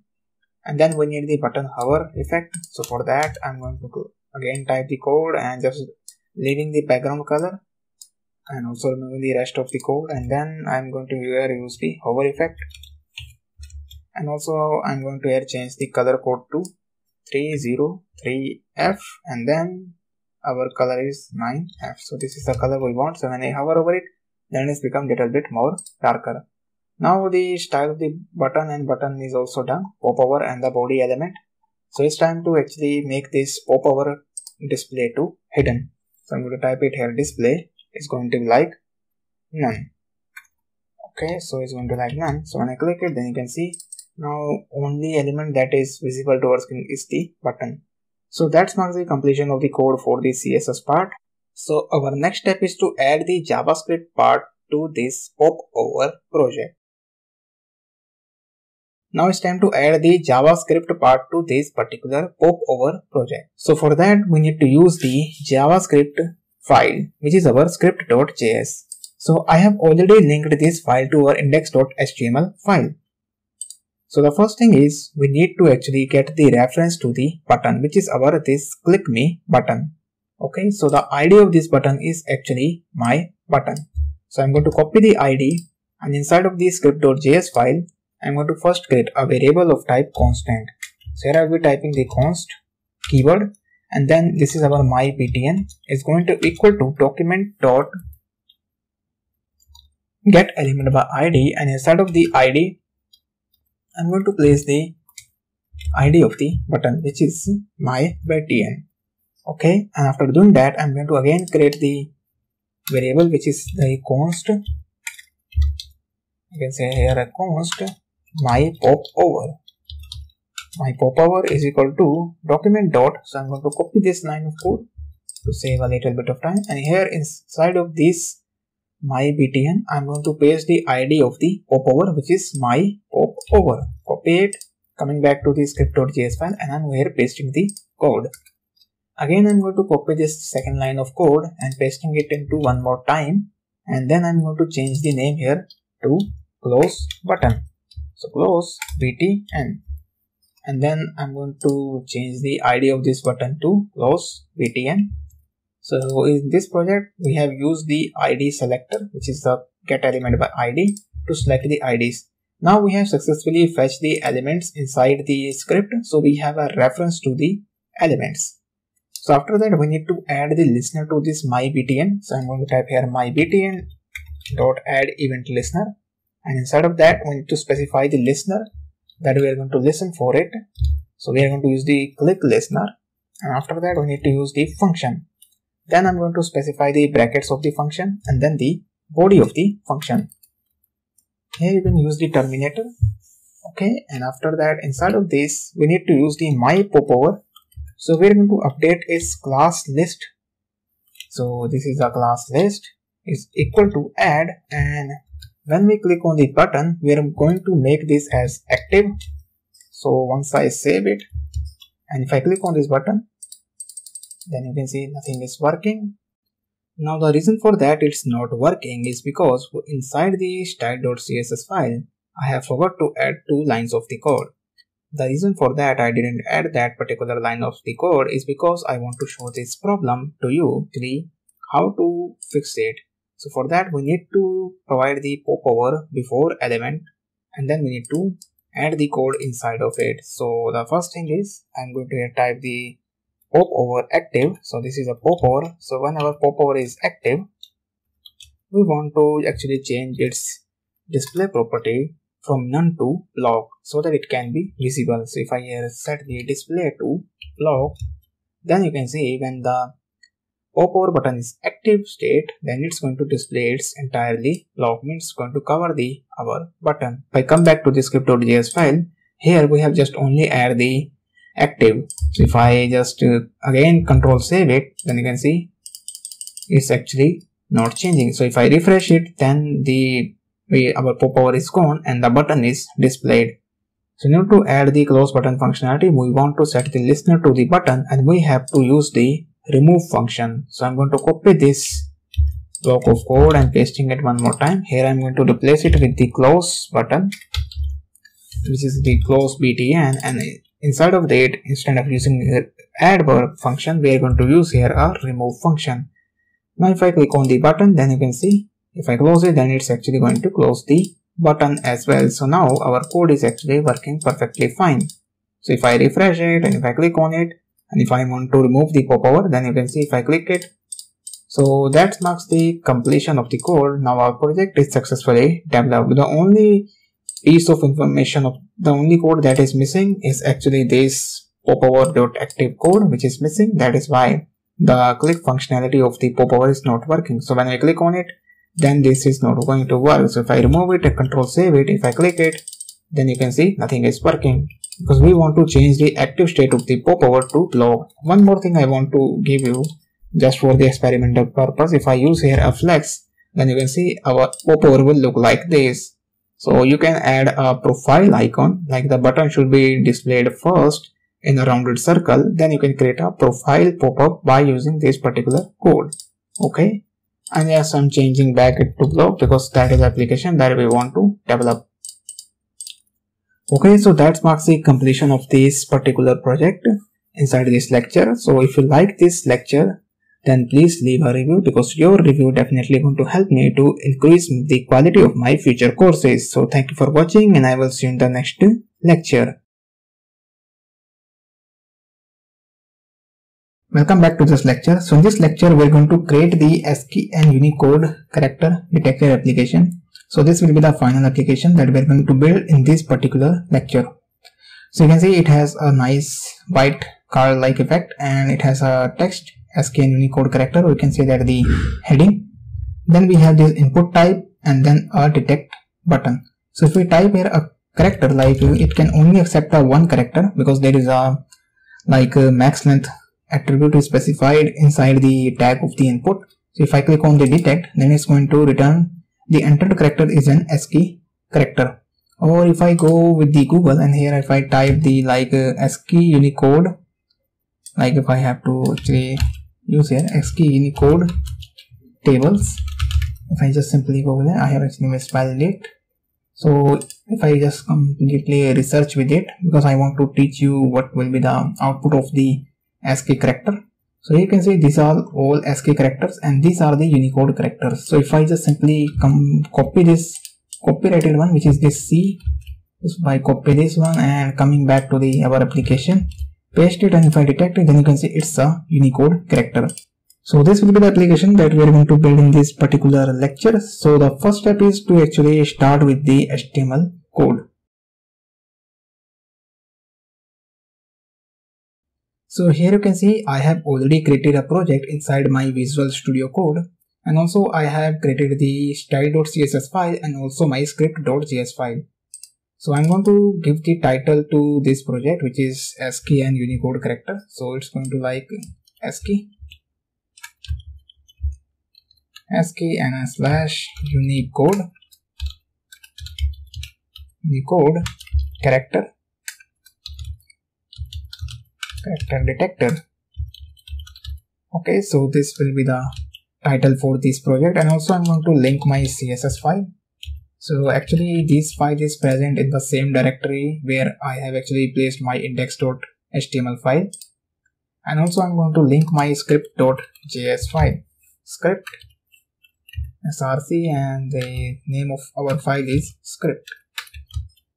So now the both files is now linked with our html so the first thing is we need to start with the creation of this container okay and then we need to place these three elements and also this one to display the final result of the logic. Okay so this will be the screen we need to build. So again i'm going to click on this to see the output and the input of the code so that i can see the output once i type the code inside the visual studio Okay, so the first step is I need to create the container. So I'm pressing the dot and here using the container and then pressing the tab key. So it's going to give me the uh, container of div.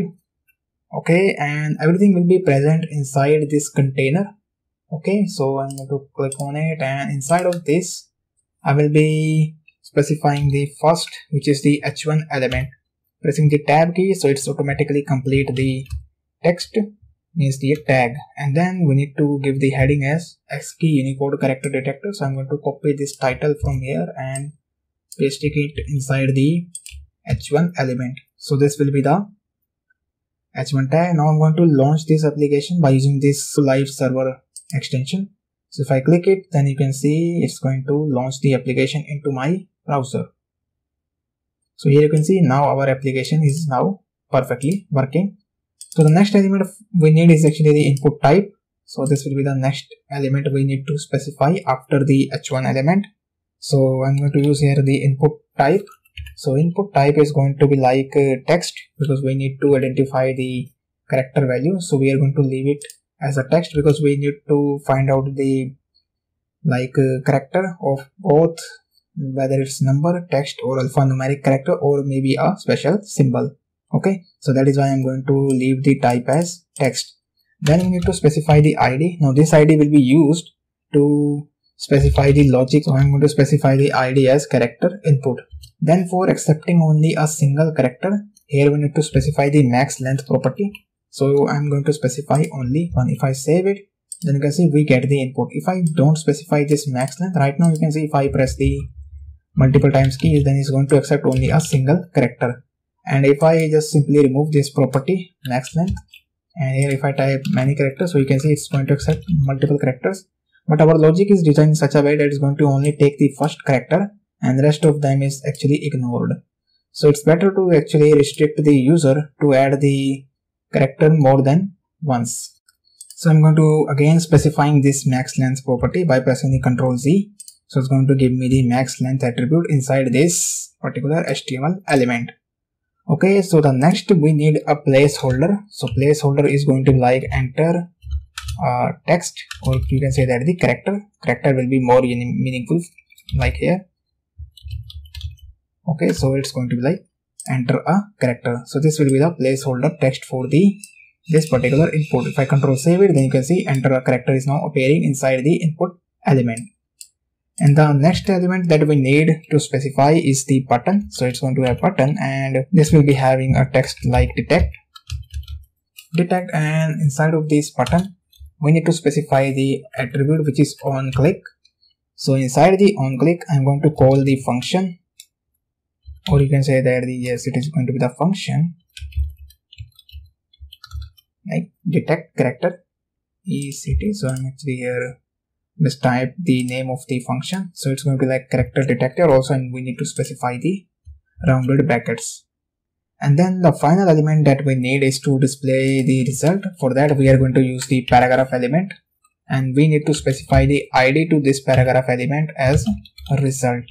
Once i save it then you can see we are able to see the all elements inside the screen. So we are going to style it by using the style.css which is our next step.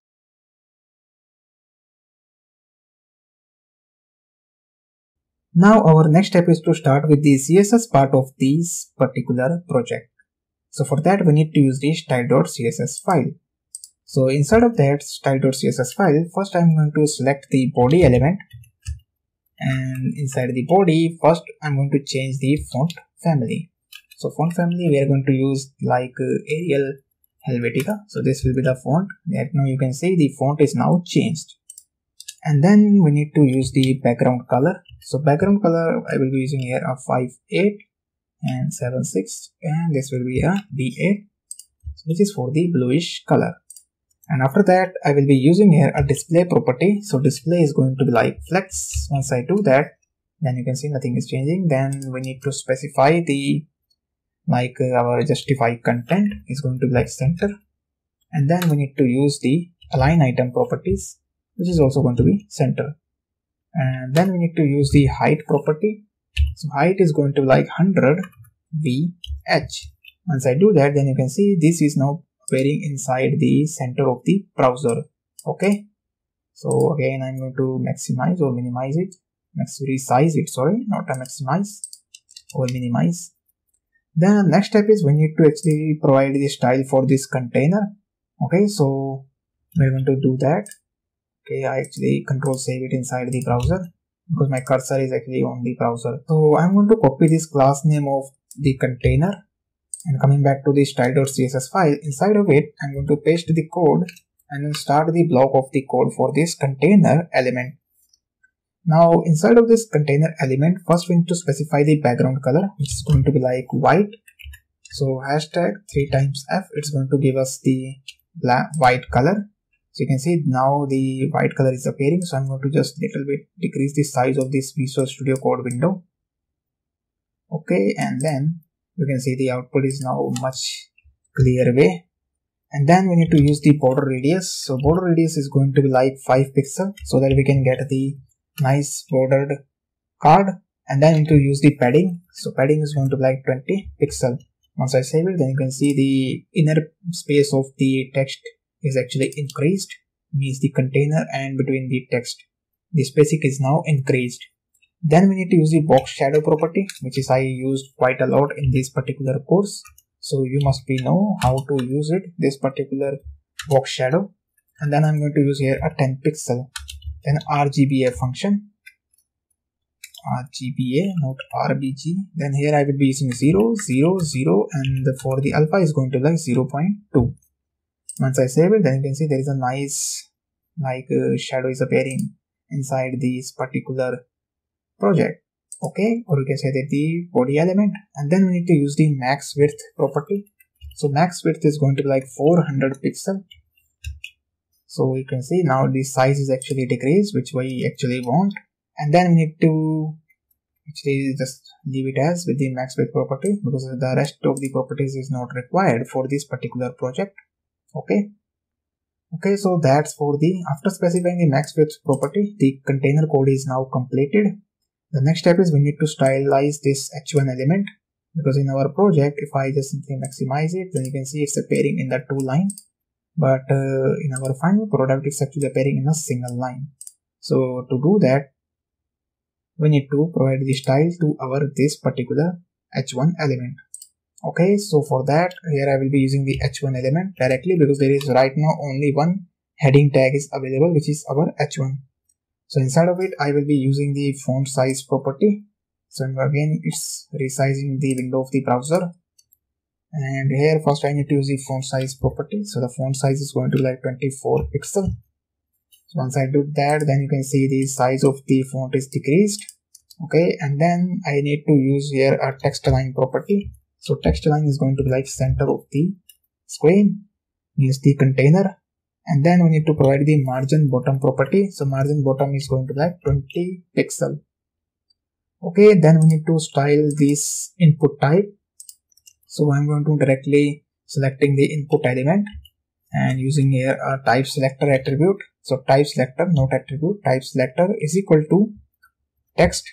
So we need to specify it inside the double quotes. So it's going to like text and then we need to use the block of the code for the css so the first property that i'm going to specify is the width property. So width is going to like 95 percent. Save it and you can see the once i specified the width property the button is now appearing in the next line. If i just remove this width property then you can see button and both this input type is now appearing in a single line. So again i'm just using here a so 95 percent. And then the next property we want is the padding. So padding is going to be like from all sides 10 pixel.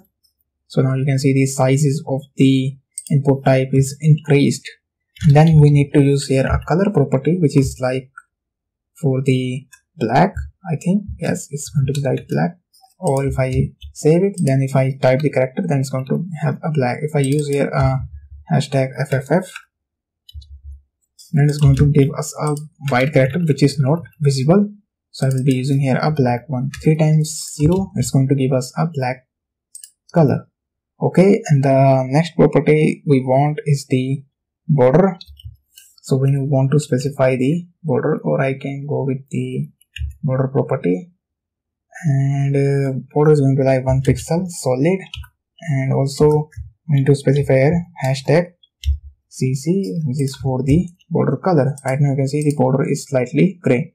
Now this color property is not required because by default the color of the input type is black. So i'm going to remove these color property. And after that i need to provide the border radius is going to be like 5 pixel so that we get the rounded corners. And then we need to use the margin bottom property because right now the button and like uh, this input type is now pairing very close to each other. So we need to specify the margin bottom property. Once i did that then there is a space between these two elements.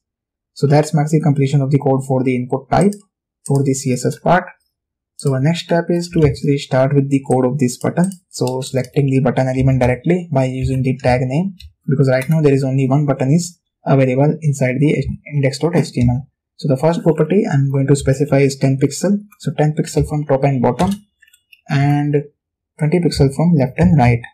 So you can see now the button size is increased because there is an inner space between the button text and the container is increased. That is why. And then the next is we need to use the background color property. So background color is going to be like bluish one. So this will be the color we are going to use for the background. Then we need to specify the color property. So we need a white color. And then we need to remove the border. So the border is going to be like none. And then we need to use the border radius. So border radius is going to be like 5 pixel. Okay so the next is and the last uh, another property that we want is the font weight property is going to be like bold. And then the last property that we need to specify is the cursor property. So cursor pointer. So when we hover over the button then we see a pointer instead of the arrow. And then we need to use the button which is the most popular one for like everyone use it which is hover. Inside of that we need to use the background color property. So the background color we need to change it a little bit darker so it's like 448 and then we have AFF so this will be the color. So if i hover over it then you can see there is a slightly light color than the previous button. Means previous color. Okay so that's marks the completion of the code for the button. The last element that we need to provide the style is the result element. So i'm going to copy this. It's having an id attribute. So we need to use here a hash symbol and then we need to paste the name of the id and inside of that we need to provide the font size. So the font size is going to be like 18 pixel. And then we need to provide here a text align property. So the text align is going to like in the center of the screen. And after that we need to specify the margin top property which is like 10 pixel. So if i just type here some text like this is the result save it then you can see this will be the output that is appearing inside the paragraph element. Okay so i'm going to just leave it as this text here because once we click on the button then this particular text will be updated inside the javascript logic which is our next step. So our next step is to start with the javascript part of the project. So for that we need to use the script.js file now inside of that first we need to specify the function which is detect character. Because inside the html element of button we have specified the onClick event which is which will invoke the detect character function. So i'm going to copy the name of this detect character function and coming back to the script.js file. So here i will be writing the function keyword and then i will be specifying the name of the function which is detect character and start the body of the function not the square ones we need the curly brackets and before specifying the code inside of this function, we need to create a function which is going to return the ASCII character, which is going to check for the ASCII character because we are going to use a simple if else condition. If it is an ASCII character, then we need to display the message ASCII character. So we are going to check for the one condition. Okay, because that is an easy because ASCII character actually ranges from 0 to 127. So there are only 128 ASCII characters.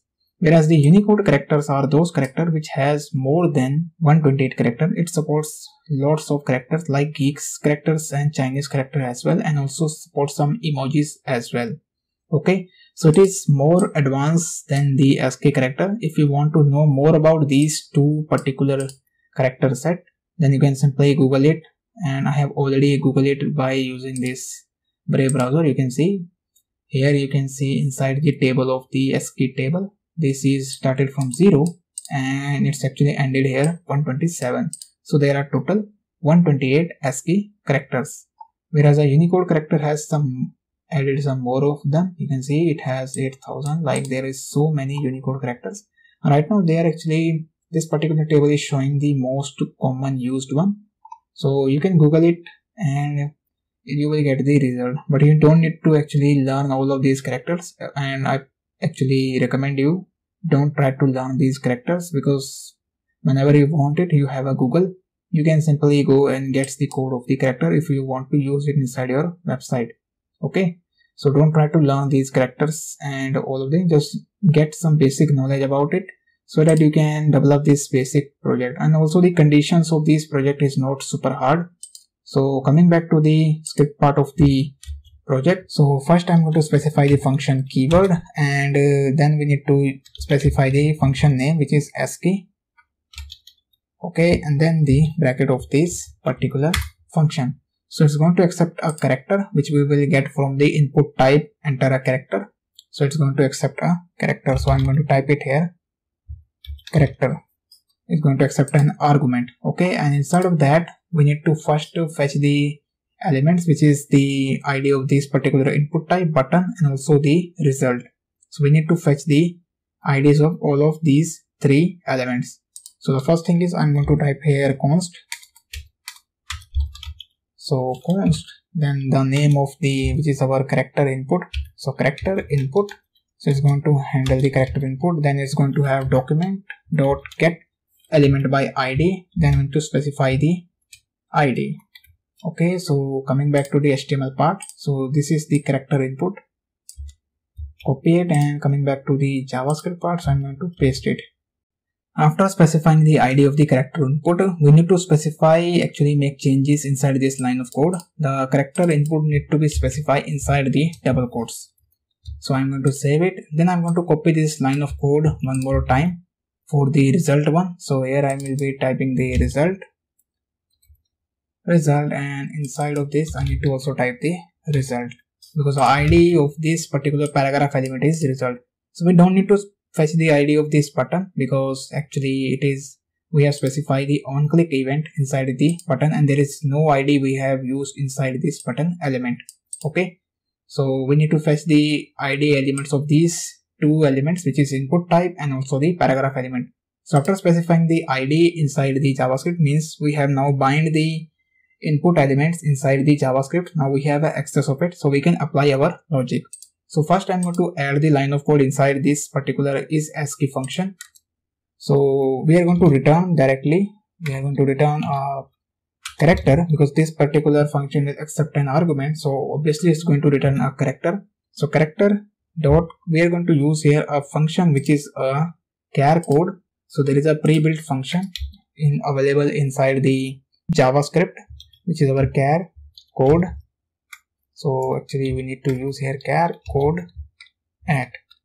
So this will be the function we are going to use. So whatever index we will specify to this function it's going to return a value is a character value okay? And we are going to check with this particular char code function whether it's a ASCII code character or a Unicode character. So we need to add a condition also.